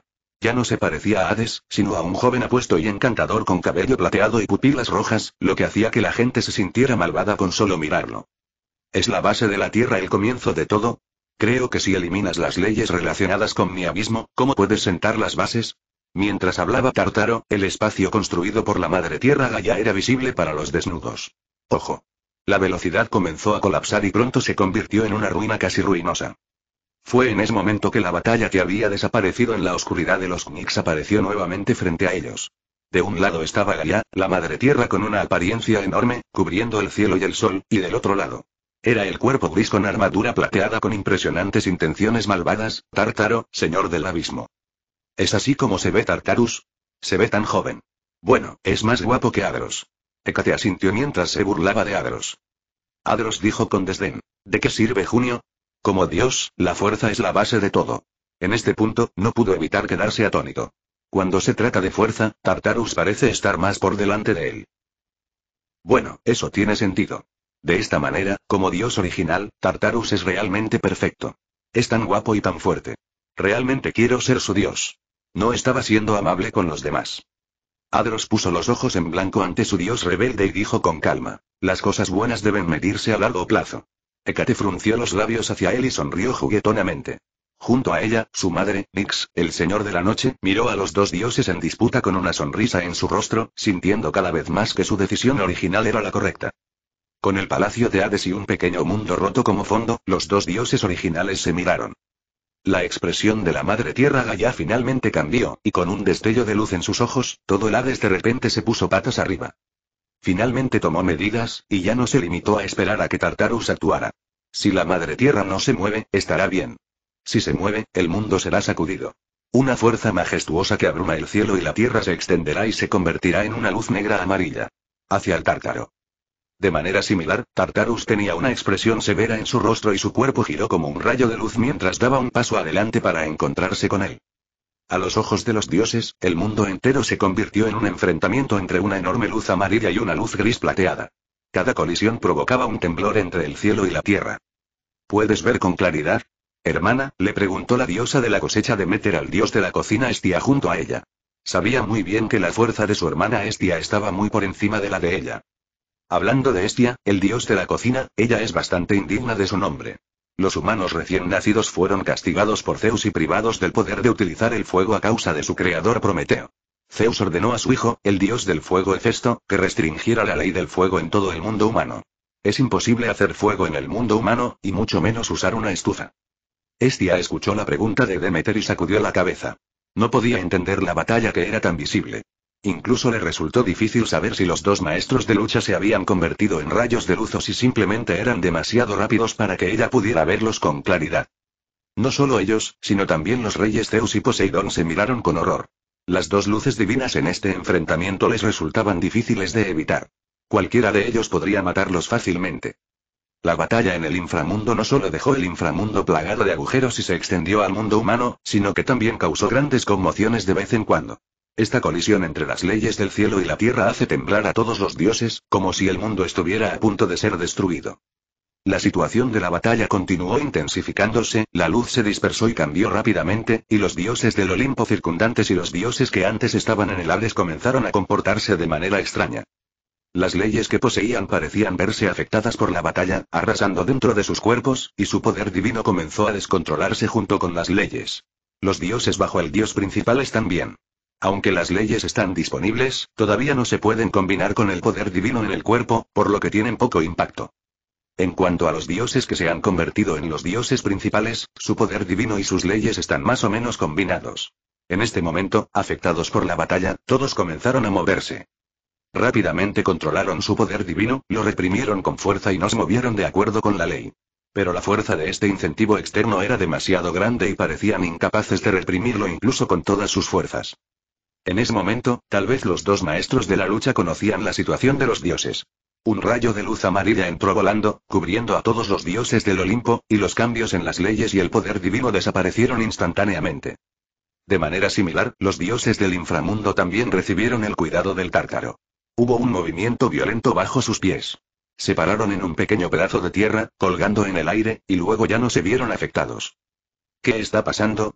Preguntó Hécate confundida en la tierra de la noche extrema. El Señor puede encarnarse en el cuerpo de la ley. Están usando este gran poder mágico. Nix respondió. El cuerpo de la ley es extremadamente poderoso y puede desencadenar las mismas leyes entre el cielo y la tierra a voluntad. El poder divino del Señor. Dios es consistente con la ley. Naturalmente, es difícil controlar el poder divino. Cuanto más fuerte es el Dios, más fácil es verse afectado por este poder. Adros miró fijamente a las dos partes en conflicto, pero no pudo ver nada. Claramente. La poderosa fuerza del maestro conmovió profundamente su corazón.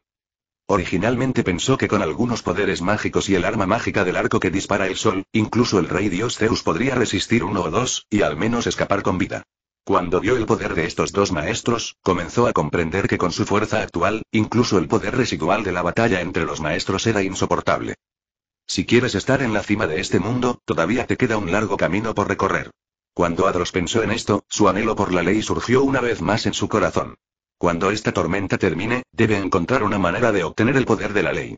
De lo contrario, incluso si tiene la suerte de convertirse en una bruja ancestral, es posible que no sea rival para estos dioses antiguos. En el océano, todavía existe el mar caótico y profundo. En este momento, el mar caótico ha sufrido cambios extremadamente extraños. De repente se expande en gran medida y luego, de repente, se contrae a un tamaño muy pequeño, como la respiración del pecho de una persona. De repente, hubo un temblor entre el cielo y la tierra, y las leyes del cielo y la tierra en el área del mar se volvieron repentinamente inestables.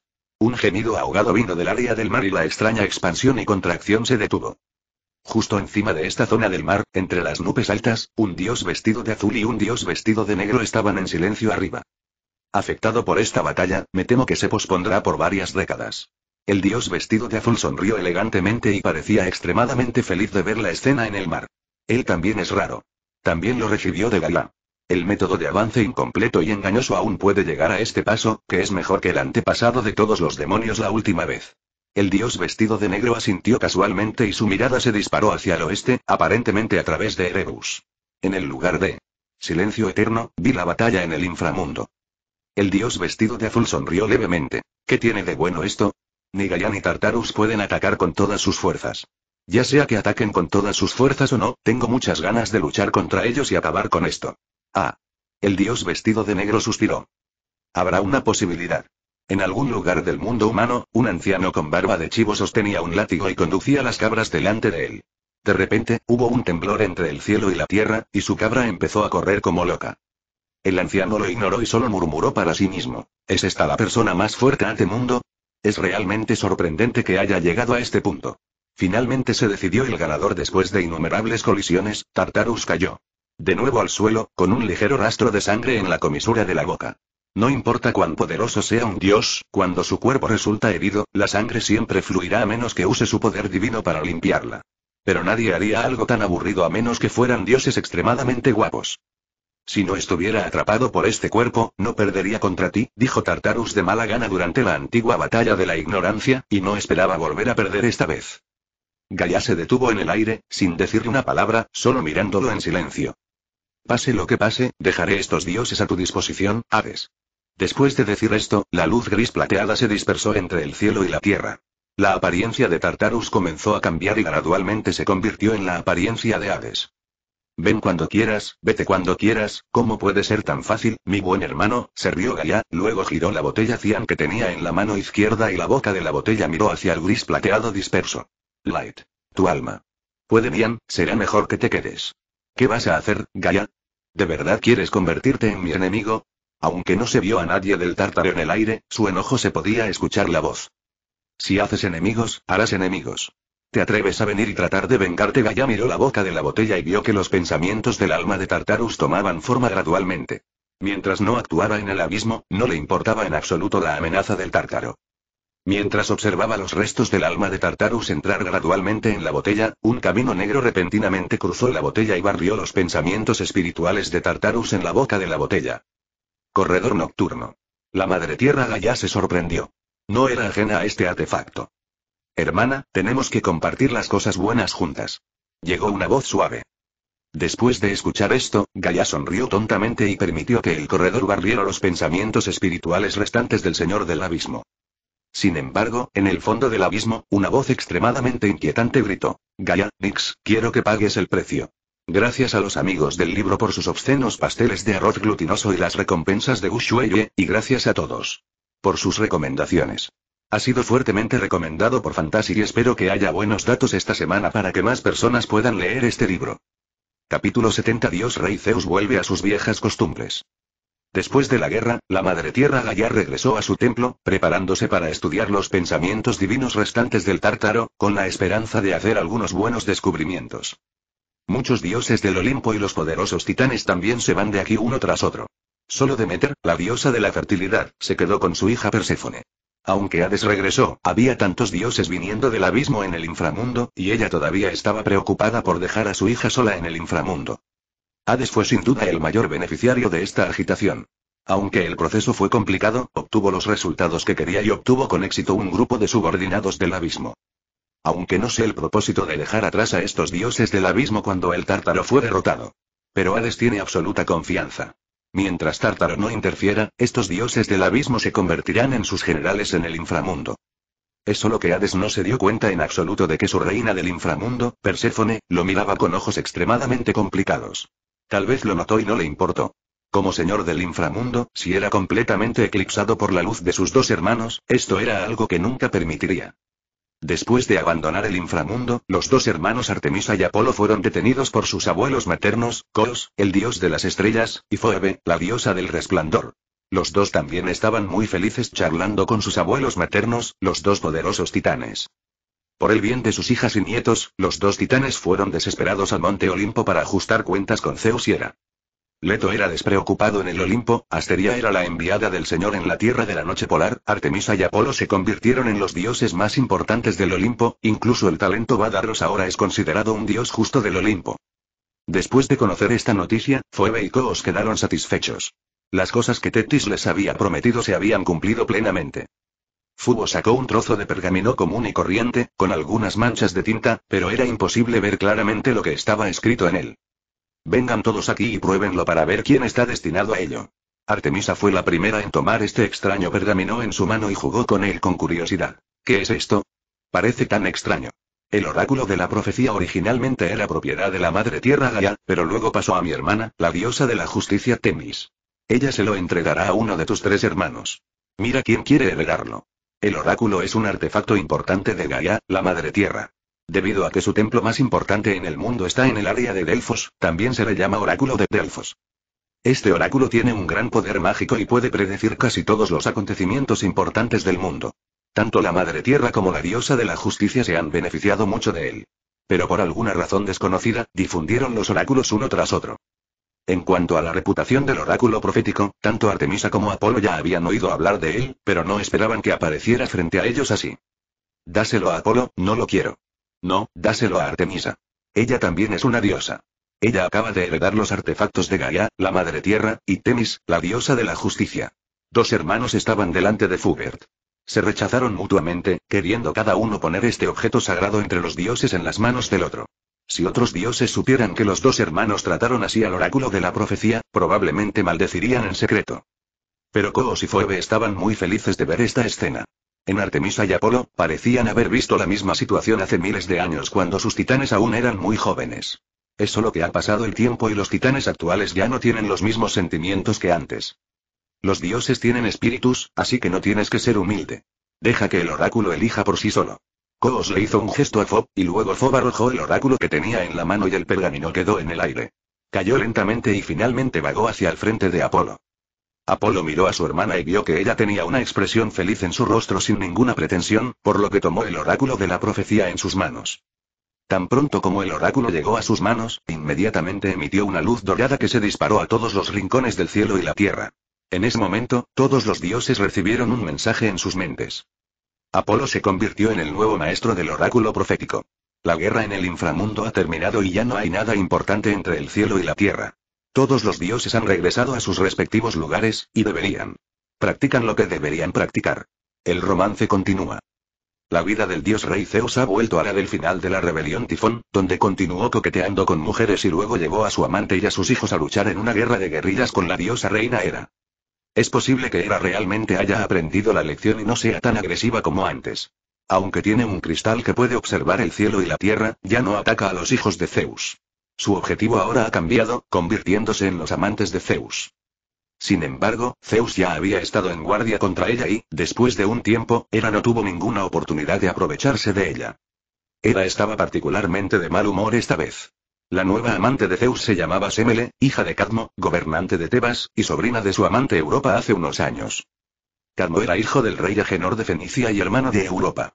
Después de que Zeus se llevó a Europa, el rey Agenor sintió un gran dolor y rápidamente envió a sus tres hijos Cadmo, Fénix y Kilix a salir a buscarla, y les dijo que no podían regresar si no podían encontrar a su hermana. Después de que Cadmo salió, buscó aquí y allá, pero no pudo encontrar ninguna noticia sobre su hermana Europa. Estaba indefenso y no se atrevía a regresar a su ciudad natal. El afortunado Cadmo conoció a Febe, la diosa de la gloria que había estado a cargo del oráculo por un corto tiempo. Febe le dijo, te encontrarás con una vaca en un pasto solitario. Esta vaca aún no ha sido puesta sobre un yugo. Traerá como yace sobre la hierba, puedes construir una ciudad allí y llamarla Tebas. Cadmo estaba a punto de dejar Castellía, donde se encontró con Fueve. De repente, vi una vaca royendo hierba en la hierba verde frente a mí. Rezó a la diosa del resplandor, le expresó su agradecimiento y luego siguió a la vaca. Lo condujo a través del arroyo poco profundo de Quepisos y se quedó en la orilla sin salir. La vaca levantó la cabeza y lloró fuertemente. Se volvió de nuevo, miró a Cadmo y su séquito familiar que lo seguía, y luego se tumbó contento en la hierba verde y suave. Cadmo se arrodilló en agradecimiento y besó la tierra extraña. Más tarde, quiso ofrecer un sacrificio a Zeus, por lo que envió a sus sirvientes y les ordenó que trajeran agua de la fuente de agua viva para que bebieran los dioses. Hay un bosque antiguo cerca que el leñador nunca ha talado con un hacha. Un manantial claro brota de las rocas del bosque, serpenteando entre capas de arbustos. El manantial es cristalino y dulce. En el bosque, Carmo derrotó al dragón venenoso y se ganó la lealtad de algunos soldados que habían sobrevivido a la rebelión de Tifón. Finalmente, basándose en esto, construyó el castillo de Cadmoa, que se convirtió en la piedra angular de la ciudad de Tebas. Después de todo, no encontró a su hermana Europa, pero no sabía que Zeus se llevó a Europa, quien se convirtió en un toro, llegó a la remota isla de Creta y dio a luz a dos hermanos, Minos y Radamantis. Estos dos hermanos se convirtieron en reyes de Creta. El apasionado dios rey Zeus conoció esta vez a la hermosa hija de Cadmo y se enamoró nuevamente. Una vez se me le tuvo un sueño. Soñó con un frondoso árbol frutal en el jardín, empapado del rocío de Zeus y cubierto de racimos de frutas verdes. De repente, un rayo atravesó el cielo y cayó del cielo, derribando el árbol frutal pero sin tocar los frutos verdes. Justo cuando el árbol frutal alcanzado por el rayo ardía, un pájaro con las alas llenas voló, recogió el racimo de fruta verde y se lo llevó a Zeus. Zeus cosió el hilo de fruta en su muslo y continuó alimentándolo y alimentándolo. Así se formó y nació un bebé con cuernos. Ella no sabía que este sueño extremadamente profético no solo predijo su tragedia, sino que también predijo el nacimiento de un gran dios. Cuando Zeus hizo todo lo posible para ganarse el corazón de Semele y dejarla embarazada. La alegre Semele despertó los fuertes celos de la celosa diosa Némesis, la hija de Nix, el señor de la noche. Esta diosa psicópata fue torturada en su corazón y tuvo una idea viciosa. Se transformó en el dios de la guerra Ares, acudió a Hera y Atenea y provocó a las dos diosas con rumores seductores. Ella le dijo a Hera que el rey dios estaba enamorado de esta chica humana y que ella ocuparía el lugar de Hera. Después de escuchar estas provocativas palabras, la expresión de Hera cambió repentinamente. La diosa de los celos supo que estas palabras habían surtido efecto, por lo que saltó al cielo y desapareció sin dejar rastro en un abrir y cerrar de ojos. Furiosa, Hera se calzó sus veloces zapatos voladores y atravesó violentamente el cielo de estrellas titilantes, pasó por innumerables ciudades y llegó al monte Diceta en Creta, buscando a la diosa del engaño, Apate, otra hija del señor de la noche. De quien tomó prestado el famoso cinturón de Papia. La reputación de este cinturón continúa extendiéndose entre los dioses. Una vez permitió a Océano, el señor del océano, ganarse el corazón de su hermana, la diosa del océano Tesis, que siempre le había sido indiferente. También permitió a Gaia, la diosa del océano. Diosa del tiempo, para usar una piedra para en lugar del recién nacido Zeus, engañó a su marido, Cronos, la generación anterior de reyes dioses. Tras los cálculos y engaños de Hera, la bella princesa de Tebas se convirtió en la segunda amante de Zeus en morir inesperadamente después de Metis, la diosa de la sabiduría. Le pidió a Zeus el poder del trueno y el relámpago, verificó la identidad de Zeus y finalmente fue reducida a cenizas por un rayo. Zeus cosió a su hijo de menos de un mes en su muslo. Zeus no dijo nada. Aunque sabía que fue Hera quien lo hizo, no tenía pruebas. Tomó a su hijo en su muslo y vino con él al mar Egeo. Aquí se acaba de construir una hermosa ciudad y ambos dioses quieren ser sus protectores.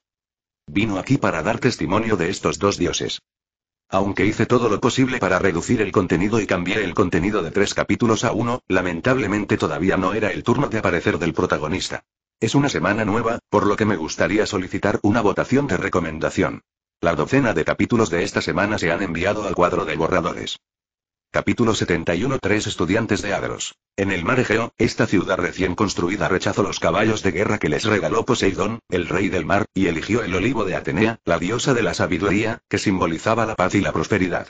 Y esta ciudad también lleva el nombre de la diosa de la sabiduría, Atenas. Todos los dioses presenciaron esta lucha literaria con sus propios ojos, y también presenciaron el nacimiento de un hijo del rey dios. La diosa del parto sacó del regazo de Zeus a un bebé divino muy dotado, acompañado de alegres cantos desde el aire. Zeus llamó al recién nacido Dioniso para conmemorar el hecho de que salió de sus propias piernas y cuando caminaba con él parecía un cojo. Los dioses felicitaron a Zeus y el canto alegre de miles de criaturas llegó desde el cielo, lo que significaba que este sería otro gran dios del Olimpo. Mientras felicitaban, los dioses también sentían curiosidad. Debido a que este nuevo dios llamado Dioniso es descendiente de dioses y humanos, es razonable decir que se convertirá en un semidios, pero se ha convertido en un dios natural, lo que no puede dejar de sorprenderlos. Afuera de la ciudad de Atenas, un joven vestido con una sencilla túnica blanca y un rostro amable miraba la escena frente a él. A su izquierda y a su derecha debía dos mujeres extremadamente hermosas. La mujer de la izquierda tenía una tez tan blanca como Jade, y su rostro extremadamente hermoso estaba lleno de un rastro de, hay un sentimiento frío y severo. La mujer de la derecha tiene cabello verde y ojos negros. Es extremadamente linda cuando frunce el ceño y sonríe, y sonríe hermosamente. Detrás de ellos había tres hombres más, dos de mediana edad y un joven. El apuesto joven del medio, que no era inferior a los dioses del Olimpo, arqueó las cejas y dijo dubitativo, Maestro Yatión, cuando los dioses y los mortales se combinan, ¿no deberían ambos ser semidioses? Este nuevo dios, mira esta situación, completamente calificado como un dios superior, ¿cuál es la razón de esto? El joven vestido de blanco, Yation, sonrió levemente y no respondió la pregunta.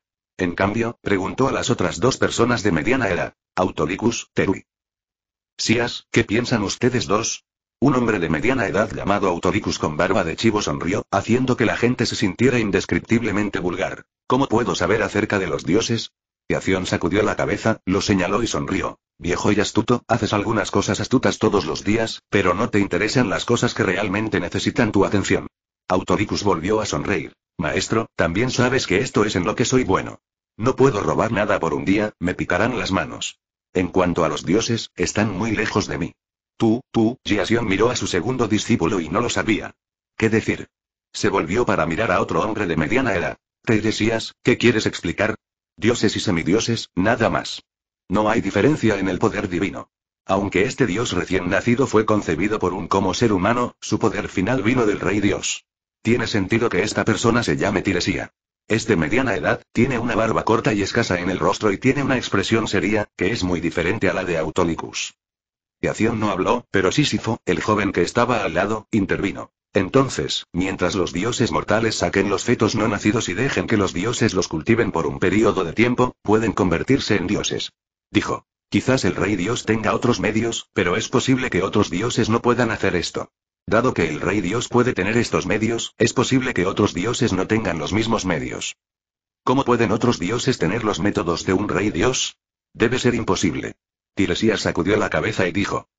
No lo creo. El rey Dios es tan poderoso como el rey Dios, y los dioses son tan capaces como los dioses. Lo que el rey Dios puede hacer, es posible que los dioses no puedan hacerlo. Además, existe la dios original por encima del dios rey, por lo que definitivamente es posible. El primer alumno de este maestro nunca lo ha convencido. Simplemente siguió al maestro unos años antes que él y siempre le gustó actuar como un anciano frente a él. Al ver a los dos hermanos que seguían al maestro detrás de él y pelear nuevamente, Autoricus sonrió y no pudo recordar cuántas veces sucedió esto. Si funciona o no, busquemos un dios y probémoslo con un mortal. Yation sonrió levemente. ¿Qué quieres decir, maestro? Parece que no entiendo muy bien. La cabeza de Autolicus, que solía usar para robar cosas, parecía un poco difícil de girar. Eres tan estúpido. Ni siquiera puedes entender esto. Solo le estás pidiendo a los dioses que hagan experimentos. Junto a Yación, su hermosa doncella de cabello verde y ojos negros llamada Bella no pudo evitar reír. ¿A quién llamas estúpido? Tú, Autolicus originalmente quería refutar, pero cuando vio la sonrisa severa en el rostro de Ian junto a ella, quien se decía que era su tía, inmediatamente detuvo lo que iba a decir.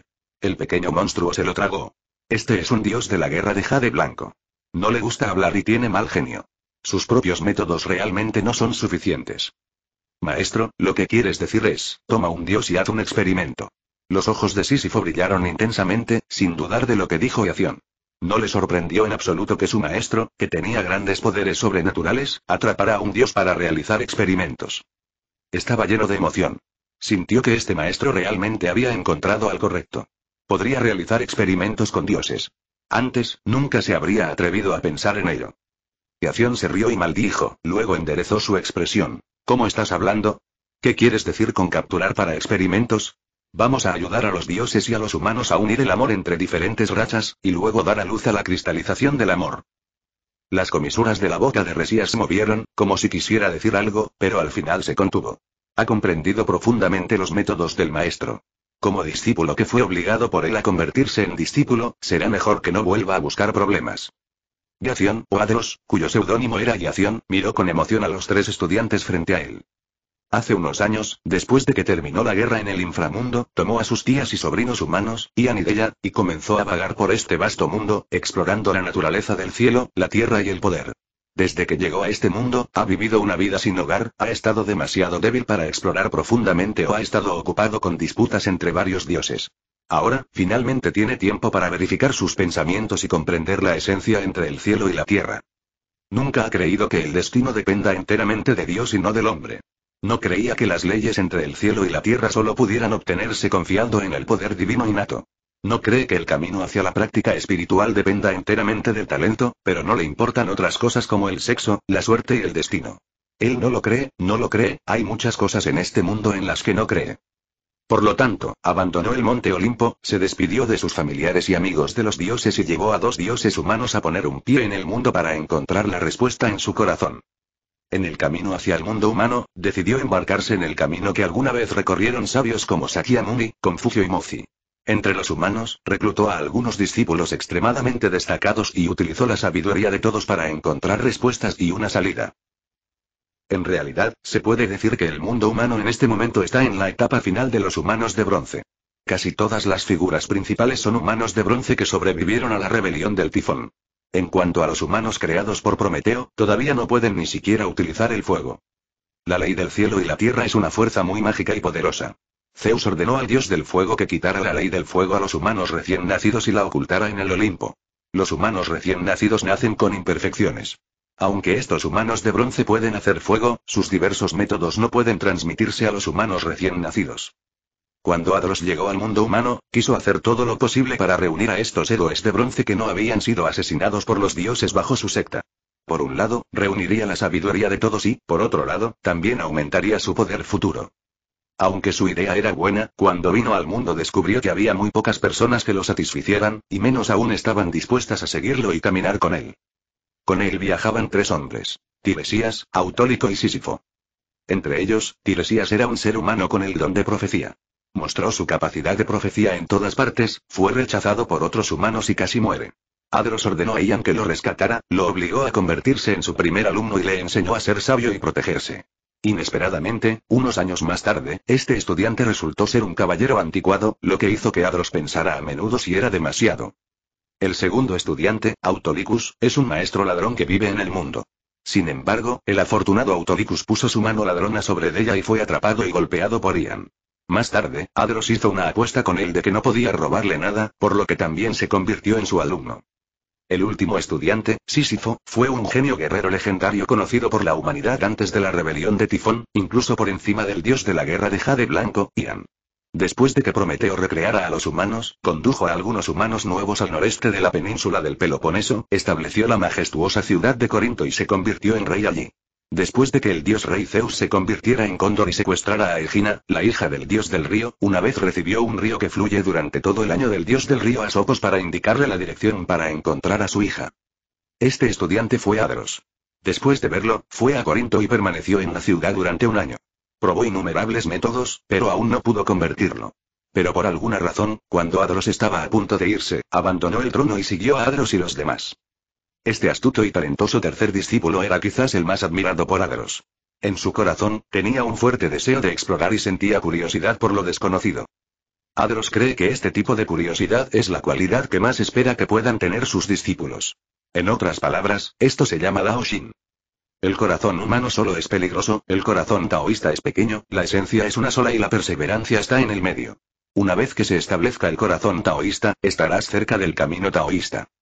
Gracias a los amigos de los libros Zoner Daddy, de Second Cat, Donald 381 y a los fanáticos de las novelas que no pueden permitirse el lujo de resultar heridos y... Gracias por sus votos de recomendación y colecciones.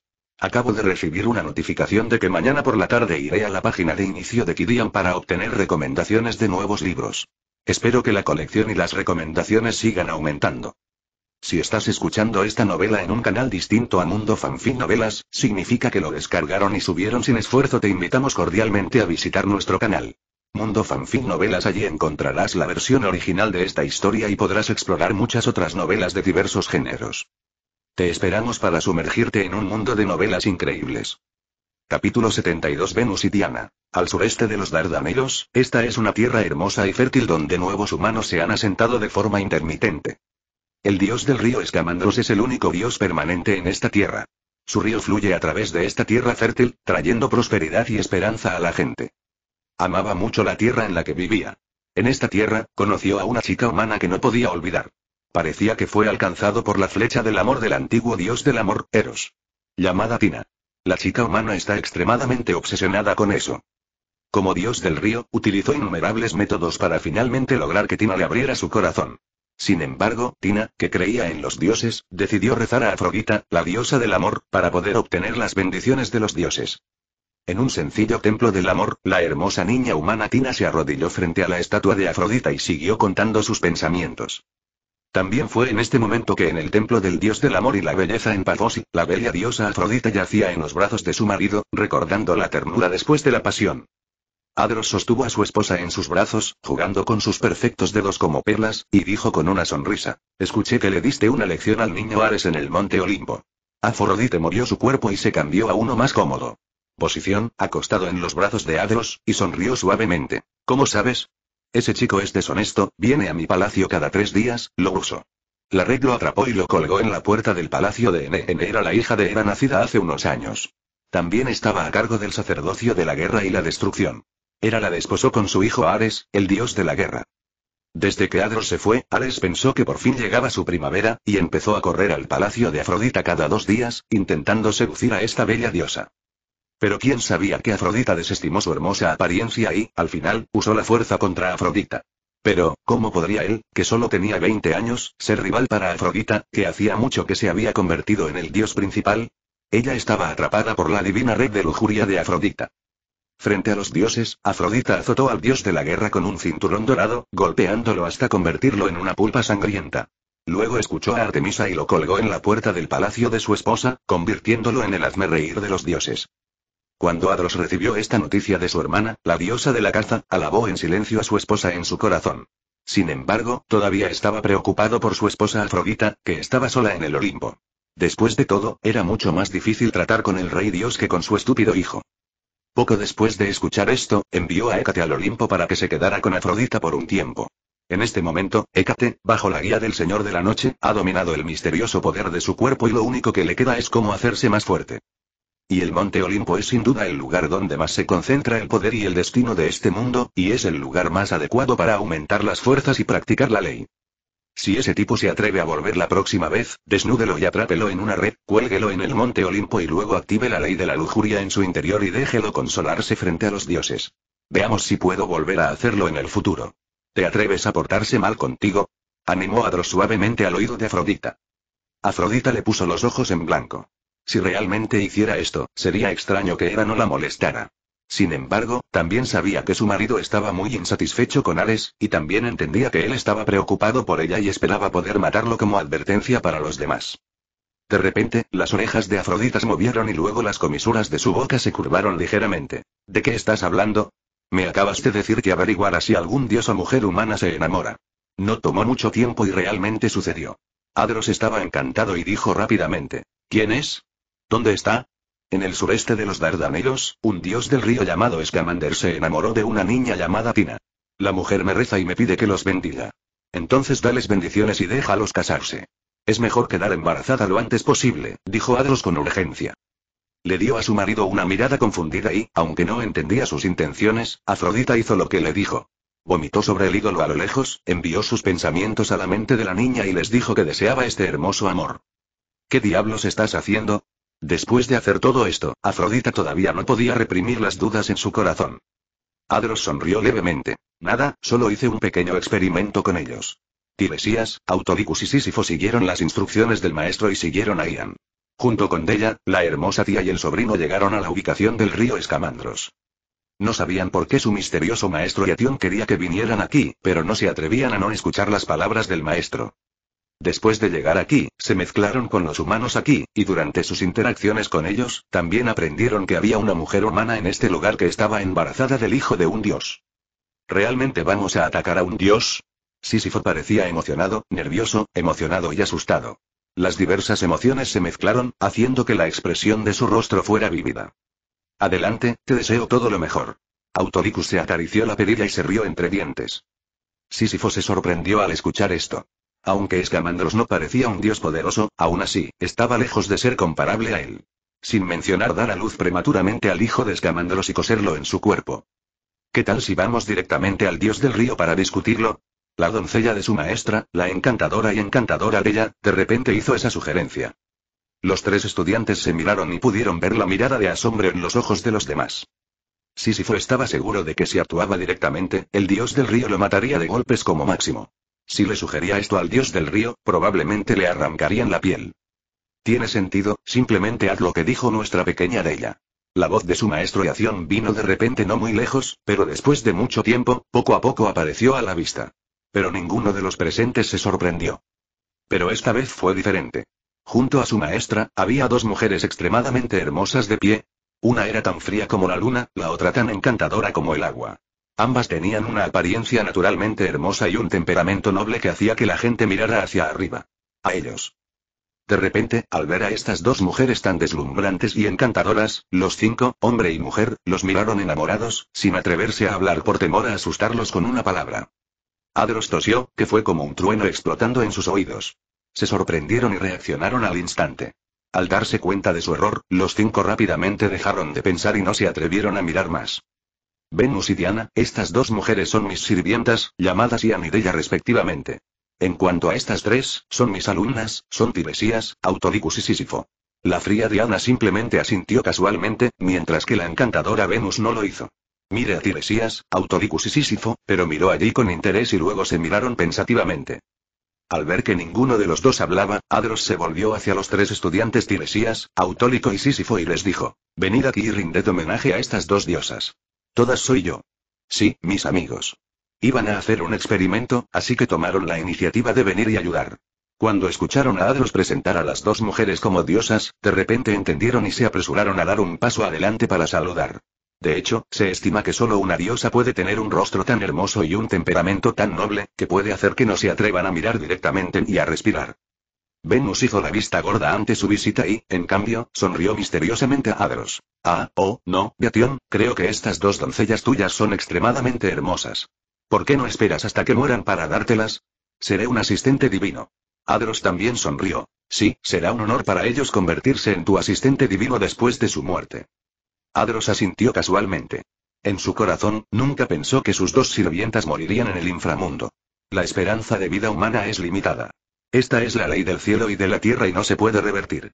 Pero lo que está buscando en el mundo humano es la manera de que los humanos asciendan al cielo, abran los límites del linaje entre los humanos y los dioses y se deshagan de las limitaciones de la esperanza de vida humana. Este es uno de los propósitos fundamentales. Además, en este momento, a menudo discutía y estudiaba con tres discípulos con una fuerza legendaria, así como con Ian, que se encontraba en la cima de la leyenda y ya tenía algunas ideas. Sin embargo, los tres discípulos de Adros, especialmente Autodicus, comenzaron a envidiar a las dos tías y sobrinos y Deia. Debes saber que después de la muerte, los mortales suelen ir al inframundo si no quieren ser demonios en el mundo. Los que tengan más suerte serán asignados al paraíso del Elíseo, y los que tengan menos suerte incluso tendrán que ir a él. El abismo para sufrir. Y los asistentes divinos que sirven como dioses son simplemente el mejor destino para los seres humanos después de la muerte. Una cosa es que los seres humanos continúen adorando a los dioses y obteniendo sus bendiciones, pero también es una razón importante para convertirse en servidores de los dioses después de la muerte. Está bien, es demasiado pronto para decir esto. Vayamos a buscar a Escamanderos y arreglemos las cosas lo antes posible. Adros llevó a las dos diosas a donde estaba Escamanderos, el dios del río. Maestro, ¿cómo vas a hacer que el dios del río haga lo que le pides? He estado observando a este dios del río estos días y no parece tener muy buen temperamento, preguntó Tiresías, el primer discípulo de Adros. Si tienes mal genio, es porque el método de comunicación es incorrecto. Mientras la comunicación esté establecida, creo que el dios del río cooperará con nuestro experimento. Después de escuchar esto, Tiresías sonrió débilmente y de repente siento. Como si nunca pudiera seguir el ritmo del pensamiento del maestro. Capítulo 73 El experimento fallido del dios hombre. ¿Dos diosas, realmente van a hacer esto? El dios del río Escamandros miró a las dos diosas extrañas pero extremadamente poderosas frente a él y reprimió la ira en su corazón. Siempre ha sido tímido, así que ya sea en la guerra de los titanes o en la rebelión del tifón, se mantuvo alejado porque le preocupaba morir accidentalmente. Nunca pensó que solo quería desarrollar un hermoso amor en este lugar remoto y disfrutar de la diversión de cuidar a su esposa e hijos, pero los problemas llegarían a su puerta. Dos hermosas diosas que nunca antes había visto, pero cuyo poder era asombroso, trajeron a un joven pelinegro que parecía humano al lugar donde vivían.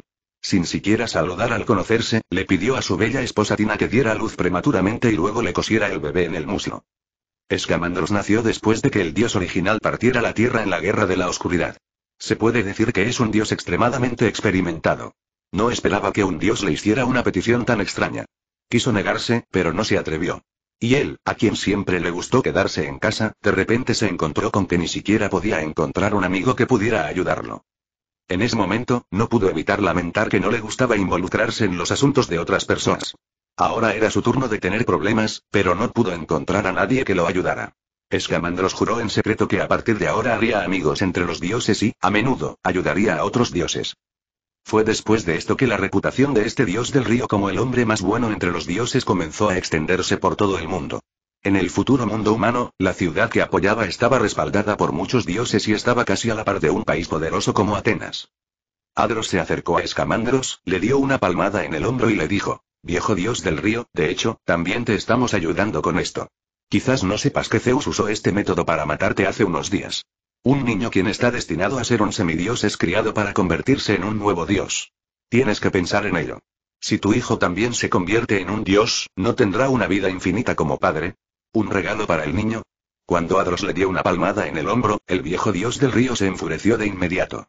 Tú, un pequeño humano, te atreviste a darle una palmada en el hombro al dios y hablar. Además, habla palabras arrogantes, abrir y cerrar la boca es cultivar dioses, realmente merece que lo maten. Pero cuando vio los ojos medio sonrientes de las dos poderosas diosas junto a él, solo pudo reprimir su ira y escuchar las palabras de Adros en silencio. Después de que Adros terminó de hablar, no solo él, sino también su esposa humana Tina se sumieron en profundos pensamientos. Al verlos pensar, Adros no tuvo prisa y les pidió que pensaran más. Sin embargo, no importa lo que piensen, el experimento aún debe realizarse. Tina, la esposa del dios del río, habló primero. Escamandros, deja que las dos diosas lo intenten. Estoy destinada a no poder acompañarte durante una larga vida, pero espero que nuestros hijos siempre puedan acompañarte. Las palabras de Tina parecieron para golpear el corazón de Escamandros. Miró a su esposa con ternura. Está bien. En este caso, cuando llegue ese día, mi hijo y yo iremos juntos al Hades. Iré al inframundo para acompañarte. Conmovido por tu afecto, todavía tengo que decirlo. Parece que has pensado demasiado bien. Solo estamos haciendo un experimento, y el niño que nace puede no ser un dios, dijo Adros. No importa. No importa incluso si son humanos. No me importa. Puedo ir al inframundo para acompañarlos cuando llegue el momento. El viejo dios del río pareció apartar la mirada y decidió. Dejarles hacer lo que quisieran. Muy bien, si tu hijo no puede convertirse en un dios. Como compensación, puedo prometerle que se convertirá en rey entre los humanos.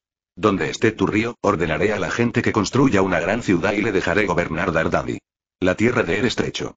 Adros prometió. Además, puedo ir al inframundo para sacar su alma y dejar que se convierta en tu asistente divina y se quede contigo todo el tiempo. Lao Shenwan. Mirando a este ser humano desvergonzado, no ya no sé qué decir. De hecho, los dioses pueden elegir a sus propios asistentes divinos, pero para sacar el alma del misterioso inframundo, solo algunos dioses o fuerzas poderosas le darán esta cara a la pareja de Plutón. Como dios veterano, no se atrevía a alardear de tal cosa, y los seres humanos frente a él parecían considerar una cuestión extremadamente simple recuperar almas del inframundo. Como si viera que no lo creía, a Adros no le importó. Se volvió hacia la fría diosa de la luna que estaba a su lado y le dijo, Hermana Diana, hazlo Diana, o más bien Artemisa, comenzó a usar el parto y lo mágico. El poder de producción ayudó a que el niño en el vientre de Tina naciera prematuramente. Ni Adros ni Afrodita tenían el poder de ayudar en el parto. Entre los dioses, aquel cuyo poder divino posee este atributo no es otro que Hera. Ella es la diosa del matrimonio y el parto. Pero la hermana de Adros, Artemisa, la diosa de la caza, también tiene talento en esta área. Sin mencionar otras cosas, apenas unos días después de nacer, pudo usar su poder divino para ayudar a Leto a dar a luz a Apolo y Adros. Es obvio. Entonces, Adros y su esposa Afrodita, que seguramente vendría a observar, encontraron a Artemisa y vinieron a este lugar para ayudarlo a completar el experimento. Dado que Adros aún no está listo para revelar su identidad frente a sus discípulos, y los nombres reales de la diosa de la caza y el dios del amor y la belleza no pueden ser revelados, los dos futuros nombres de Diana y Venus surgieron, tarde o temprano. Más tarde de todos modos también se llamará así. Después de un tiempo, un bebé del tamaño de un ratón pequeño apareció en las manos de Artemis, con un poder especial verde rodeándolo, temiendo que algo le pudiera pasar. Adros miró al bebé con atención. Definitivamente era un semidios. Colgó un rastro de sus pensamientos espirituales sobre el bebé para observar sus cambios en todo momento. Luego le indicó al viejo dios del río que podía abrirle el muslo. El viejo dios del río Escamandros miró a su hijo que tenía menos de un mes con una cara amable y su corazón se llenó de felicidad. Preocupado de que el niño tuviera un accidente, rápidamente abrió el muslo y luego ahuecó la carne y la sangre junto al hueso de la pierna para crear un lugar donde el niño crecería. Artemisa puso al bebé en su muslo y luego usó su poder divino para volver a coser el muslo del dios del río. Así que la parte práctica del experimento se ha completado y todo lo que queda es la observación. Dejando a Tina, que acababa de dar a luz, descansar en la habitación, Adros y los tres salieron junto con el viejo dios del río. Las doncellas y discípulos de Adros afuera de la puerta miraron al viejo dios del río cojeando que salió, con gran sorpresa en sus ojos. Especialmente Sísifo, estaba listo para una gran pelea. Inesperadamente, no pasó nada adentro y el viejo dios del río cosió al niño en su muslo. Efectivamente, el maestro es el maestro, estamos muy atrás, murmuró Sísifo para sí mismo. Della resopló y sonrió. No estás diciendo tonterías. Si eres tan bueno como el maestro, puedes salir y reclutar discípulos. Después de que Adros los aceptó como discípulos, hizo un pacto con ellos durante la prueba. También reclutar discípulos y convertirse en maestros. Pero han pasado varios años y ninguno de los tres discípulos cumplió con los requisitos de Adros y pasó su prueba de aprendizaje. Se puede decir que los siguientes tres días fueron los más difíciles para el viejo dios del río Escamandros. Incluso él no se avergonzó en ese momento mientras esperaba la carta de amor de Tina. Por un lado, siempre estaba prestando atención al niño en su regazo y, lo que es más importante, las dos diosas y varios humanos aquí habían estado mirando sus muslos durante tres días. Pensamientos sobre dioses o humanos pasaban de un lado a otro por sus muslos, haciéndolo extremadamente avergonzado. En particular, podía sentir que había un pensamiento en el cuerpo de su hijo y dentro de sus muslos, siempre vagando alrededor del cuerpo del niño, haciendo que sus muslos le picaran mucho. Esta fue idea de Agros. No quería perderse ni un momento. Ya sabes, del cambio cuantitativo al cambio cualitativo, normalmente toma un abrir y cerrar de ojos. Afortunadamente, el poder divino de los dioses es muy superior al poder original de los seres humanos. Aunque el dios del río no es tan bueno como el dios rey Zeus, puede hacer nacer al niño en su regazo en menos de medio día. Pero tres días fueron suficientes para que su hijo viniera al mundo. Esta vez, Adros personalmente tomó el cuchillo, abrió el muslo del viejo dios del río y sacó al niño. Él sacó a un niño fuerte y el viejo dios del río y su esposa Tina estaban extremadamente felices. Sin embargo, Adros se sintió un poco decepcionado en su corazón. Aunque este niño es físicamente fuerte y tiene abundante poder divino en su cuerpo, todavía no se ha librado de los grilletes de los semidioses y su esperanza de vida aún limita su crecimiento. Al ver que no se lograron los resultados que querían, las dos diosas Artemisa y Afrodita miraron al niño llamado Tros por su padre y luego se fueron. En el monte Olimpo, Hera dio a luz a otra hija, heredando su poder mágico de dar a luz, y se apresuraron a celebrar a Hera. Cuando se fueron, Adros sonrió levemente. Bendita sea Hera para mí, no des a luz niños y te vuelvas estúpida la cabeza. Zeus tiene tantos hijos, y la que no promete no ha tocado a ninguno de ellos, pero la que sí algo prometedor lo tiene todo. Después de ofenderla por completo, realmente la acepté. Adros no hablaba en vano. Zeus tuvo tantos hijos en todo el mundo. Pero aquellos que realmente pueden ser recordados por los dioses se pueden señalar con los dedos. Atenea, Artemisa, Apolo, Hefesto, Ares, Hermes, Dioniso y hubo varios Heracles que no se sintieron ofendidos por ella en el futuro. Después de la propuesta proactiva de Hera, la relación entre Artemisa y Hera se volvió normal, y tanto ella como Afrodita pusieron los ojos en blanco ante Adros. No entendían por qué Adros, que siempre había sido muy hablador, habló tan mal cuando conoció a Hera. Después de que las dos diosas se fueron, Adros les dijo a sus tres discípulos. Está bien, es hora de que trabajen. ¿Qué están haciendo? Preguntaron sus discípulos confundidos. Una vez le prometí al viejo dios del río construir una gran ciudad y dejar que su hijo gobernara los Dardanelos. Si el maestro tiene algo que hacer, es natural que los discípulos lo ayuden a completarlo. Esta tarea quedará en tus manos. Los tres discípulos se miraron, incluso el más diligente y honesto Tiresías solo pudo sonreír impotente. Luego miró al supervisor enviado por Adros junto a él, el inexpresivo dios de la guerra de Jade Blanco Ian, y honestamente solo pudo comenzar a ayudar a construir la muralla de la ciudad. Gracias al amigo del libro Zoner Daddy por la recompensa, gracias a todos por su apoyo. Después de trabajar en ello durante mucho tiempo, resultó que estaba equivocado y no estaba feliz por nada. Pensé que era una recomendación en la página de inicio de Kidian.com, pero resultó ser una recomendación de libros nuevos en la página de fantasía del cliente. Busqué durante mucho tiempo pero no pude encontrarlo y estaba borracho. ¿Podría ser que el cliente móvil que estaba usando fuera falso todo el tiempo? Capítulo 74 Tiresias destruye su vista. Adros miró con satisfacción la magnífica ciudad que se encontraba frente a él y asintió levemente. Efectivamente, estos dioses y héroes son bastante buenos construyendo ciudades.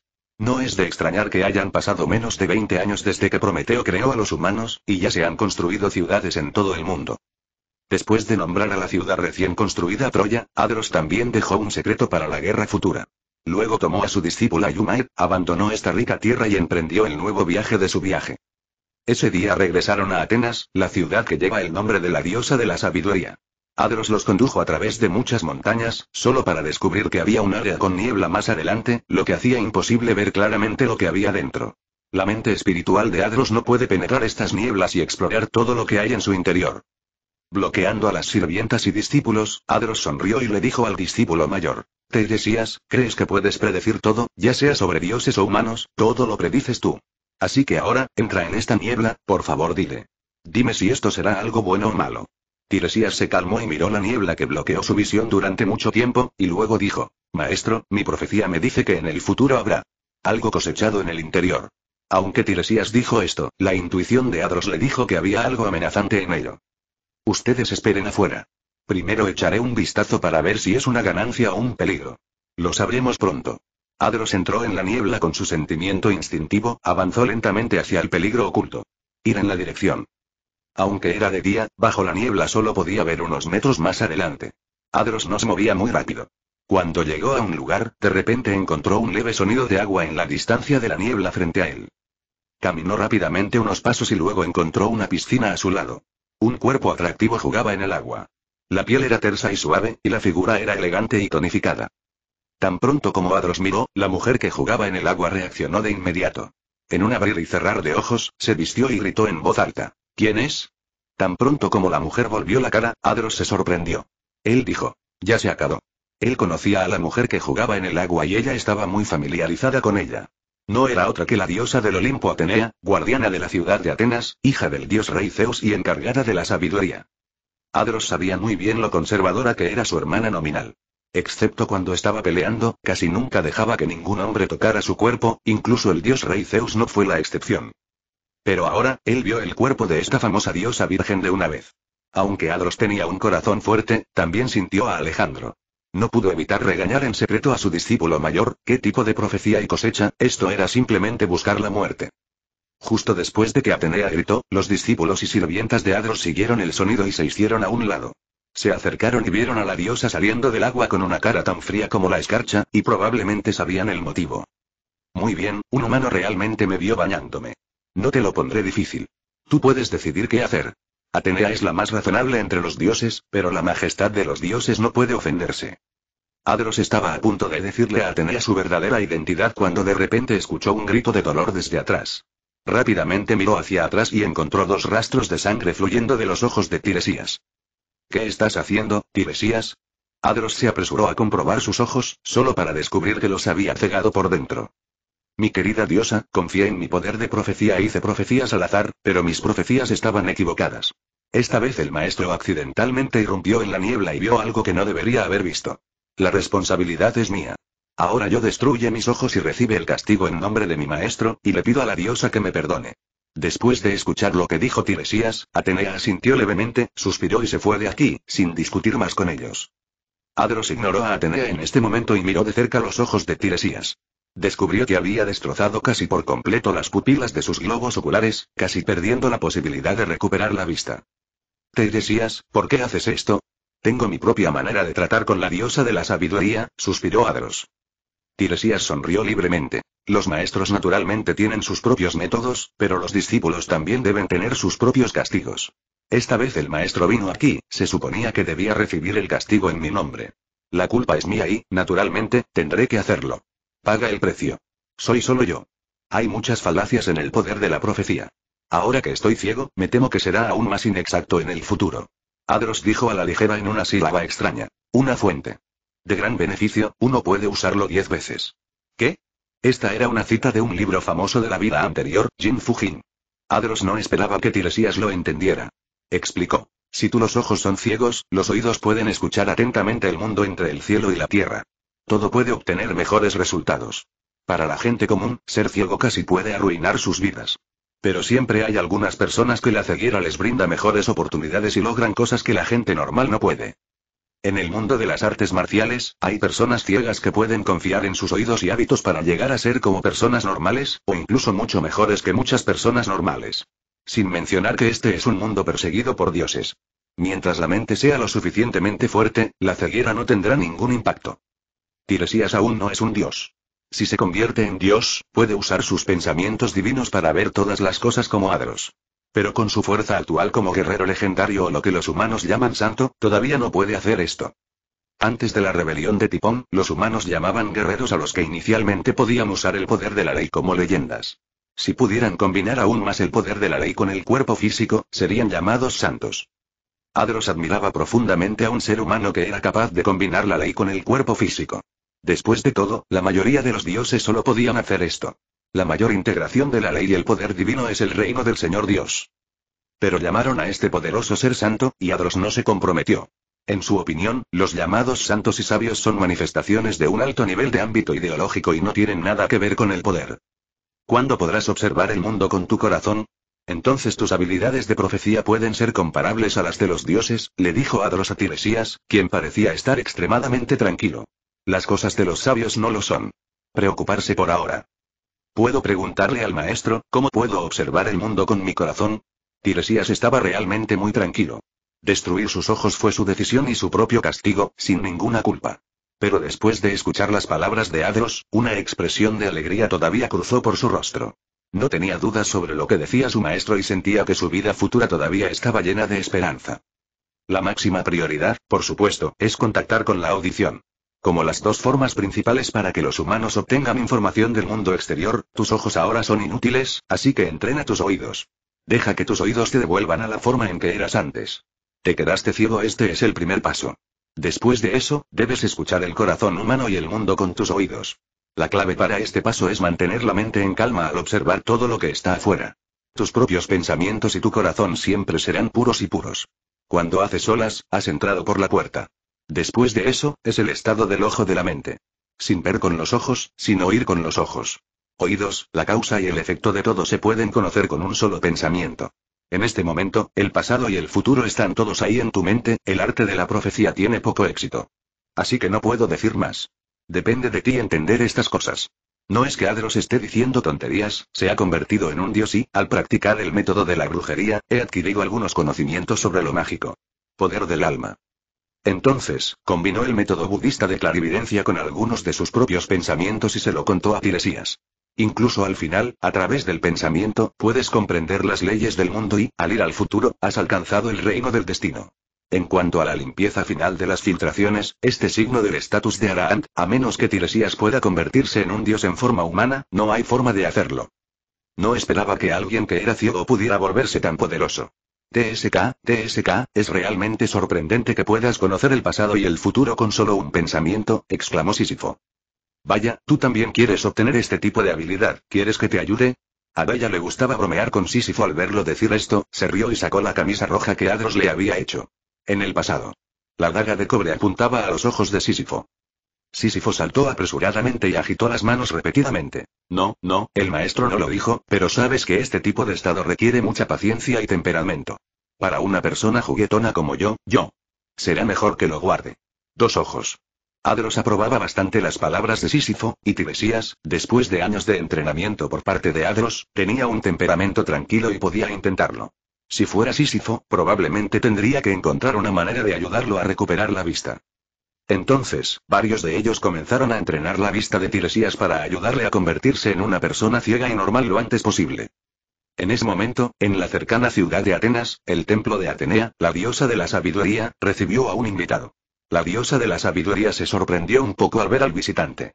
No esperaba que este dios ocupado viniera a Atenas como invitado. Capítulo 75 Robando Fuego, parte 1. Prometeo, ¿por qué tienes tiempo de venir a mi casa? Atenea miró a su amiga frente a ella, preguntándose. Sabía muy bien que su amigo había estado corriendo por la Tierra a lo largo de los años, buscando un punto de apoyo estable para sus humanos recién creados. Se puede decir que el dios más activo del mundo es Prometeo, el hijo de Jápeto y el profeta. La barba y el cabello de Prometeo eran más gruesos y desordenados que antes.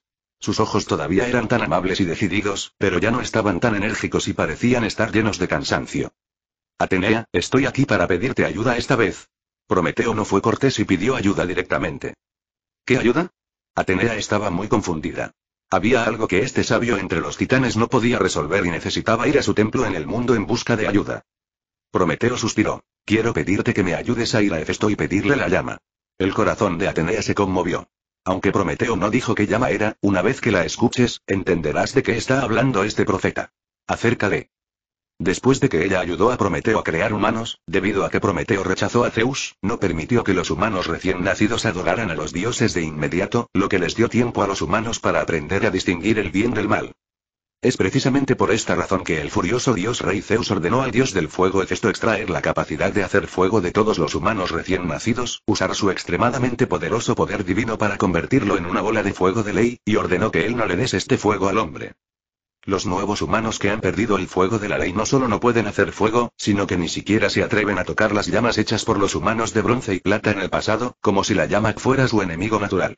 Prometeo pasó 20 años contactando a los humanos de bronce y de plata que todavía existían en el mundo, trayendo cientos de miles de nuevos humanos a varios lugares, abriendo ciudades y tierras, y haciéndolos vivir y trabajar en paz y satisfacción. A partir de ahora, no hay más refugiados en todo el territorio y los seres humanos tienen un entorno de vida estable. Pero como no hay fuego, estos humanos recién nacidos solo pueden comer la pulpa cruda y no pueden cocinarla. Bajo la guía de Demeter, la diosa de la cosecha y la agricultura, trabajaron duro para cultivar alimentos, pero no pudieron disfrutar de su delicioso sabor y solo pudieron intercambiarlos por alimentos con poderosos humanos prematuros. Los llamados humanos prematuros son solo relativos a los humanos tardíos creados por Prometeo. Estos humanos ocupan una posición dominante en el mundo humano actual. ¿Cómo podía Prometeo, que siempre había considerado a los humanos como sus hijos, ver sufrir esto a los humanos que creó? Entonces decidió encontrar una manera de resolver el problema. Sabía muy bien que Zeus estaba extremadamente descontento con él, y no quería ir al monte Olimpo a buscar problemas, así que pensó en su buena amiga, la diosa de la sabiduría Atenea, con la esperanza de que ella pudiera ayudarlo a sacar el llama de la ley. Prometeo miró a su buena amiga y vio que ella no decía una palabra. Estaba caminando lentamente por el templo desierto. Inevitablemente estaba un poco ansioso en su corazón. A Atenea siempre le han gustado los nuevos humanos que ayudó a crear, pero sabía muy bien que con su fuerza actual, nunca podría competir con su padre, el rey dios Zeus. De lo contrario, no solo no podrá ayudar a la humanidad, sino que también será castigada. Es difícil para nosotros dos hacer esto solos. Después de pensar durante mucho tiempo, la diosa que representa la sabiduría finalmente tomó una decisión. Tengo una manera de conseguir el fuego, pero requiere que hagas algunos sacrificios. No tengo miedo. Mientras pueda ayudar a los humanos a adquirir la capacidad de usar el fuego, lo aceptaré incluso si eso significa la muerte. Prometeo se llenó de alegría después de escuchar las palabras de Atenea, y luego dijo con indiferencia. Atenea lo miró profundamente y luego dijo lo que estaba pensando. Después de escuchar esto, Prometeo no pudo evitar asentir con la cabeza, obviamente aprobando mucho el método que dijo Atenea. Bueno, ya que estás de acuerdo, entonces nos separaremos. Primero ve con la diosa Estia y yo iré con Apolo en busca de ayuda. Recuerda no perder el tiempo. Antes de irse, Atenea le preguntó repetidamente a Promeuges si era el momento adecuado. Si está mal, es muy probable que su vida corra peligro. Hefesto estaba muy descontento porque su asistente divino le dijo que Atenea había estado bebiendo con Apolo en el palacio de Apolo. Sabía muy bien que a la mayoría de los dioses les gustaba beber y a menudo se reunían para beber por diversión. Pero esta mayoría de dioses definitivamente no incluye a Atenea y Apolo. Apolo y Atenea, los dos hijos de Zeus, son muy similares, no solo en apariencia, sino en otros aspectos. Todos son buenos peleando, y no importa quiénes sean, tienen la fuerza para vencer al actual dios de la guerra, Ares, todos tienen varios talentos, y entre los dioses, casi nadie puede igualarlos y no son adictos al alcohol, como quiso el destino. Hefesto sabía desde hacía mucho tiempo que Atenea iba a menudo al palacio de Apolo para luchar con él. Pero esta vez, permaneció en el palacio del dios de la luz durante más de diez días, poniendo celoso a Hefesto. A Hefesto le gustaba Atenea, y lo supo desde que abrió la cabeza de Zeus y vio emerger a la diosa dorada. Durante mucho tiempo, Hefesto, que sabía que era feo y muy consciente de sí mismo, no se atrevió a confesarse ante Atenea. Hasta que un día, Prometeo, el profeta hijo de Jápeto, llegó al Olimpo y creó al hombre junto con Atenea. Pasado ese tiempo, Hefesto arriesgó todo y siguió a Atenea por el mundo. Le confesó su amor a Atenea e incluso quiso suicidarse delante de Atenea. Hefesto, que ya estaba loco en ese momento, se suicidó, pero Atenea ya se había ido, y la esencia de su cuerpo fue absorbida por la tierra, dando a luz al primer rey de Atenas, Erectonio. Hefesto, que ya estaba despierto en ese momento, se fue avergonzado y abandonó a sus hijos, pero Atenea fue informada de ello por la Madre Tierra. La diosa de la sabiduría sabía lo que había sucedido, por lo que convocó a los asistentes divinos y les pidió que resucitaran a Erectonius. Erectonio era digno de ser hijo de los dioses. Se convirtió en un poderoso semidios y en el primer rey de la ciudad griega junto al mar Egeo. ¿Estás seguro de que Hefesto vendrá aquí? preguntó Apolo mirando a su hermana frente a él.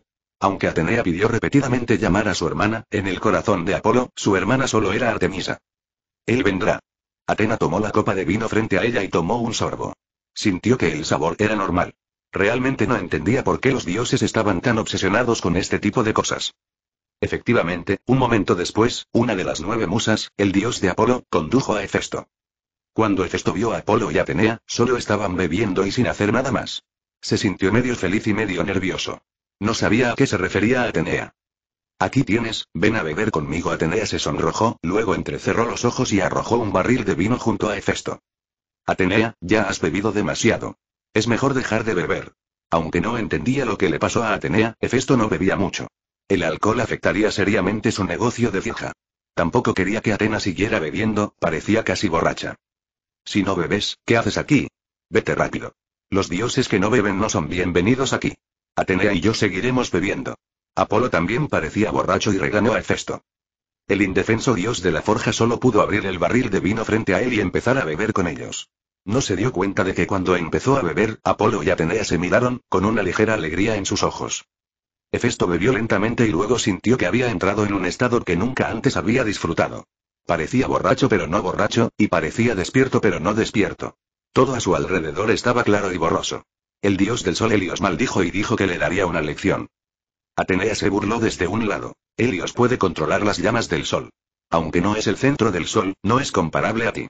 Apolo dijo enojado. Definitivamente encontraré un tesoro. Puedes someterlo. Llamas de Helios y lo golpeó con fuerza. ¿Dónde puede haber un tesoro tan mágico en este mundo? ¿Por qué no? Tengo algo en mi mano que puede suprimir el fuego solar de Helios. Hefesto, medio borracho, escuchó las palabras de Atenea y sacó una bola de colores de su propio espacio, y luego les dijo, Este tesoro de... El mío es el fuego de la ley extraído del cuerpo humano. Aunque no sé si puede funcionar con las llamas de Estia, definitivamente puede contener las llamas de Helios. No lo creo. Atenea sacudió la cabeza. Al escuchar que la diosa en su corazón no creía en sus palabras, Hefesto dijo ansiosamente. ¿Cómo no puedes creerlo? Debe ser posible. Esto es lo que dijo el propio rey Dios. Atenea todavía sacudió la cabeza con incredulidad, dejando que Hefesto. Tos siguió explicando a su lado. Oye, déjame tomarlo y luchar contra Helios para descubrir si es posible o no, dijo Apolo con impaciencia. Está bien, aquí tienes, toma mi fuego de la ley para darle una lección al dios Sol Helios. Hefesto le entregó las llamas de colores que tenía en la mano a Apolo. No podía esperar para que Atenea supiera que esta llama es tan poderosa. Apolo tomó la llama, todavía con aspecto de borracho, y dijo en voz alta, vayamos juntos a darle una lección a Helios. Los tres dioses olímpicos, los hijos de Zeus, estaban así en el Olimpo. En la montaña, caminaba borracho, caminando en tres pasos al palacio del dios Sol Helios. Helios estaba descansando hoy en el palacio. Había estado conduciendo el carruaje solar por el cielo durante más de diez días y estaba a punto de estar nublado por un tiempo. De repente, hubo un fuerte ruido afuera de la puerta, lo que hizo que el siempre serio dios Sol Helios frunciera el ceño. Helios, sal de aquí. Hoy te voy a dar una lección. Helios salió del pasillo y encontró a Apolo borracho, sentado en su carruaje solar y gritándole. Junto a Apolo, estaban Hefesto, el dios de la forja, y Atenea, la diosa de la sabiduría, que yacían borrachos en el suelo. Gracias a Bookfriends 151, 20, 80, 03, 14, 82, 51, Rivercutenes e Infinite Navi por sus recompensas. Gracias a todos por su apoyo. Prometheus finalmente está a punto de entrar en acción y todos los personajes secundarios están en su lugar. Fin de este capítulo. Muchas gracias por llegar hasta el final. No se olviden de darle like. ¿Buscas más contenido exclusivo y acceso inmediato? Suscríbete a nuestro Patreon. Recuerda, cada like, suscripción o donación nos anima a continuar. Gracias a todos nos vemos en el próximo vídeo.